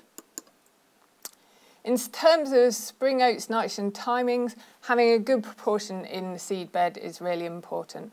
We're still waiting to hear back from the RB209 working group as to what changes will be adopted uh, into the next version of RB209, which should be coming early next year. Um, but hopefully we'll hear about that soon and we can let you know. Thank you very much for listening and um, I'll look forward to any questions. Thank you very much, Sarah. We have had quite a few questions come in for Steve and Sarah, which will be covered in the panel session after our next speaker. So based on RB209 guidance, Mark Topliff and his team at AHDB have developed a tool which brings in RB209 guidance as well as fertiliser and grain price to suggest potential um, adjustments to nitrogen. So I'll hand over to Mark to tell you some more. Thank you. Thank you, Fiona, and uh, good afternoon, everybody. So yes, I'm going to take you through what this calculator that we've created is, is all about, if you do not know it already, um, but hopefully a lot of you are already aware of its uh, existence and are using it. But I'm just going to start by going through some analysis really around fertiliser usage, uh, using some data that we have available to us, but just to try and put into context the, the situation in which we're seeing the, the input prices at the moment and the impact on cost of production. Uh, we've just done some analysis looking at Farmbench data. Um, Farmbench is AHDB benchmarking tool, which uh, is, is available to anyone to use. It's based online. And when we look at the last five years, the cost production figures um, for the middle 50% performers anyway are 6% rise uh, for those comparable crop uh, sort of, um, enterprises. Looking at 2022, we're seeing probably a, rise of about 15% in the cost production based on what we've seen in terms of those input prices increasing as the, as the harvest year went on, really. And looking into sort of 2023 and ahead to that, we're probably going to see another sort of 30 odd percent increase in cost production uh, because we're going to have a full year probably of these elevated input prices particularly looking at uh, winter wheat margins, then the effect on that uh, in terms of the Farmbench figures, we could see uh, an increase in those margins of about 80%, we estimate for the 2022 harvest year. But for next year, then it's probably going to fall uh, by around about sort of two thirds um, for those middle 50% performers because of those high uh, prices uh, of inputs and the fact that they are um, impacting more significantly this year. So I don't think we need too much reminder about where we are in terms of fertiliser prices and, the trends that we've seen recently, but this is just a, reminder and some background of what we have seen. So certainly in terms of the ammonium nitrate prices, compared to this time 12 months ago, they're up 48% uh, and up even further than that if you go back further. Uh, and from the, DAP, that's up around about 46%. So uh, some significant increases even just 12 months ago. But what's the impact of that on uh, fertiliser costs then? And again, using the Farmbench figures as a basis for this, uh, we've looked at, well, if you made no changes in terms of the amount of fertiliser applied, what would be the, the fertiliser cost per hectare? So we looked at each of the uh, crops here that we can see on the screen, and uh, these are the actual fertiliser cost results that we saw for the 2021 harvest year uh, for each of those. So you can see it ranges from about £124 per hectare up to about 205 depending on, on the crop type. But then if we sort of lay up uh, next to that the, the cost of the fertiliser purchases which were made either in the sort of summer, so around May, June time, versus those purchases that were made in the autumn time, uh, what would be the impact of those, those purchases would be on the actual fertiliser costs. So this is the, uh, 2022 estimated costs uh, if you bought the fertiliser back in summer 2021. And if we added on the, purchase costs of in autumn, um, you'd have an even more significant increase in those fertiliser costs. So we're looking at a range of about 60 to 247 pounds per hectare uh, difference uh, over what we saw the prices in 2021. So some quite significant increases in there, as long as there was no quantity changes. But we do know that some growers did cut back on their fertiliser usage, but it did vary uh, from farm to farm. Just thought it'd be interesting to show this little bit of analysis, again using Farmbench data, and this is looking at inorganic nitrogen applied kilos per hectare versus winter feed wheat yield tonnes per hectare. Uh, uh, and this is something I've seen replicated with other data. Uh, ADAS have sort of shown this data before now, but it's just to re-emphasise the fact that we don't see this strong relationship when you just look at inorganic nitrogen versus yield. And this is looking at particular data of, uh, on clay soils over the uh, over the years 2018 to 2021. So, um, so relatively tight set of data. Um, but it's not but it, it just shows there's so many other factors are in play that influence that relationship between the amount of nitrogen applied and yield. What we're looking at here now is looking at those Farmbench data, that Farmbench data, but splitting out the, the top 25% versus the bottom 25% based on net margin performance and the sort of amount of nitrogen applications that they have in each of those groups on average. So you can see there starting at the top that yield is, is slightly high for the top 25%, just over one uh, tonnes per hectare. The amount of nitrogen applied is slightly high as well. But when you sort of do a sort of look at the, the ratio of the amount of nitrogen applied per yield, then you can see actually the top 25% apply slightly less per tonne of uh, yield. Looking at total fertiliser costs, they also spent a little bit less on fertiliser as well, about £6 per hectare. And when you split that out, that total fertiliser cost, split that out proportionally between inorganic, organic and trace elements, they also, as a percentage of that cost, spent less on inorganic fertiliser and more on organic. So uh, it's interesting to see the sort of the way that that, that top performing group was using um, fertiliser to get the, the yields that they did.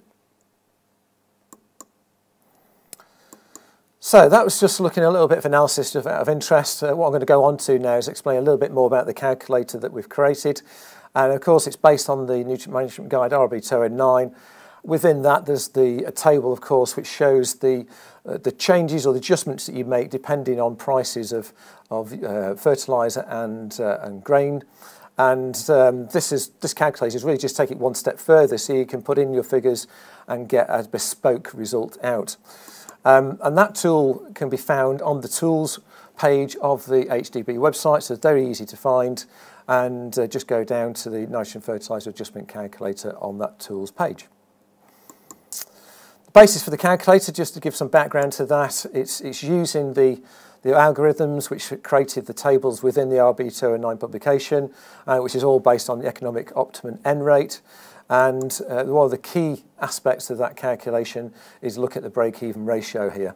Uh, and this is, uh, I'm sure, a chart you're familiar with, uh, which um, we, we, we've used as the basis to calculate those impacts on the adjustments to the recommendations. Currently, the RB209 uses recommendations based on a, a break-even ratio of 5 to 1 for cereals and 2.5 for oilseed rape.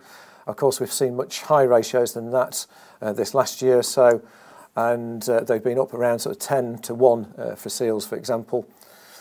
Uh, one thing I just wanted just to point out before I sort of go into explain how the calculator works is just to say that the calculator is, not there to calculate what the recommended nitrogen application rate should be. Um, it's there to look what the adjustment in the application should be. So if you download that tool, uh, I do encourage you uh, to download it again uh, if you haven't done it for a little while because it has been updated um, over the years. We've improved it and made adjustments.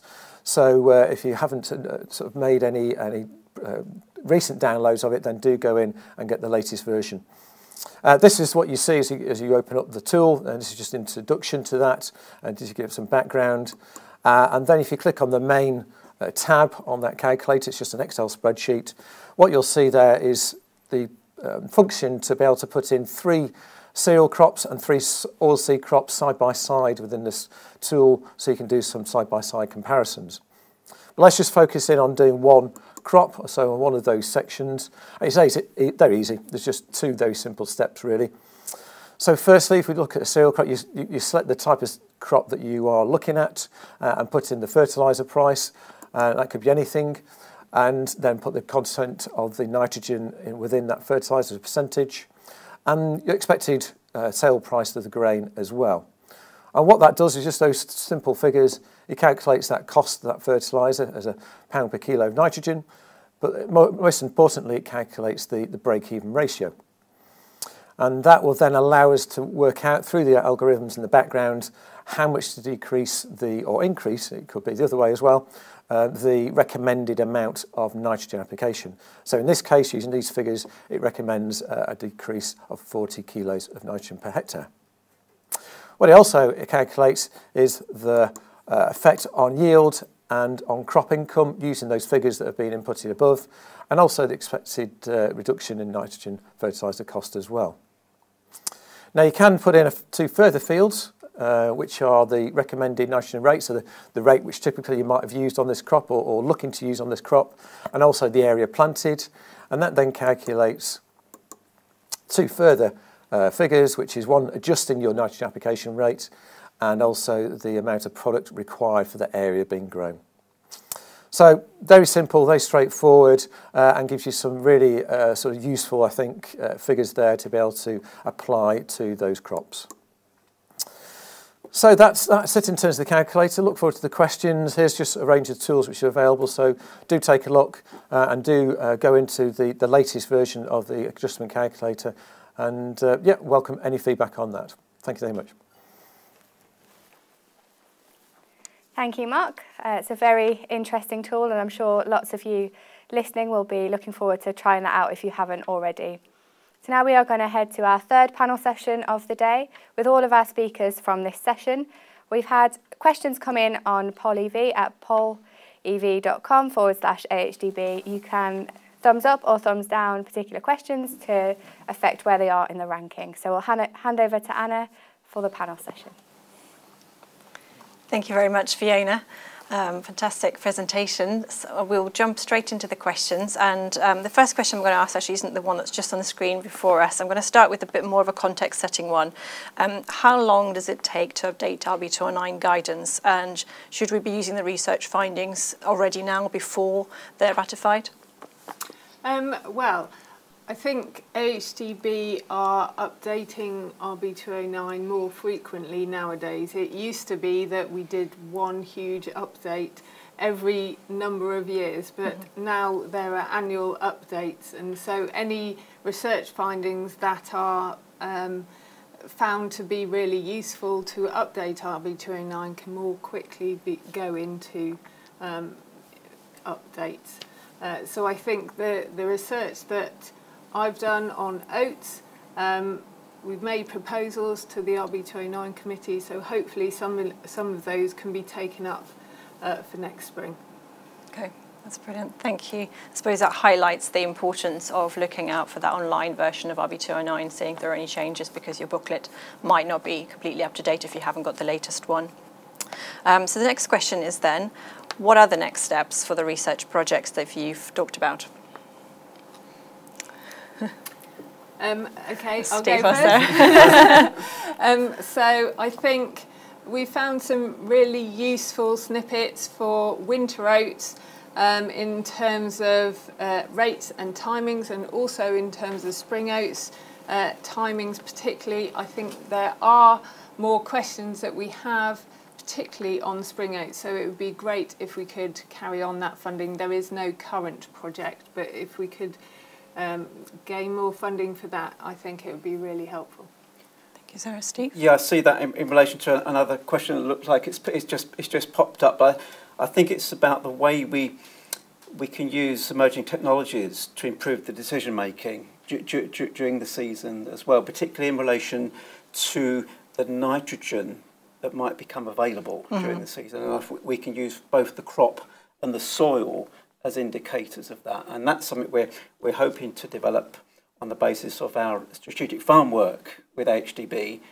But I, I think this, this has a lot of um, potential linking groundwork with remote sensing.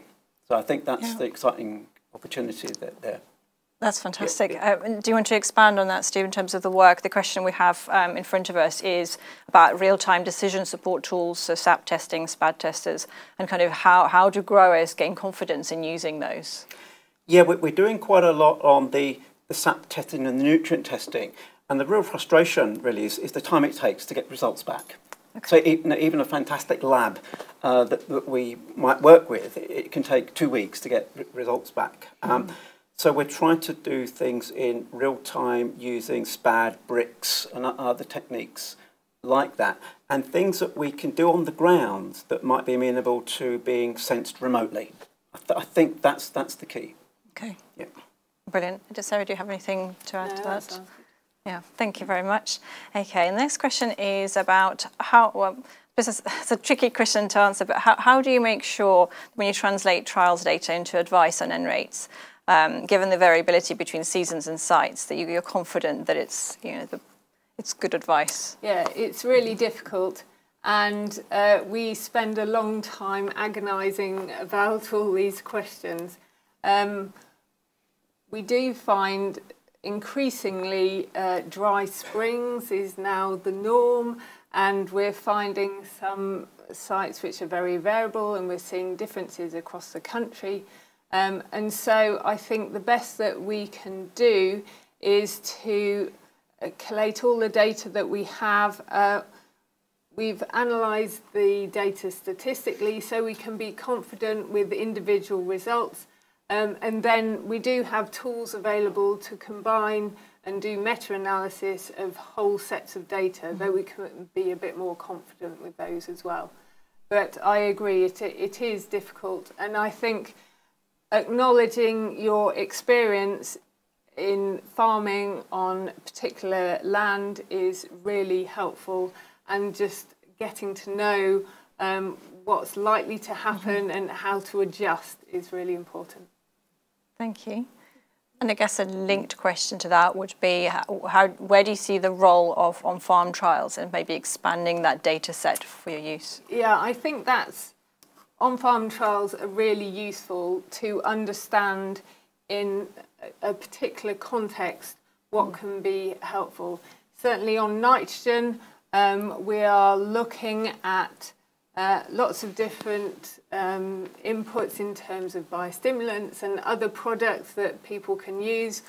Or if it's really good for the LEARN project, which we did for AHDB a few years ago, we looked at uh, on-farm trials where farmers tested their standard N rate with 50 kilos more or 50 kilos less. Mm -hmm. And then we could see whether or not that was having an impact on the yield and also the quality.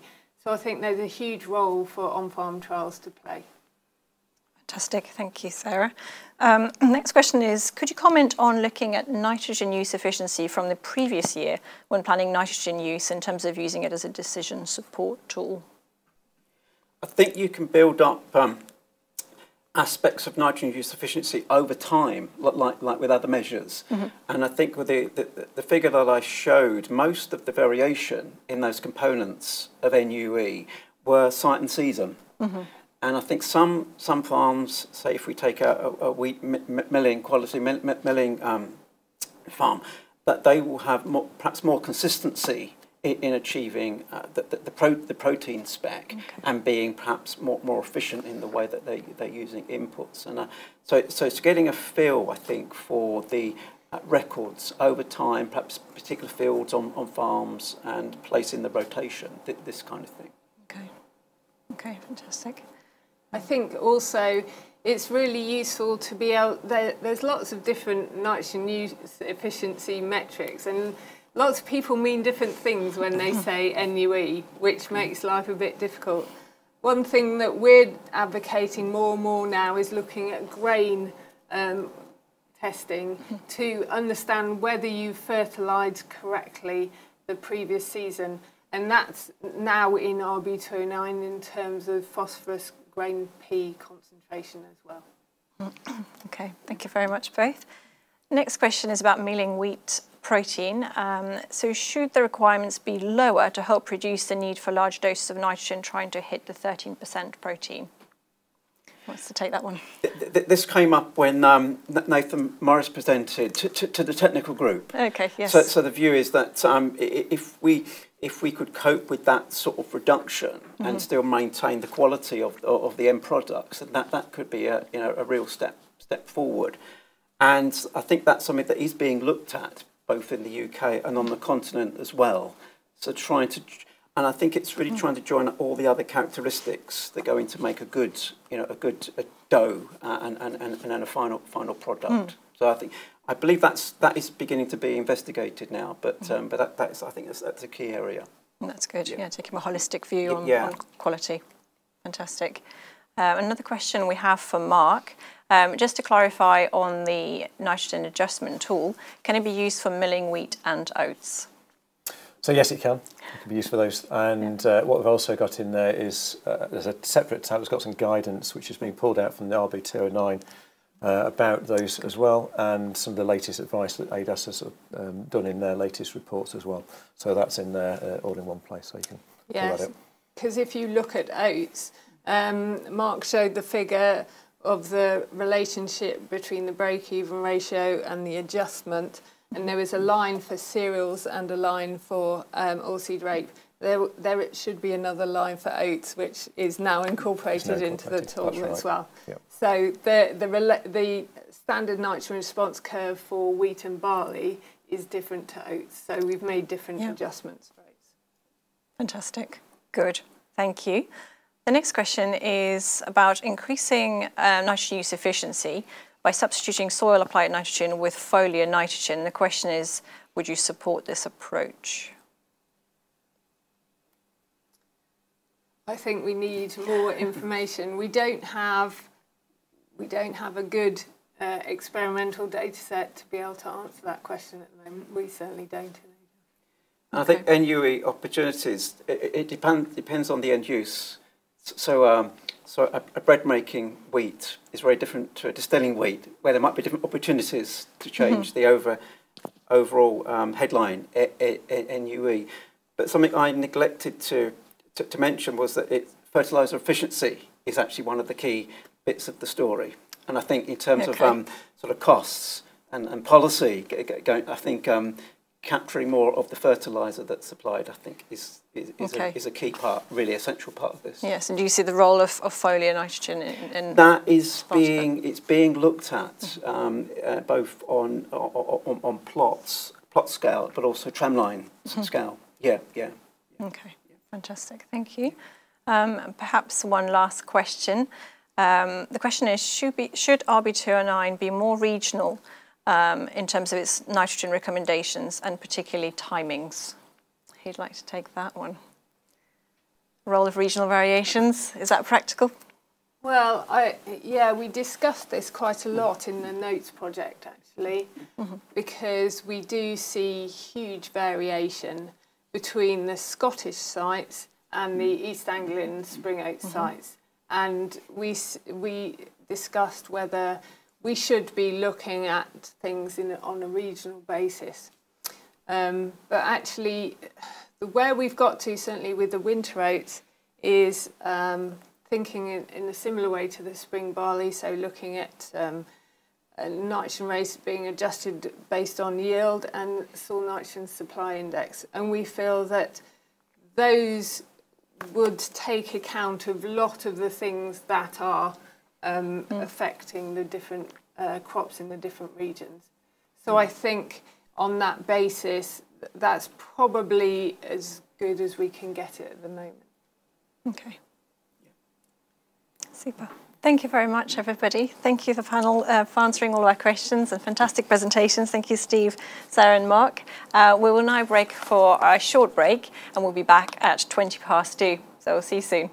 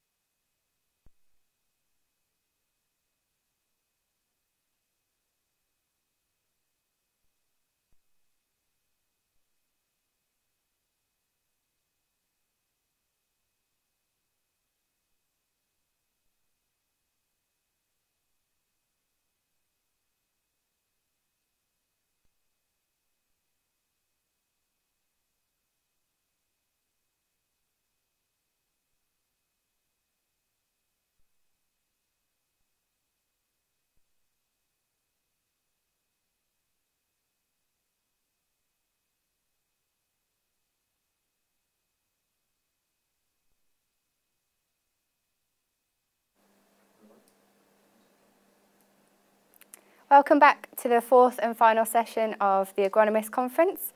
We've just heard the nutrition research updates, and now we're going to look at alternatives to relying on artificial nutrition. First, we've got Henny Louth from the Organic Research Centre, who's going to cover findings from an innovative farmers field lab on living mulches, of which AHDB was a sponsor, as well as the Live Wheat project, which tests wheat varieties in low input and organic systems. Over to you, Henny.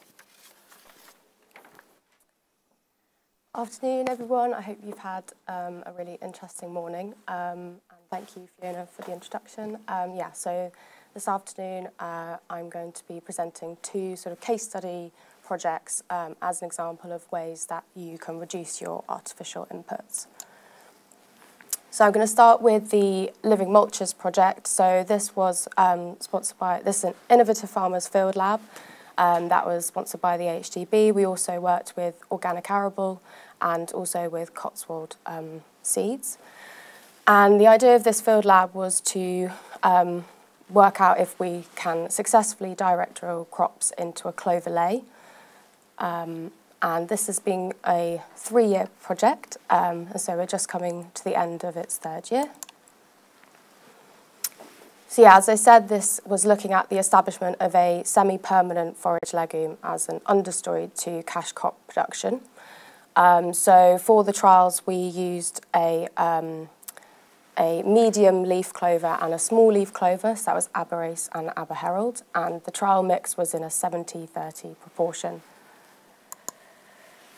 So why should we use living mulches? Um, so obviously the title of this is about reducing artificial inputs, um, and living mulches should um, support reducing those inputs. So um, clover can act as a really good weed control, it can act as a designated weed if you get good ground cover, it's obviously nitrogen fixing, so it works really well for nitrogen accumulation and improving the nutrient cycling. It can also uh, help with the self-regulation of pests and diseases, and um, in organic systems it can reduce the tillage and enhance the soil um, physical characteristics. With good clover cover, you can also get really good soil protection, um, and this can really help with your soil health also acts as a very good catch crop and has a green manure function. And it really can improve your above and below ground biodiversity. So this is by no means the only way that you can implement a living mulch into your system, but I just wanted to give an example of a living mulch uh, system in an organic um, cycle. So in the first year, this is when you would um, initiate your living mulches. So you you plough, you'd put your spring cereal into the ground, and then you'd undersow that spring cereal with clover. Um, then you would harvest your spring cereal in the summer, manage the clover um, through grazing or otherwise, and then you would direct drill your winter cereal into that clover cover. Um, and you would then manage the clover throughout the season, harvest your winter cereal, and then theoretically then go into a third cereal direct drilled into that clover. As I said, there are many ways to implement this living mulches system. This is just an example. So to the trials that we put in place, so these um, so far have only taken place on organic farms. Um, and here we have two examples of how they can be implemented. So in one of the farms we had the living mulch um, in half the field and the control on the other half. Um, and then in our other farm based in Oxfordshire, we had two control strips either side and a living mulch strip down the middle. Uh, we carried out assessments twice during the year, twice, twice during the growing season, so at growth stage 32 and um, at growth stage 65, so um, flowering. So we collected data on clover cover, um, weed cover, crop vigour, crop height, um, and spikelet data, etc. And then we also collected um, yield and quality data uh, for the cash crop at the end of the season. And in October, in the two trial years, we also carried out soil analysis in the mulches and the control. So we've had two trial years so far. So in, uh, in 2020, we established the clover into the spring crop. Um, and then we had winter oats and rye were direct drilled into the clover. We had two farms um, with successful trials. So we had one based in Oxfordshire who had winter oats, and we had one based in Shropshire, which had winter oats and rye. And in the Oxfordshire trial, they also included a direct drill control, um, so that was without the mulch, but just using a direct drill. And then this year, um, we only had one successful um, trial. So the clover was undersown in spring 2021, um, and then the cash crop was direct drilled in the autumn. And again, this was using winter oats. Uh, this farm also trialled grazing half of their um, mulch and control to see if that would have an effect. On the farm in Oxfordshire, who had had winter oats um, in their living mulch in the winter, they then tried uh, in spring 2022 to put spring oats direct drilled into their um, living mulch, but unfortunately um, that wasn't successful. So onto the results. Um, combining the yield data from 2021 and 2022, uh, we found that the average um, yield difference between the control and the mulch averaged out at about 32%. And obviously farms are businesses and um, this was an, an, expected result when we measured the vigour and the height and also the spikelet number, for example. Um, this was an expected result. We had two different results in terms of weed cover. So in 2021, when clover cover was slightly lower, we did find um, a significant increase in weed cover um, in the living mulch system. Um, in 2021, we had the inclusion of the direct drill control, which suggested that the clover did actually help to control the weeds to some extent. However, in 2022, um, where the clover cover was slightly higher, so from about 60% in 2021 to up to 85%, we found an opposite result, and we found that the mulch did have um, lower weed cover, although not quite significant compared to the control. In the trials where we had grazed and ungrazed, um, the oats that were grazed by the sheep over the winter did show um, significantly lower weed cover compared to those that were ungrazed. When we look at the relative weed abundance, um, in both years we did find a move towards slightly more aggressive perennials like your docks and your thistles in the living mulch system, um, which does suggest that at the moment the system can only really be implemented for one or two years before you would need remedial action to remove those perennials. Um, but in future trials we would like to look at management practices that could help alleviate those issues throughout the season. When we look at the soil health from the two years of the trials, what we found was that over double the available nitrogen was in the mulch compared to the control. Um, and we also found a trend for much higher microbial activity under the living mulch system. And this was seen once again in 2022 as well. Um, and in both years, we also found significantly more earthworms present in the, in the mulch compared to the control. So as you may have seen, there's obviously some grounds for improvement. Um, the yield penalty that we see is obviously not ideal, um, as well as, as I said, this move towards the more aggressive perennials. Um, so there are um, aspects of the system that we're looking to try and improve. So that's whether we can um, look at different mulch um, species or varieties, whether we can try different crop species. Obviously oats are quite competitive, so they're a good crop to use um, as well as rye. We also need to look at potentially different sowing dates um, and particularly mulch management. So that's helping the cash crop get away and reducing the amount of competition that the clover imposes on that cash crop. So whether that's inter-row mowing, whether that's grazing over the winter, whether that's employing crimping systems. Um, and we also have a trial um, lined up hopefully for the 2023-2024 season that will be looking at um, strip tillage, which should allow the, hopefully allow the cash crop to get away from the clover. There are obviously um, other benefits that are perhaps not quite so easy to quantify. So we need to look at the yield versus the, the profit. So we do have this 32% yield penalty, but um, the farmer based in Shropshire did um, added up some of the numbers and found that actually the reduced tillage, um, the uh, reduced cost to his machinery, reduced labour, um, counted for about a 20% um, accounted for about 20% of that 30% yield penalty. So really we're just looking at improving that 10% gap that we have at the moment. Um, and for organic systems um, who employ a ley during their rotation, having that extra bonus year of, of cash cropping by incorporating the ley into their cash crop um, could improve and increase their rotation.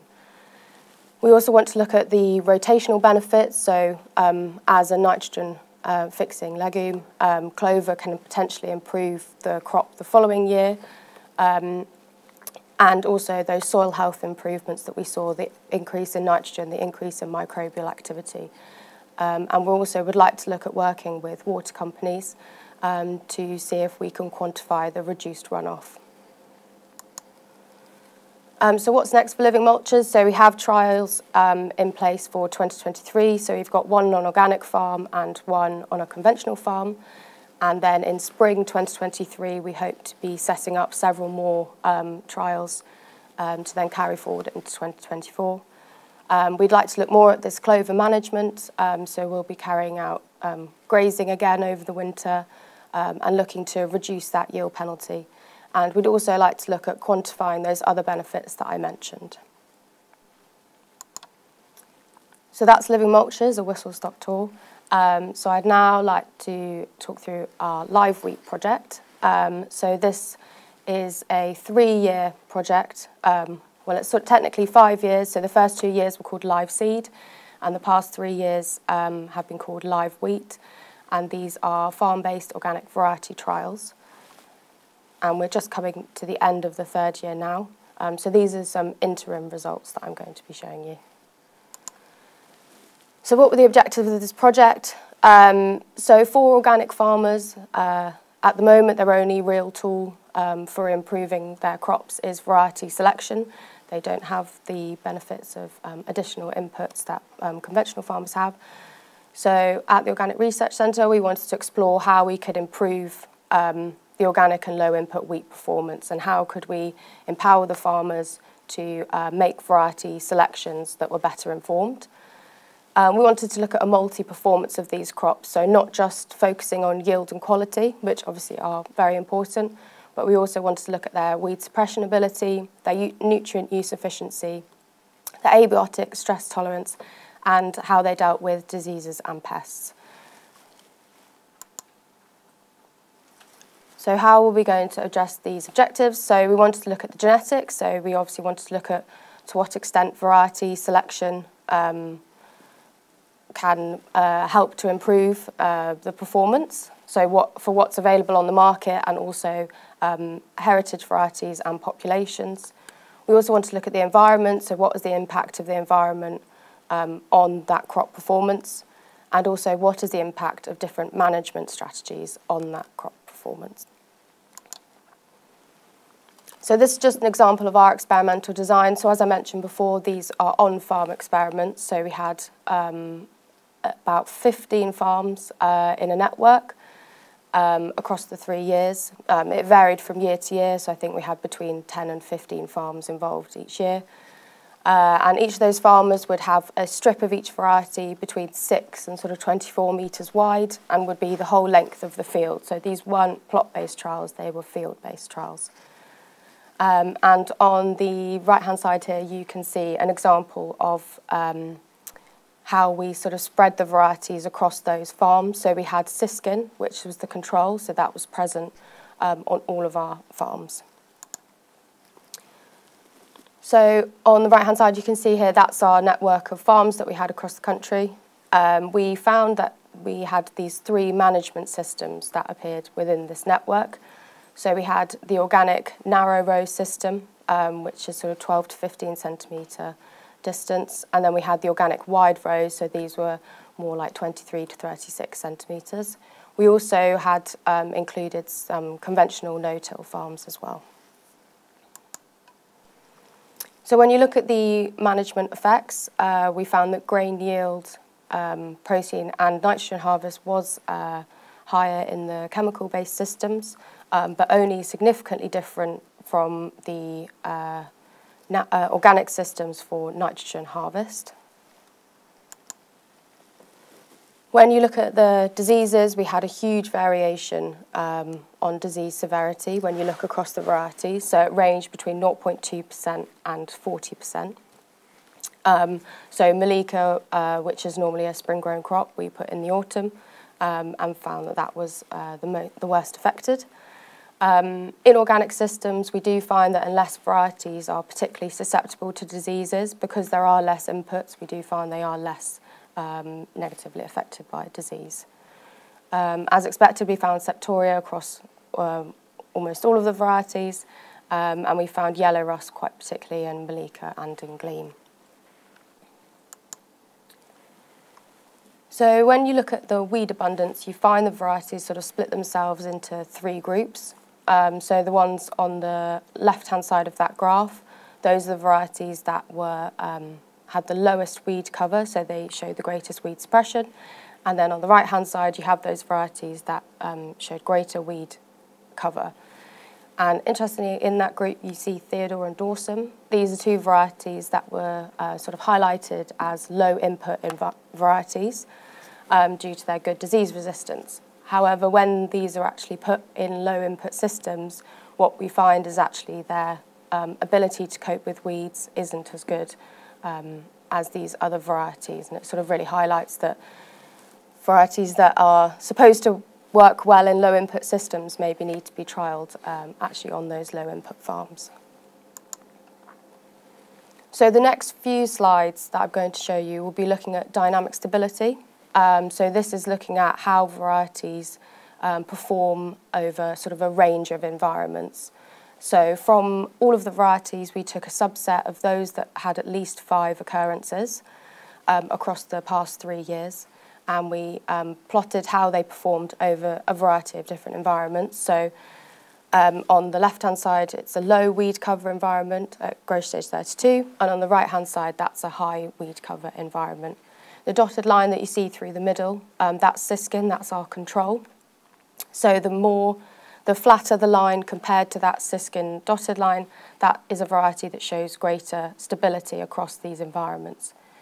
So what we found that Extase showed um, dynamic stability for weed cover at growth stage 32. So environments that generally tended to be higher weed environments, um, Extase showed significantly lower weed cover compared to our siskin control crop cover at um, growth stage 32 and at growth stage 65, we found that Extase and YQCCP um, showed great dynamic stability. Um, so at environments that usually had lower crop cover or that Siskin had lower crop cover, both Extase and YQ um, showed greater crop cover. Um, for those of you who don't know, YQ is um, also called the ORC Wakelyns population. So this is a cross-composite population. So it's a gene genetically um, diverse uh, winter wheat variety. When you look at ear density, we found that Extase, YQ and Maris Widgeon, which is a um, heritage variety, show dynamic stability for ear density. Um, so in, in environments where uh, ear density tended to be lower, those three showed um, greater ear density. When we look at grain protein, so across the three years, um, YQ and Extase both show dynamic stability for grain protein. And what we would potentially take from this is does genetic diversity and that early vigour that we saw from Extase, so the good crop cover from Extase, does that then translate into better resilience um, in grain protein? in grain yield, so across the organic farms, um, and over the three years, we found that X days had um, showed dynamic stability for yield um, compared to the siskin. So as you can see, in environments that tended to have lower grain yields, um, Extase had significantly higher than the siskin. So in 2019 and the 2019-2020 and the 2021-22 um, years, these were both characterised by a spring drought. And as I'm sure you remember from the summer of this year, we had those heat waves. Um, so we drew out the information for these two drought years, and we found that the dynamic stability, um, there was a dynamic stability advantage for YQ, this diverse population, and for Maris Widgeon, this heritage variety. So we found that historic cultivars and diverse genotypes um, appeared to be more resilient to drought and heat stress. which is particularly relevant when you consider sort of long-term projections for our climate. I think these spring droughts and very hot summers are only going to become more um, prevalent. When you look at the nitrogen harvest in those drought years, again, we found that YQ showed um, dynamic stability, um, which again raises the question if genetic diversity uh, translates into better resilience um, for nitrogen uptake in those drought years. And when you look at grain-specific weight, so this is a quality indicator, and it's um, a, a, good indicator of the post-anthesis um, climatic pattern um, we found that YQ, uh, a Siskin Extase mix, and the Extase um, all showed uh, dynamic stability. So that's a combination of this sort of genetic diversity from YQ and from this Siskin Extase mix, and the early vigour that we saw from Extase um, are sort of translating into better specific weights. So I'm sure many of you will know um, that as grain yield increases, uh, grain protein tends to decrease. This is sort of a well um, a well-known phenomena. Um, so, and that's exactly what we found um, over the over the years. We found that as grain yield increased, grain protein did decrease. But I want to draw your attention to the three varieties that you see sitting above that line. So that's Maris Widgeon, Malika, and YQ. Um, and what we found was that Maris Widgeon um, which sit quite high above that line, displayed something called grain protein deviation. So this isn't suggesting that it had the highest yield or the highest um, protein content. What it suggests is that it has a higher protein content than would be expected from its yield. And once again, this is this historic um, variety that was actually released in 1964, and it's the only cultivar that showed this significant grain protein deviation. When you compare the varieties to Siskin, that control, what you find is that YQ also shows this significant advantage and does show this significant grain protein deviation. We also found that Crispin um, was almost significant in this grain protein deviation, which is interesting. This is a um, hard feed um, wheat variety, which is no longer available on the market, but was um, preferred by organic farmers. So just some interim conclusions from these results. So what we found is that organic farming is not one management system. We had this wide row system um, and this narrow row. We found that the genetic diversity, either by evolutionary breeding or through these mixes, and looking at high early vigour through Extase, can translate itself to better dynamic stability. We found that in drought years, um, again, these historic varieties and genetic diversity emerged as the most resilient for yield, um, as well as YQ being the most resilient for protein and nitrogen harvest. Um, so I think what we'd like to highlight here um, is that these that genetic diversity and these historic varieties should be a really key starting point for um, future breeding for organic and low input. I'm conscious that I may have run over a bit, so I just want to say thank you very much to all the farmers who participated in all of our trials and also to our project partners. That's perfect. Thank you very much. Some interesting work going on there. We've had lots of questions come through on PollEv, so do keep those coming and we'll cover them in the panel session at the end.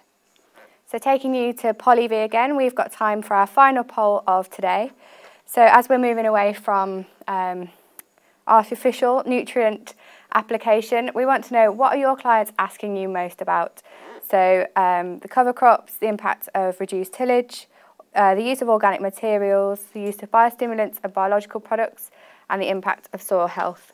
I appreciate your clients are probably asking you about all of those things, but what, what is it that's, um, that's being brought up the most? So you can, uh, can see all the results coming in now. Um, our strategic cereal farms are actually looking at all of these um, these elements separately on the, the four strategic farms that we've got running at the moment. Um, as we go forward with the trials, we'll be able to draw a few more conclusions from, from the work that's been going on at the moment. Um, so biostimulants seem to be uh, the thing that's coming in most, but fairly even across the board. Oh, reduced tillage has just taken the lead. It's like watching the, the races at the moment. Um, so that's uh, really interesting to see. We seem to have settled on 28% of um, being focused on the impact of reduced tillage, followed by biostimulants at 23%, organic materials and cover crops both at 19%, and then the impact of soil health at 11%. Um, but Ian Robinson now is going to talk about the interaction between soil and crop nutrient management. So thank you very much, Ian. Great, thank you very much. uh, yeah, my name is Ian Robertson. I'm from Sustainable Soil Management. Um, what we're really looking at doing in the agricultural sphere is looking at soils in a much bigger, bigger um, context than just one-dimensional soil chemistry, soil biology, or soil physics. So we've got 20 minutes. We're going to run through, or try to run through, the integration between soils and how, how they allow plants to draw up a lot more nutrition than we do uh, apply out of a bag. Um, so when we're joining soils together, or soils and plants together, what we're really looking at doing is trying to understand some key measures within the soil and within what the plant requires. So the first part is actually how many nutrients have you got in the soil? Now there's lots of ways of measuring it um, and those measurements sometimes are just one dimensional again, they're through a chemical uh, assay of the soil. What we've got to do is again draw back and think how is that soil reacting or uh, inter interacting with our plant and just because you've got lots of nutrition in the soil doesn't necessarily mean that the plant will be able to access it. And that's what we're going to hopefully explain further as we go on once you know all the soil, uh, all the nutrition that's in the soil, you then need to think about how many nutrients do my plants actually need. So there's a lot of talk and work done on uh, offtake, when you harvest a crop, you remove X amount of kilos of product, uh, nutrition from the field. What we've got to remember is that there's a thing called peak demand. So your crops require an awful lot more of certain nutrients to get to the architecture, to grow the, the uh, leaf 4, leaf 5, stems, tillers, etc., to hold the grain to take it through to harvest. They're the numbers we want to be looking at rather than just thinking about offtake. So we'll talk about that shortly. Um, then we think we've got the measurements. How functional? We're all talking about healthy soils. At the bottom of the screen, you'll see healthy soils, healthy soils. I kind of get a little bit hung up on healthy soils, and I think we should really be talking about functionality of soils because the functionality of soil allows you to extract nutrition into the crop you're trying to grow, the cash crop, you're trying to make some money, to, to hold it to take your harvest through to yield. You can have all the nutrition in the world in your soil, but if it's not extractable, then the plants will struggle. And at that point, we start talking about functionality. And the functionality comes, comes to water. It was mentioned earlier on. Water is really important. Nutrient cycling, biology. And they are all playing a massive part in how functional they are.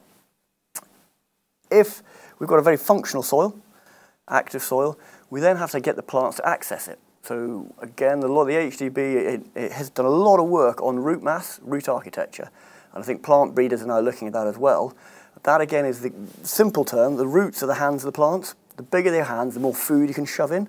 And that's really what we're trying to get the plants to do in the early growth stages. Put a big root system down, access your soil, access the nutrients, and then draw it up to create the architecture to take your yield through. So we're going to look at soils. Um, I apologise now. Those that have seen me talk before, or have been to college recently, have seen this kind of slide time and time again. It keeps popping up in the press everywhere. Three aspects of, of soils, the physical, the chemical, and the biological. Now, they are all and totally interactive. We can't affect, we, sorry, if we affect the physics, that will affect the chemistry and which will affect the biology. And I believe that we've kind of over-focused on the physics and chemistry because they're easy. You go physics, the field is brown, you plough it, sorry, the field is green even, you plough it, it goes brown. The field is green, you put some Roundup, some glyphosate on it, it goes brown. Very obvious things that we're doing. The difficult part is knowing how that affects the biology. And a lot of the biological testing that's going on has been the preserve of laboratories or research institutes because it's been quite expensive. And as, as we'll find out, biology changes all the time. So it's very difficult to really pin our hopes on biology. I think the poll just came in that people wanted to look more about biostimulants. Now, biostimulants lead into biology. I'm a bit more simple in that I think if we get our physics and chemistry right, a lot of our biological aspects in the soil will actually rectify themselves because biology is everywhere, it's ubiquitous. It, it's happening all around us. But the biology is driven by your chemistry and physics. And when we talk about physics, some of the key things I tend to get involved in is soil texture. I will touch on that in a minute, why that's important. And also soil structure, because as I said earlier, you can have all the nutrition in the world, but if you've got a poor soil structure, then the plants can't access it. So it's a fundamental thing that we to get our physics right. When we look at the chemistry, fundamental part is pH, nothing new there. And then the, the amount of nutrients we've got in that soil. There are, again, we always measure in kilos per hectare um, rather than milligrams per litre, because then we can understand and try and join what the plant needs to what the soil's got. And then biology, really exciting place. Um, however, it's really dynamic, really changes. So we tend to look at things like the trophic layers, second and third trophic, how imbalanced are they with the, with the second trophic?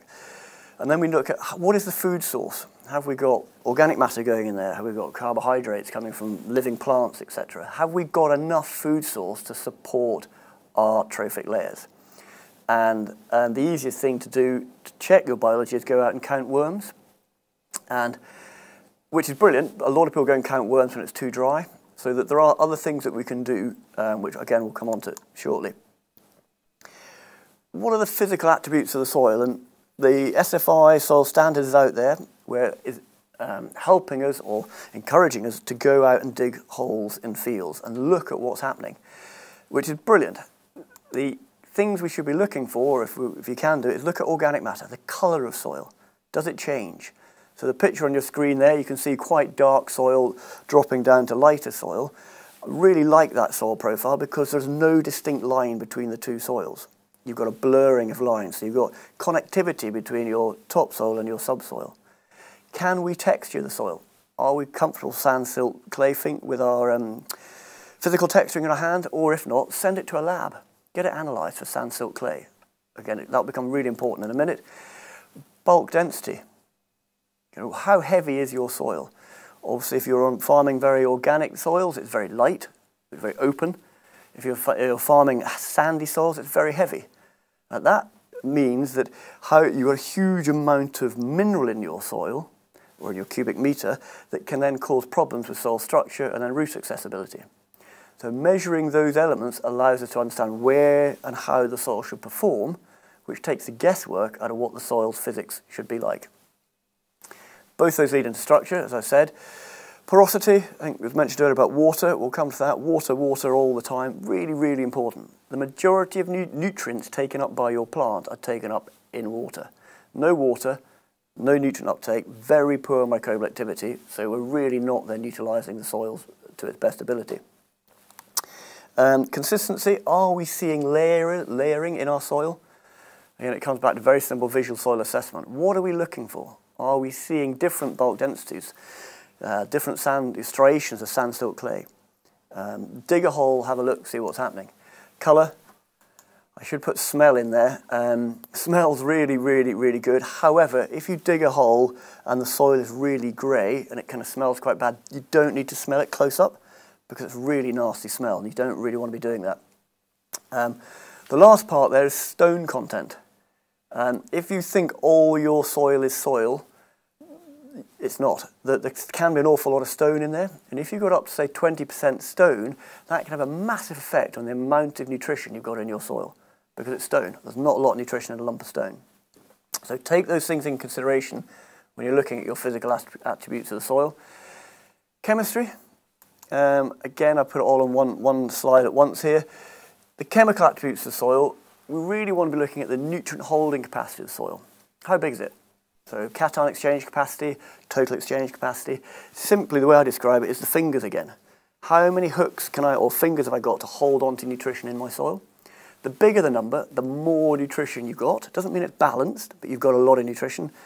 You go right down to a sand, very skinny sandy soil like a beach, you can only have, say, two or three holding. A big blue clay can be up to 50. And when you've got those un understanding of that, you can understand how the soil wants to be fed nutrition.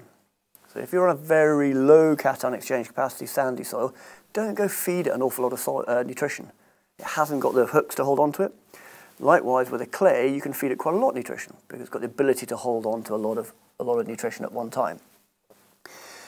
Then you look at what is on the clay colloids, calcium, magnesium, any of your rooms, calcium, magnesium, potassium, aluminium, ammonium, hydrogen. They will affect obviously pH, and that in turn will affect how nutrients cycle, root accessibility, accessibility etc. Um, in there, you'll have organic matter. Um, I love organic matter. Um, however, I sometimes get a bit frustrated that we always talk about carbon or raw organic matter. To me, organic matter is something that's living, breathing. We want to put organic matter into the soil. Soils respire, microbial activity breaks your organic matter down, releasing carbon dioxide, because that's what it's meant to do. Your little wheat plants on the outside catch your carbon dioxide in the stomata and grow. The worst thing we can have is bare soil, because your soil will not stop respiring. At that point, it's breaking down organic matter, which it will do, but it releases the carbon dioxide into the atmosphere, and you don't have a plant to capture it. So carbon is really interesting. Organic matter is really interesting, but we've got to look at what pools of carbon we've got in the soil, how the organic matter is cycling, what we are doing to capture it, re-push it back down into the soil again. Um, so organic matter and carbon linked, and they're linked really by biological attributes. Um, love this picture. Um, I took it myself, so you're pleased to know. Brilliant picture of a worm linking in with roots in a soil. The soil food web which is the microbes that live in uh, the soil and feed the plants, are there to feed the plants. They're not there for our benefit, they're there to work in, in, in um, synergy with the plants. But they will only work in your soil if we have the right soil structure. And that is the right soil structure giving us 25% air, 25% water, 45 mineral and 5% organic matter. That's delivered by structure, and I think we all forget that structure starts right on the right-hand side of the picture, 0.003 mil, tiny, smaller than your hair. If we don't have that structure right, there's no point pushing big machines into the field to try and create structure. Structure starts at very small size. That small size is where your second trophics, your uh, bacteria, fungi, nematodes that live on the water film that drive the whole nutrient cycle. They need food, and that's coming from the organic matter and plants you're putting in there. If you get it wrong, things can go wrong quite quickly. So example on the right-hand side is the same field of maize that was power harrowed twice, put a cap on the top of the soil. Below it you can see really nasty grey um, soil. That's gone anaerobic. The pH has dropped to 5.6. So we've affected the physics, it's affected the chemistry, that's affected the biology. This, what we've got to look at is what, what caused it. That was caused by us power harrowing it once too many not the soil's fault. We created that problem. And what we're trying to do all the while is bring everything we're doing in farming to connect it to the soils, and that is all through microbial contributions. I appreciate I'm running out of time, so I'll jump a few of this. When we look at microbes, we want to be looking at them as a cycler, bringing more of our nutrition out of our deep freeze, which is in the soil complex, into the fridge and up to feed plants, rather than the old more on principle, which is if I haven't got enough readily available nutrition, we'll put more on. We want to be looking at things that we've got in the soil and make it available. And then you look with AHDB, we've got some great growth guides out there. Convert the growth guides into kilos per hectare. So you'll see on the right-hand side that the plant is growing. How many kilos of nitrogen, phosphorus, potassium, calcium, sulfur, etc. does the plant require? We have all these numbers. We then link those numbers to how the plant grows, to what the soil's got in it, and decide what the best plan of uh, attack is. If you look at micros, it's easier because micros are in grams, so we can either try and get them from the soil, and the more biologically active our soils are, the less micronutrient deficiencies we're seeing, or again, because they're so small, as you can see, you can apply them through a sprayer. Um, one of the big things about structure we talked about earlier is about water. Sand, silt, and clay give you water differently. So the more sand, silt you've got, the more water we will be able to uh, give to the plant the more clay you've got, the less water. Um, and I think this is again why I think we should look more and more into our texturing of our soils to understand what's going on uh, with water, because water is fundamental to it. Again, old graph, but more roots you have at flowering, the bigger the yield you'll have. It's direct line correlation. So anything we can do to grow roots is better. I can jump these, going to run out. And then getting to the end of it, you then look at measuring the amount of plants, the amount of nutrition the plant needs. An example here of magnesium. If we've measured the plant and it's 10% short in magnesium, at gross uh, T1, that's the equivalent of 660 grams of mag required. Now that could either be product A at 4.1 kilos applied or product B 9.8 litres. So don't guess. If we are doing this stuff, measure it and then apply what we need. So where, where, where do we all fit in? Well, ultimately, as I said earlier, we need to look at the soils, measure the physics, the chemistry, and the biology. You can map soils, things like TerraMap, very detailed soil digital mapping service to, to link it all together, and then do plant analysis in your growing crop. So tissue test, sap test, ultimately looking at grain analysis, or you do above ground biomass and join it all together. And so summary, measure what you've got in the soil, think holistically, I know it's an awful word, but we've got to think about the big picture. Get the functional soils. You can bypass soil, don't get me wrong, you don't need it, but it's very expensive to keep putting more and more nutrition on. Know what you like to grow and match what your inputs to what your soil's got to make sure you, you match it up together. Be realistic about what you're growing. Don't think you don't farm on hope, basically. Know what you're trying to do. Feed what is required, not what you think is required. Measure your progress, which we all should do. Um, be kind to your soils. Don't underestimate what a good root system will do for you into a well-balanced soil. And fundamentally, get out there and get started. Thank you very much for your time. Thank you very much, Ian. That was excellent. We, uh, again, we'll have questions at the very end, so you can enter those at poll ev.com forward slash AHDB. So the last two presentations for today are going to be looking at carbon and greenhouse gas reporting. So to be net zero by 2050, agriculture is looking to adopt new practices to both reduce emissions and to sequester carbon. So um, we'll hand over to Nick that is going to talk about carbon and greenhouse gassing and where we are now. Thank you.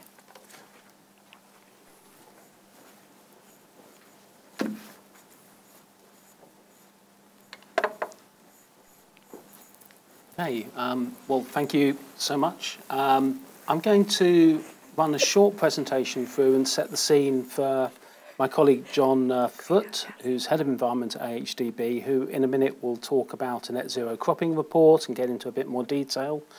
I'm going to give a bit of a 101 overview of what the current situation is facing uh, farming in relation to net zero and carbon and GHGs, explain some terminology, give some context. So measuring carbon is the title of this section. Carbon, as we know, will get used as a little bit of a shorthand, lazy term in a sense to talk about all greenhouse gases. Uh, so do bear that in mind as we go through. So on this slide, you have a collection of commitments. It has been quite a, quite a picture and quite an aggregation of uh, policy commitments to net zero over the years going back to the 2008 Climate Change Act, which set an 80% reduction target by mid-century for the UK, and then, of course, Theresa May's government escalated that to a net zero commitment uh, for the UK. And this, this phrase net zero relates to, we're going to take a minute to talk about net zero and what it does relate to. So it comes in as a planetary concept in international climate agreements, planetary net zero by mid-century. In effect, global climate neutrality is the phrase that's used in relation to things like the uh, Paris Climate Agreement. When it gets translated into a national commitment, again, you know, the UK's GHG footprint has to be uh, net zero by 2050. But it's being picked up, applied to sectors, it's been applied to companies, major corporates, and right the way through to farm level, we're all affected by this commitment of, of net zero. Um, what it actually means is it does mean a balance between emissions and removals, removals going through natural cycle sequestration, carbon sequestration. However, when it's applied to individual business entities, um, it's tending to fall out not as a simple balance, but as a rapid need to decarbonise. In effect, um, the, the latest uh, commitments coming through what's called the Science Based Target Initiative, which all large corporates will be signing up to, uh, or the majority of large corporates anyway. Their net zero commitment will require a 90% reduction and will only allow 10% of the footprint to be offset through compensatory measures. So do bear that in mind. It's not just about the balance between removals and emissions. It is about an escalating and increasing drive to decarbonise, um, to reduce greenhouse gases. So all of these commitments coming through, Um, and of course, it comes in from different directions as well. There's the, the, the planetary health dietary work on that slide as well. Lots of different drivers bearing down on, on, on agriculture. The UK's Climate Change Committee is a statutory advisor. It, it's, it can't set the direction, but it criticises the direction or it provides a commentary to the UK government on how well different sectors are doing.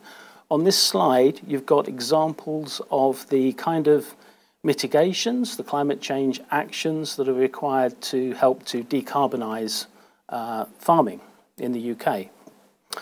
And these are very familiar to us. Uh, we've, we've seen these phrases, such as the suggestion that 10% uh, of farmland could be put over to agroforestry, for example. A number of commitments on this slide that, which you'll, you'll have seen. Um, an important thing to bear in mind, I mentioned with the Committee on Climate Change, is that it, it doesn't set the direction. It has to be mitigation neutral in a sense, but it will comment to government on how well it's doing. In its last progress report, agriculture was one of two, uh, if you like, two sectors, shall we say, that were flagged, given a red flag, effectively, as being behind the curve on the progress being made. Uh, the other one that was worse than agriculture was the state of the nation's housing stock, which, um, which has been a, a long-running uh, concern for many years. So key threats. Um, there's a whole range of activities coming through and, and that will drive change uh, for farming and agriculture. So changes to markets, diet change, we've talked about new assurance requirements coming through, eco-labelling, uh, these kind of things. The delivery of environmental goods and services, this whole thing that we heard a lot in the whole Brexit debates about post-Brexit, would there be a environmental goods and services uh, delivery through from land management? Uh, the supply chain, um, this needs to be de-risked, but the, do watch out for this fact that um, risk will be transferred down the supply chain potentially, uh, the additional costs and complexity to doing business, the importance of data and evidence, and this all leads through to increased investment and this risk that climate change could put people out of business. Will it do that? It certainly is going to become an increasingly uh, business relevant issue uh, when it comes to selling produce uh, up the chain. So what is a greenhouse gas? Greenhouse gases in the Earth's atmosphere and they trap heat, the main ones being water vapour and carbon dioxide. Now this concept of CO2 equivalence is important. It's a standard unit. Think of it a bit like an exchange rate, everybody putting their currency over to the dollar or the euro as a standard unit for measuring carbon footprints. And standard ratios are used to convert the various gases into this equivalent amounts of carbon dioxide. And it's usually using the CO2 equivalent based over 100 years, the global warming potential of each gas over a 100-year period. Um, countries like the UK have signed up to the Paris Agreement. Well, every country, in, pretty much now every country in the world has, with America coming back into that uh, agreement. And uh, that will hopefully last now as well. And the UK government have committed to achieving net zero, as we've said. So all sectors of the UK have to measure progress towards that.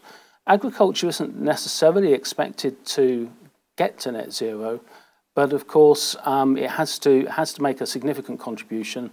The National Farmers Union, of course, have made a commitment towards um, a target of net zero by 2040. So there's a lot of ambition and a lot of interest in, in farming to drive towards net zero. So on this slide, we're looking at the greenhouse gases. You've got carbon dioxide, methane, nitrous oxide along the top there, and then some of the uh, perfluorocarbons and, and, and, and the PFCs and, and, and sulfur hexafluoride or industrial gases to the right-hand side, fugitive gases. But the, the important three for, for farming are uh, these three on the left and you will see the blue figures there indicate uh, their, their, global warming potential relative to one tonne of CO2. So methane being 28 times as potent, and, and nitrous oxide being uh, 200, just under 300 times as, as, uh, as, as, as, potent. Uh, they're all significant, and they're all contributing uh, to, to, the UK, uh, to the UK situation of its carbon footprint. as an example of that, um, so UK in the UK itself, agricultural emissions are about 10% of, of, of, the, of the UK's carbon footprint.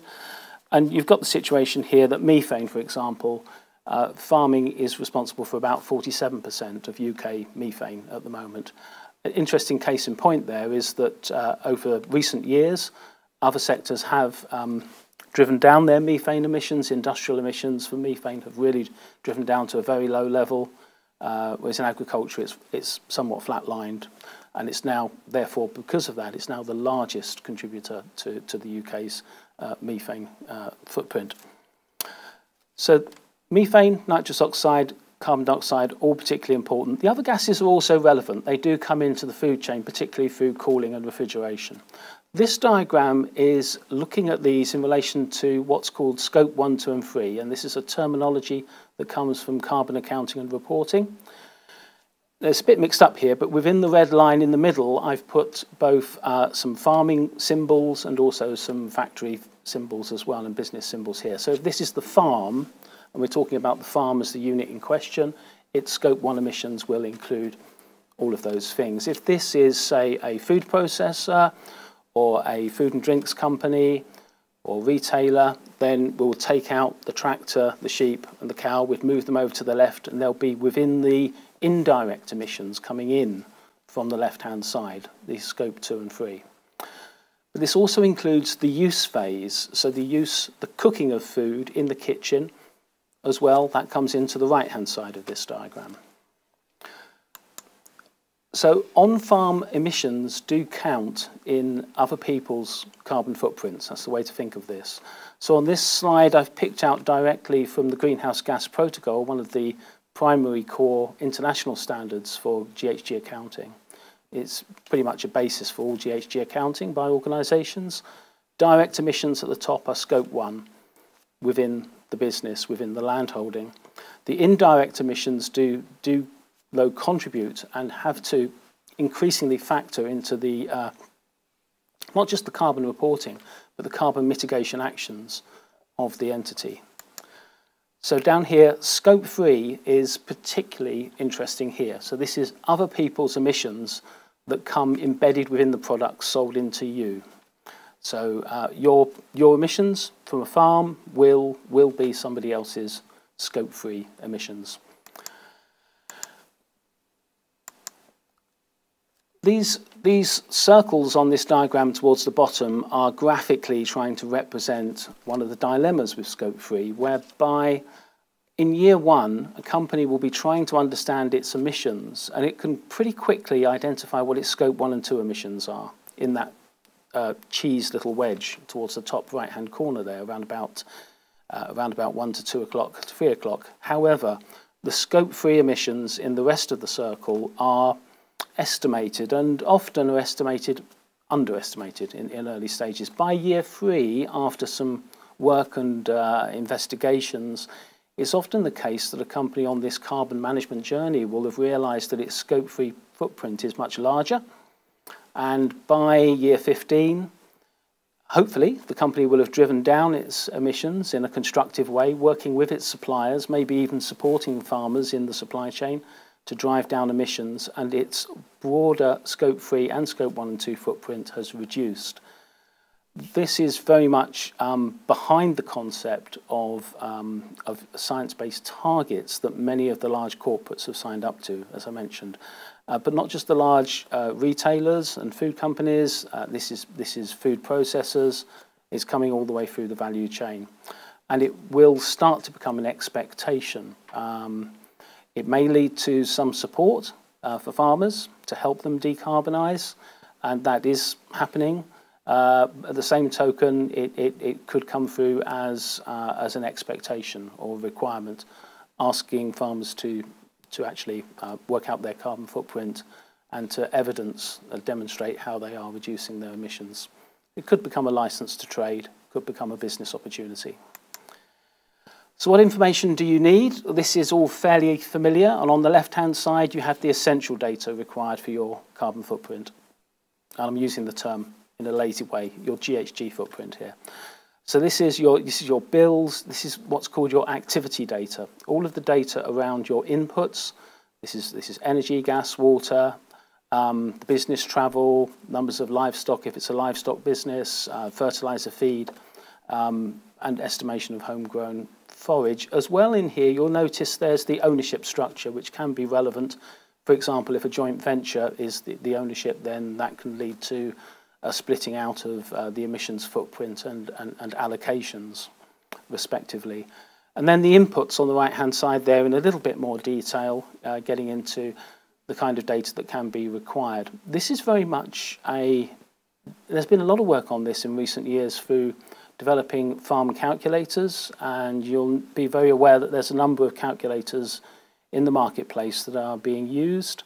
Um, very significant ones that often get reference to things like the Cool Farm tool, Farm Carbon Calculator, Agrecalc. Um, the key thing to remember with these calculators is that they're starting to, over a period of time, starting to align and will increasingly become more harmonious in, in, in their output. The, the, the general situation is many people would advise that they should be consistently used, so pick one and use it consistently.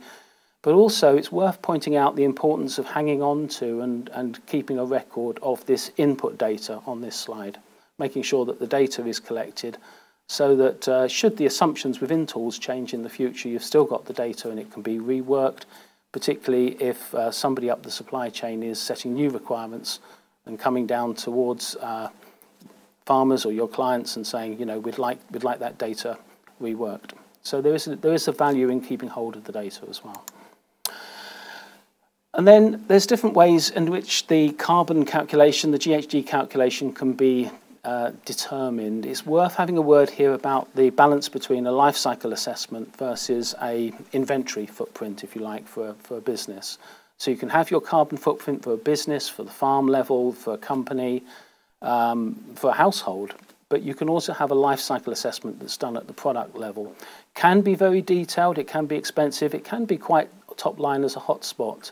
Now, there is some consistency through standards on this, and in the UK, the government subsidised the development of the first carbon footprinting international standard, which was a British standard, PAS 2050, and that does give some consistency. And in recent years, that's been converted into, there's now an international standard, ISO 14067, uh, which is very close in its methodology. Over time, as I mentioned, you should start to see the tools and the standards harmonise. So it can be confusing in recent years and at the moment, but it should get a better picture in the, in the future. Now, this is where, as agronomists, you know, we have a key role, and you'd have a key role to helping farmers to um, think about reducing their input costs and maximising their cash crop yields. A lot of this in the early stages of decarbonisation on this journey towards net zero is about making the quick wins and what's called the low-hanging fruit. So what is it in the next three to four years that, uh, that can be done within farm operations to cut GHG emissions? In, in a little while, John's going to come back to this report and talk in a bit more detail about some of these uh, segments on here, but you can see it's often to do with feed, fuel, fertilizer, you know, critical, critical, uh, critical efficiencies that can be made, but there's more to this as well. Soil carbon has already been mentioned and soil organic matter, and this slide simply gives a little reminder on some AHDB figures here on the, the carbon stocks, typical carbon stocks in improved grassland, unimproved grassland, arable cropping areas. These are, these are simplistic. There's more detail that can be put and more diversity across these categories. Uh, it's worth pointing out that, that they, there's a limit sometimes. So, uh, for instance, in pasture and grassland, um, it's often mentioned that there can be a 20-year cycle and, and that once you've improved your, your, your your carbon within the soil, it can be tricky to continue to, uh, you come up against the limits to how much carbon you can sequester within to the soil. And there's permanence issues around this. How permanent are carbon stores? Now, there's a lot of focus on this at the moment, but the only thing that I would say is that we could talk, have a whole separate session or two sessions on this.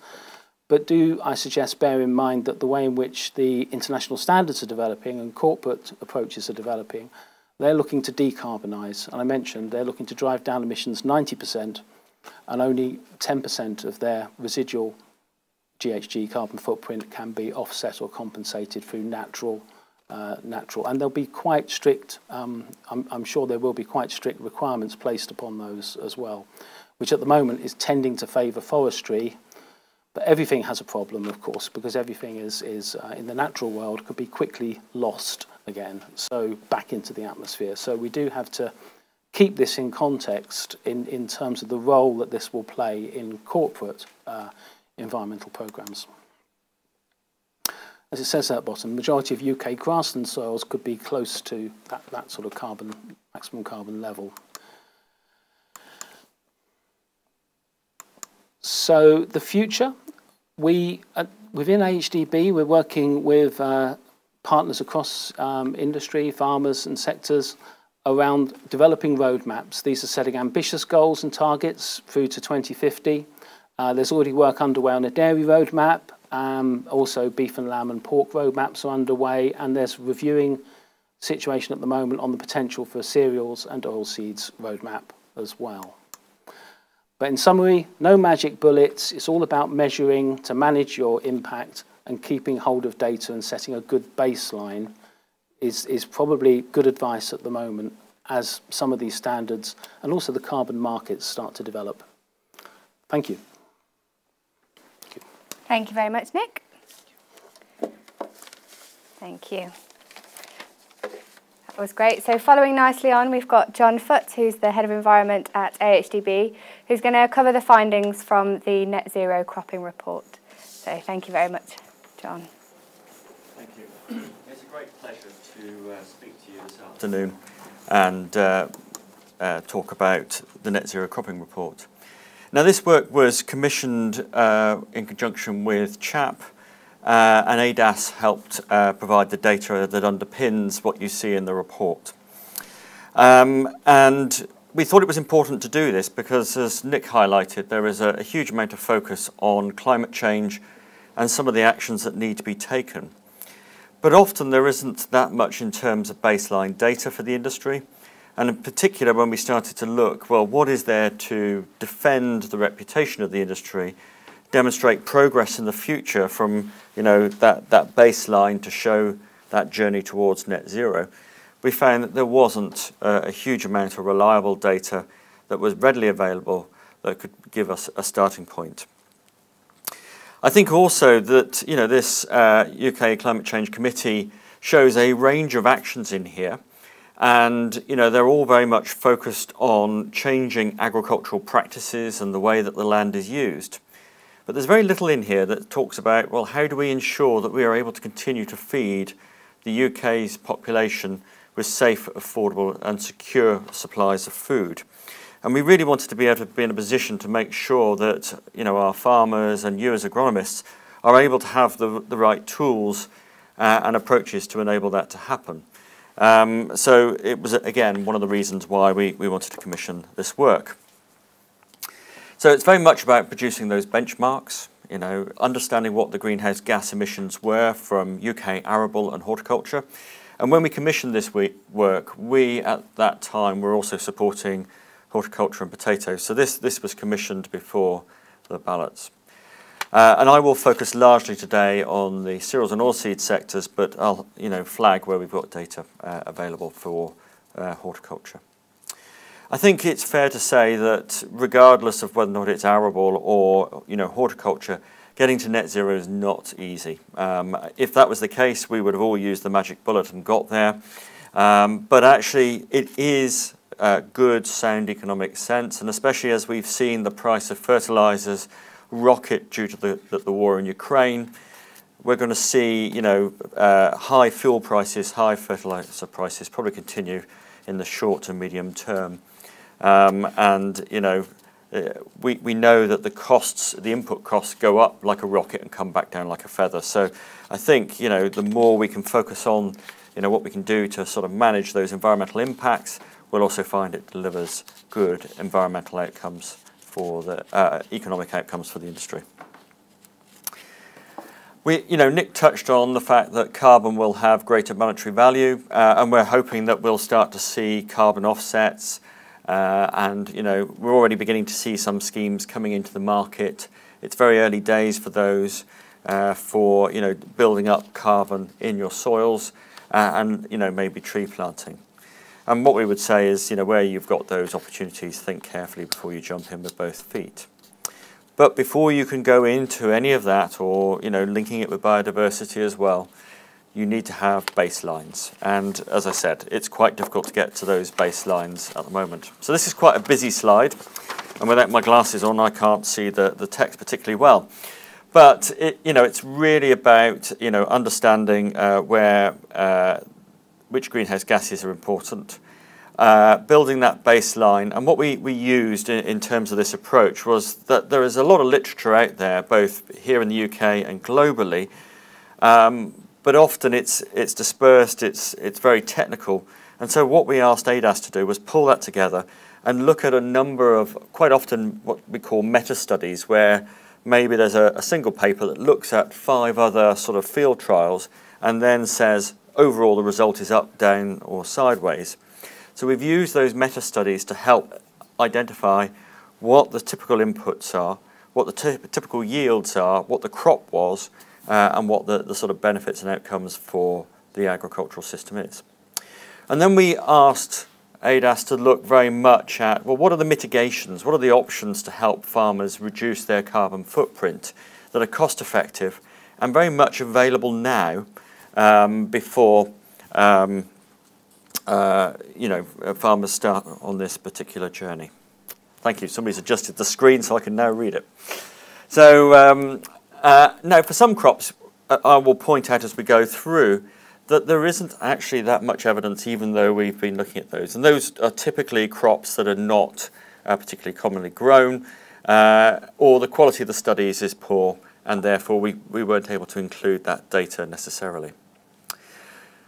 Um, we, you know, Nick touched on some of the sort of uh, standards. You know, we, we made sure that we were comparing and where we had uh, sort of standards underpinning those studies, we used those. So we've got PAS 2050 uh, and another ISO standard there, 14064, which was uh, one of the ones. And again, if there was a, a life cycle analysis, then 14067 would be used as well. So we used that to sort of make sure we were using the best data available and sort of pulled that together. So in terms of what crops are included, you can see by you know the, the, greatest amount of data and also the greatest amount of crop grown here in the UK links to the, the growth of wheat and barley, very much the sort of broad acre crops. We've got oilseed rape in the mix, we've got pulses uh, and uh, sort of uh, uh other sort of field beans, uh, sugar beet, we've got potatoes uh, and much of the field veg. We've also got, you know, tree fruit uh, and um, uh, protected horticulture in the mix. And I'm not going to go into detail on those, but just to highlight that they're there. But, you know, 70% of that data really links to the broadacre crops and, uh, you know, uh, the ones that uh, you as agronomists will be, you know, providing a lot of advice and support on. Now, this, this looks quite quite a horrible graph when you look at it, but it was by far the best way we could present the data. And there are a series of these for each of the, the sort of uh, arable and horticulture sectors, and I've really only put the, the cereals and um, the one that includes the peas, the beans, and uh, oilseed. And what you can see is that you have, you know, US uh, in there. So we, we, where we have been able to do so, we've been looking at, you know, UK versus our international peers and you know what that range is indicated by the grey bar and then the average uh, is shown by the green sort of line within the bar. Where you've got in some cases, so for example UK organic, that indicates we've only got one study or a few studies that give us that average figure and therefore we haven't got a sufficient range. So where you've got almost single lines, you need to treat those with the utmost of caution um, but it at least gives us some idea of where they appear. And you can see that generally, you know, here in the UK, we compare quite well in terms of wheat against our international peers. There's a much wider range which reflects maybe greater variability in our climate. I think the interesting one is when you look at UK winter wheat for feed, there is a much broader range than, you know, the milling wheat. And when we discussed this with ADAS, the view was that actually they think there is such a wide variation in that um, uh, wheat because actually a lot of farmers are trying to achieve milling wheat specification and then for whatever reason miss it. And they've put on a lot of uh, fertilizer to try and achieve that and it's having a, a significant impact on the, the, the, the sort of uh, range that we're seeing there. And it means that you know, some of that potential milling wheat is now, now being sold as feed wheat. So, uh, you know, it gives us a, a, good indication of where the UK is uh, and uh, how we compare against our international peers. And I think, you know, we're holding our, our, our own well. Just to sort of drill down into the data in a, a sort of uh, easier of, sort of read format, the table again is in the report, but you can see that we give an indication of degree of confidence. And for example, linseed, we don't have that many studies to back up the, the, the data. It's a sort of relatively sort of new crop, uh, uh, and therefore, you know, the, the, the, sort of degree of confidence is rel relatively low. Whereas winter wheat, we, we've got good confidence, and you can see where the UK benchmark is, uh, and you can see that there is a huge range really in terms of both milling uh, and uh, feed wheat, uh, which means that, you know, as farmers and agronomists, there's a lot for us to sort of look at and see if we can optimize to get towards that bottom end where you know the specifications are being met, uh, but maybe at a third of those at the higher levels. And it's worth bearing in mind as well that those at the bottom end will be making a better return on that investment than those at the top end, probably because there's a lot of fertilizer that's gone on. The, the, the specification um, is, is delivering you know, what may be required in some cases or hitting the, the sort of feed wheat, uh, but the, the sort of profit is down. So, you know, where can we help farmers? And, and to be honest, 86% of that, that sort of cost is linked to the use of fertiliser and the fuel. And I haven't put pound notes on all of the, the sort of uh, areas. But the biggest chunk of all is really related to the use of nitrogen fertiliser. And um, it results in the emissions of nitrous oxide, which is a very potent uh, greenhouse gas. So again, in terms of you know reducing environmental impact, it's absolutely key to focus on that one. Uh, it, it's, it's long lasting in the atmosphere, and, and if there's a future cost associated with that, there may be you know increased cost uh, if uh, we can't avoid those emissions. But, you know, in reality, those nitrous oxide emissions are basically fertilizer that you've put on, and then that is being re-emitted to the atmosphere and is not being utilized by your crop. So that, that's a significant uh, sort of loss there. And also, again, fuel is directly related to the amount of soil you move around, uh, the, the, number of passovers, cultivations, etc. And again, the more you can do to minimize that cost on farm, the better the, the sort of profit and also the environmental outcomes. This is for the legume uh, crops, very similar picture, uh, but fuel use makes up a much larger proportion of the uh, sort of uh, uh, cropping system. Uh, and that's partly because you're putting less fertilizer on because these crops fix their own carbon.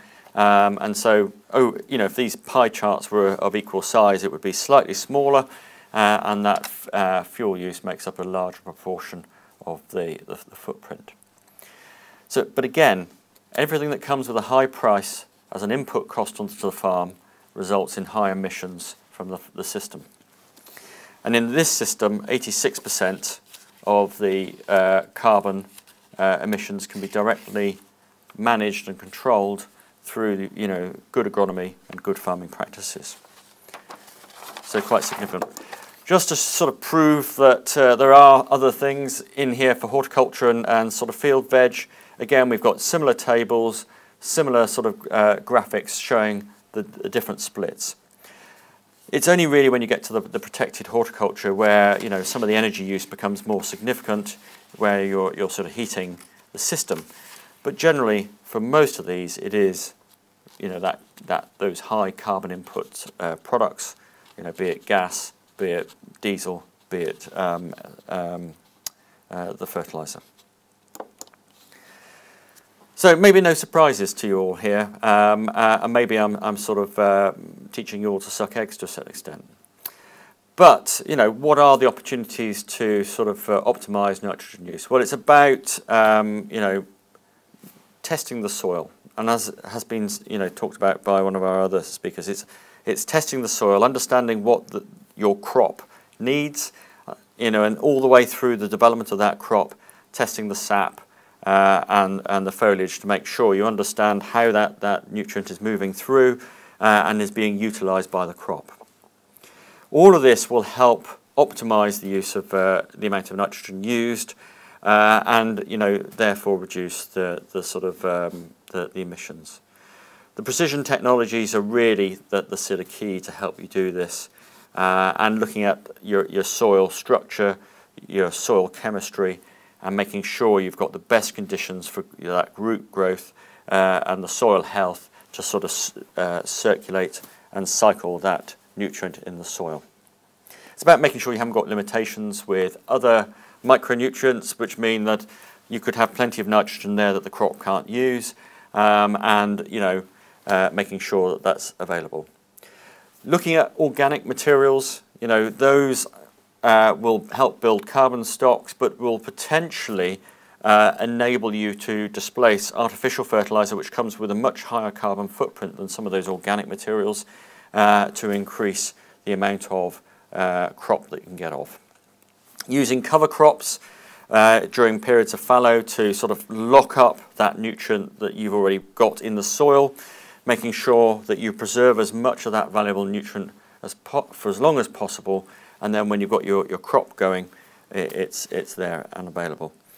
And looking at how you, you sort of cultivate the soil, partly because of the, the soil structures we've been talking about, but also perversely, some of the uh, cultivation techniques uh, or lack of uh, cultivation can increase nitrous oxide emissions. So it's finding that balance for your soils and for the system you have. Um, generally, we would sort of recommend looking at you know the min-till, no-till systems, but again, it's got to be suitable for your systems. Uh, and if you've got to you know control weeds, etc., then um, uh, you may have to go back in and uh, you know hit it with a, a traditional uh, sort of tillage system. Again, not no great surprises here. Really, it's about you know as I've been talking about the minimising the use of the plough, direct drilling. All of these things can help reduce fuel use on your farm.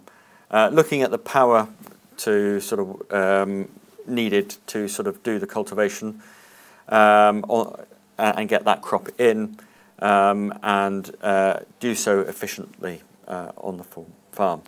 Automation uh, and the use of some of these robots that uh, you know can go in and control weeds. Not only does it reduce compaction uh, on the soil, but they can go in, do multiple passes to keep on top of the weeds. Uh, and it also means that you're not using a large tractor to sort of go across the land and apply the sort of control measures that you want. Again, not all of this is suitable uh, during you know poor weather conditions. So in terms of you know the, the, sort of positive actions that you can take, it's really about you know managing your fuel, managing that crop residue, and finding economic opportunities to deploy some of those residues. And many of you are already doing that.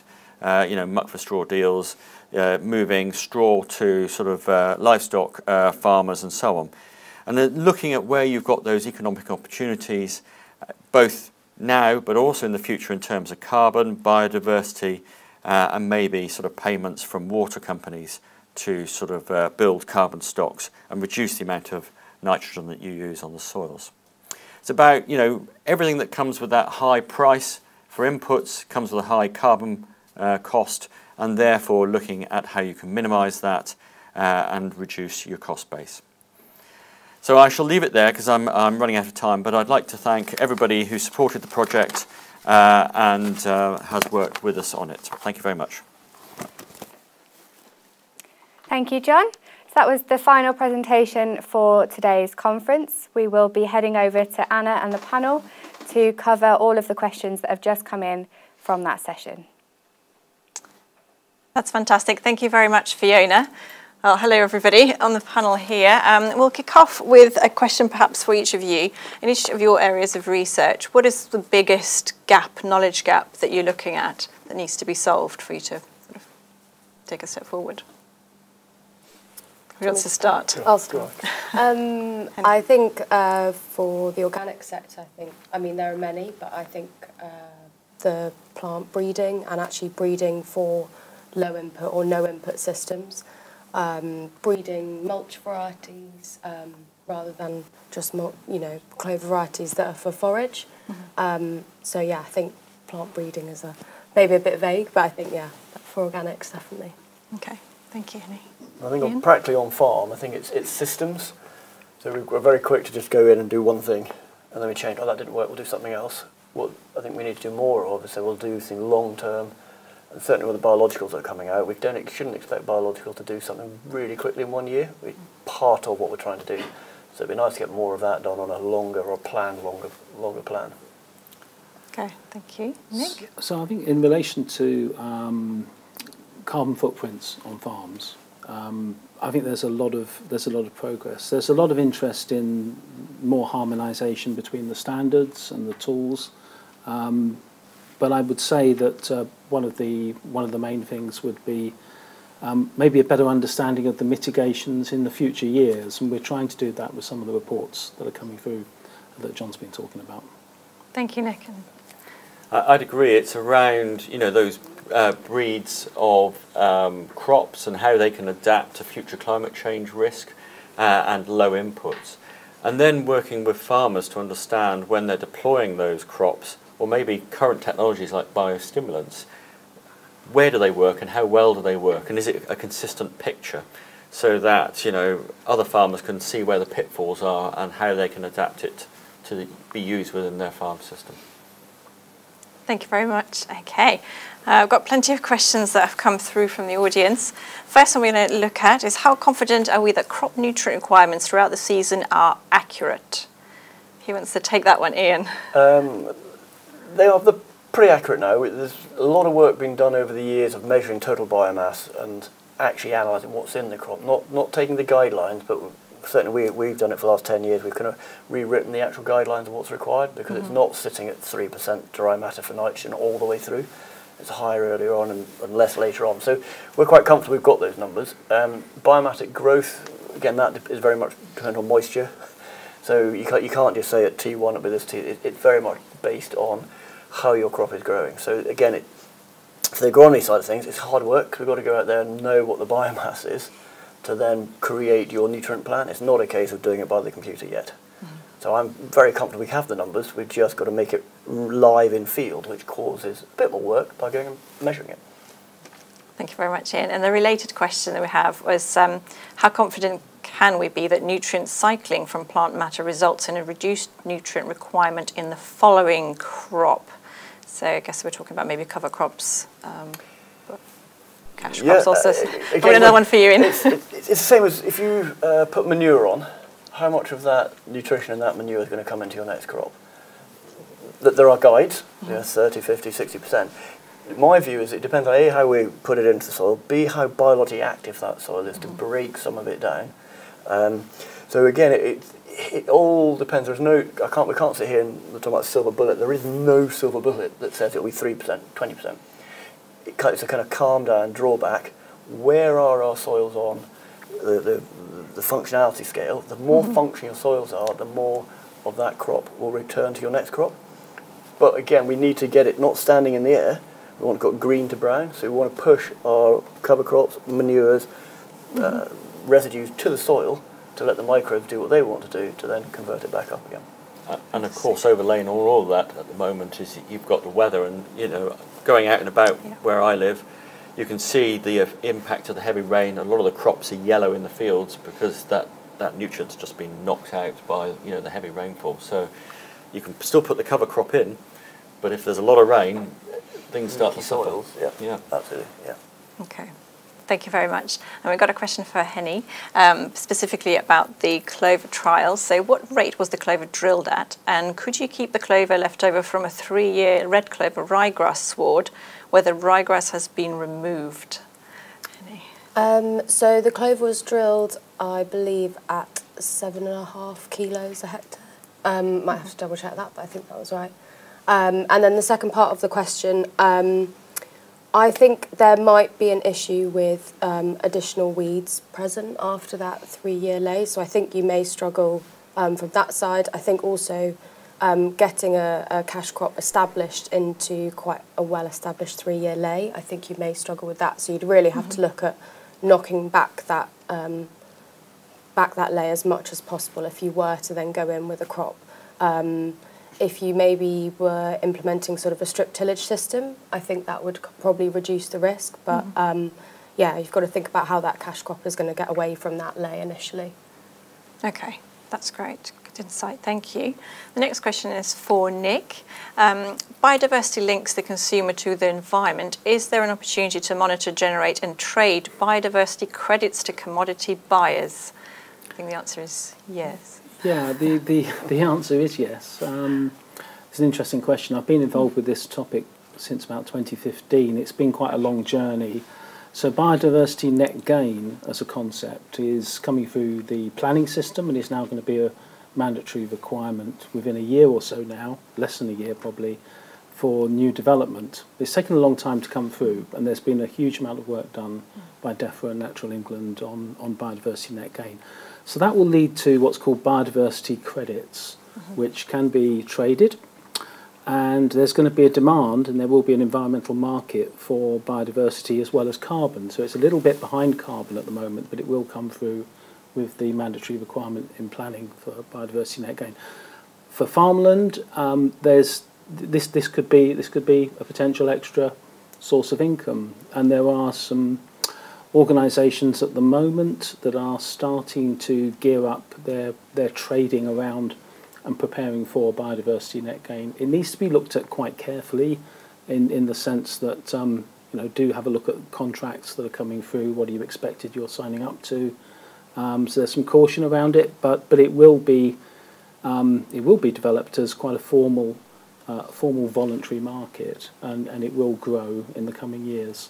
So this could lead to, yeah, um, biodiversity credits um, within the landscape, and, and, there's no reason why that can't be on farmland as well as some of the conservation sites that you might expect.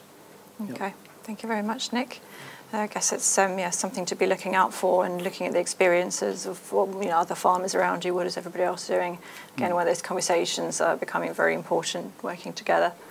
Um, um, just say that baselines are going to be really important in that. It's it's also going to be important to know what is the state of your land. There will be some gaming of the system. There will be people who will be trying to degrade a site to make it look like their net improvement is, is stronger.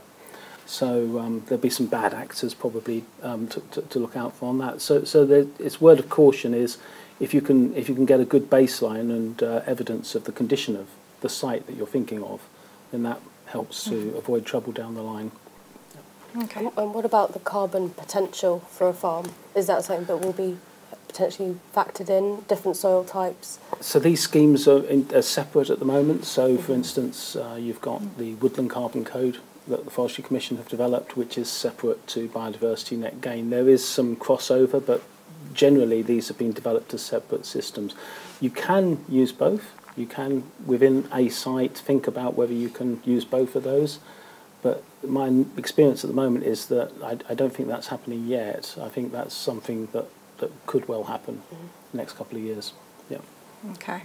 So three takeaways. So probably look, look out for what's happening in terms of schemes and what everybody's talking about. Um, don't be a bad actor and certainly start benchmarking now um, to get your baselines uh, and know, know what you're working with. Okay, the next question is back to living mulches. Is it a viable option with the threat of losing glyphosate? I guess an organic system with some. yeah, so we've only, uh, with the trials that we've done so far, they've uh, been um, in organic systems, but we have had conventional farmers who do use living mulches, um, but they do also still use glyphosate. Um, I think it is a viable option. Uh, I think there maybe needs to be a move for conventional farmers to be more confident in seeing green matter amongst their crops. I think they're quite used to seeing quite bare ground between their crops. Um, and actually, if you allow the clover to get a good cover, it will suppress those weeds. Um, you just need to give it a chance and, um, yeah, hold back on the glyphosate if you can. Okay, thank you. And I'm being told this is the last question that's in front of us here. And we're just seeing questions one by one. This is the last one we're going to tackle today. On-farm trials are becoming more prevalent. Are they reliable enough to take the place of more structured research? Who wants to take that one? Do you want me to Well, I was going to say I'm yeah, quite yeah. happy to start and then hand over to you. But Yeah. so we're looking at a, a sort of option for something called what works, and part of that is you know maybe having on-farm trials, almost like citizen science type approach. And I think where you've got some common rules, but sufficient numbers of farmers trialing this and providing data, I think you can get uh, you know a, a structured and worthwhile answer. And in fact, in many ways, probably more worthwhile than something that comes out of academic research. What's to say that you know the work that farmers have done has got any less value in the real world than something that's been done on the lab bench? So I'm really very much in favour of having these. I'll call it citizen science, but you know these sort of farm trials that you know can try a range of techniques uh, and see how they work in the real world. Thank you, Nick. Henny? Yeah, I would I would second that. Um, there's been plenty of research done into how plot trial data doesn't necessarily translate to what we then see on farm. Um, and I, I can confirm that on farm trials are also structured, um, just maybe in a slightly different way. Uh, and so at the Organic Research Centre, we don't have any of our own land, so all of our projects have to be done on farm. Um, and actually, we found that to be hugely beneficial. It means that we carry out trials on a whole range of soil types, um, a whole range of different systems, and I think it gives you a much better rounded result at the end than maybe if you potentially do yeah plot trials in um, less locations. So yeah, I'm a we're a big advocate for on-farm trials. Fantastic. Thank you very much, everybody. Thank you, Henny, Ian, Nick, and um, John. it's been a long day. Um, thank you very much for your presentations and answering our questions. It's been fantastic. And I guess all that's left to say is, is just, well, thanks to all of our speakers that have uh, been here throughout the day. Um, and thank you to the team behind the scenes who've made it all happen. I can see them all in front of me. Um, uh, and thank you to the audience for, for your fantastic questions and, and, joining us live. Um, just as a reminder, please do uh, complete the feedback form, which will be with you after this um, session. And thank you for joining us. Hope you have a lovely rest of the day. Goodbye.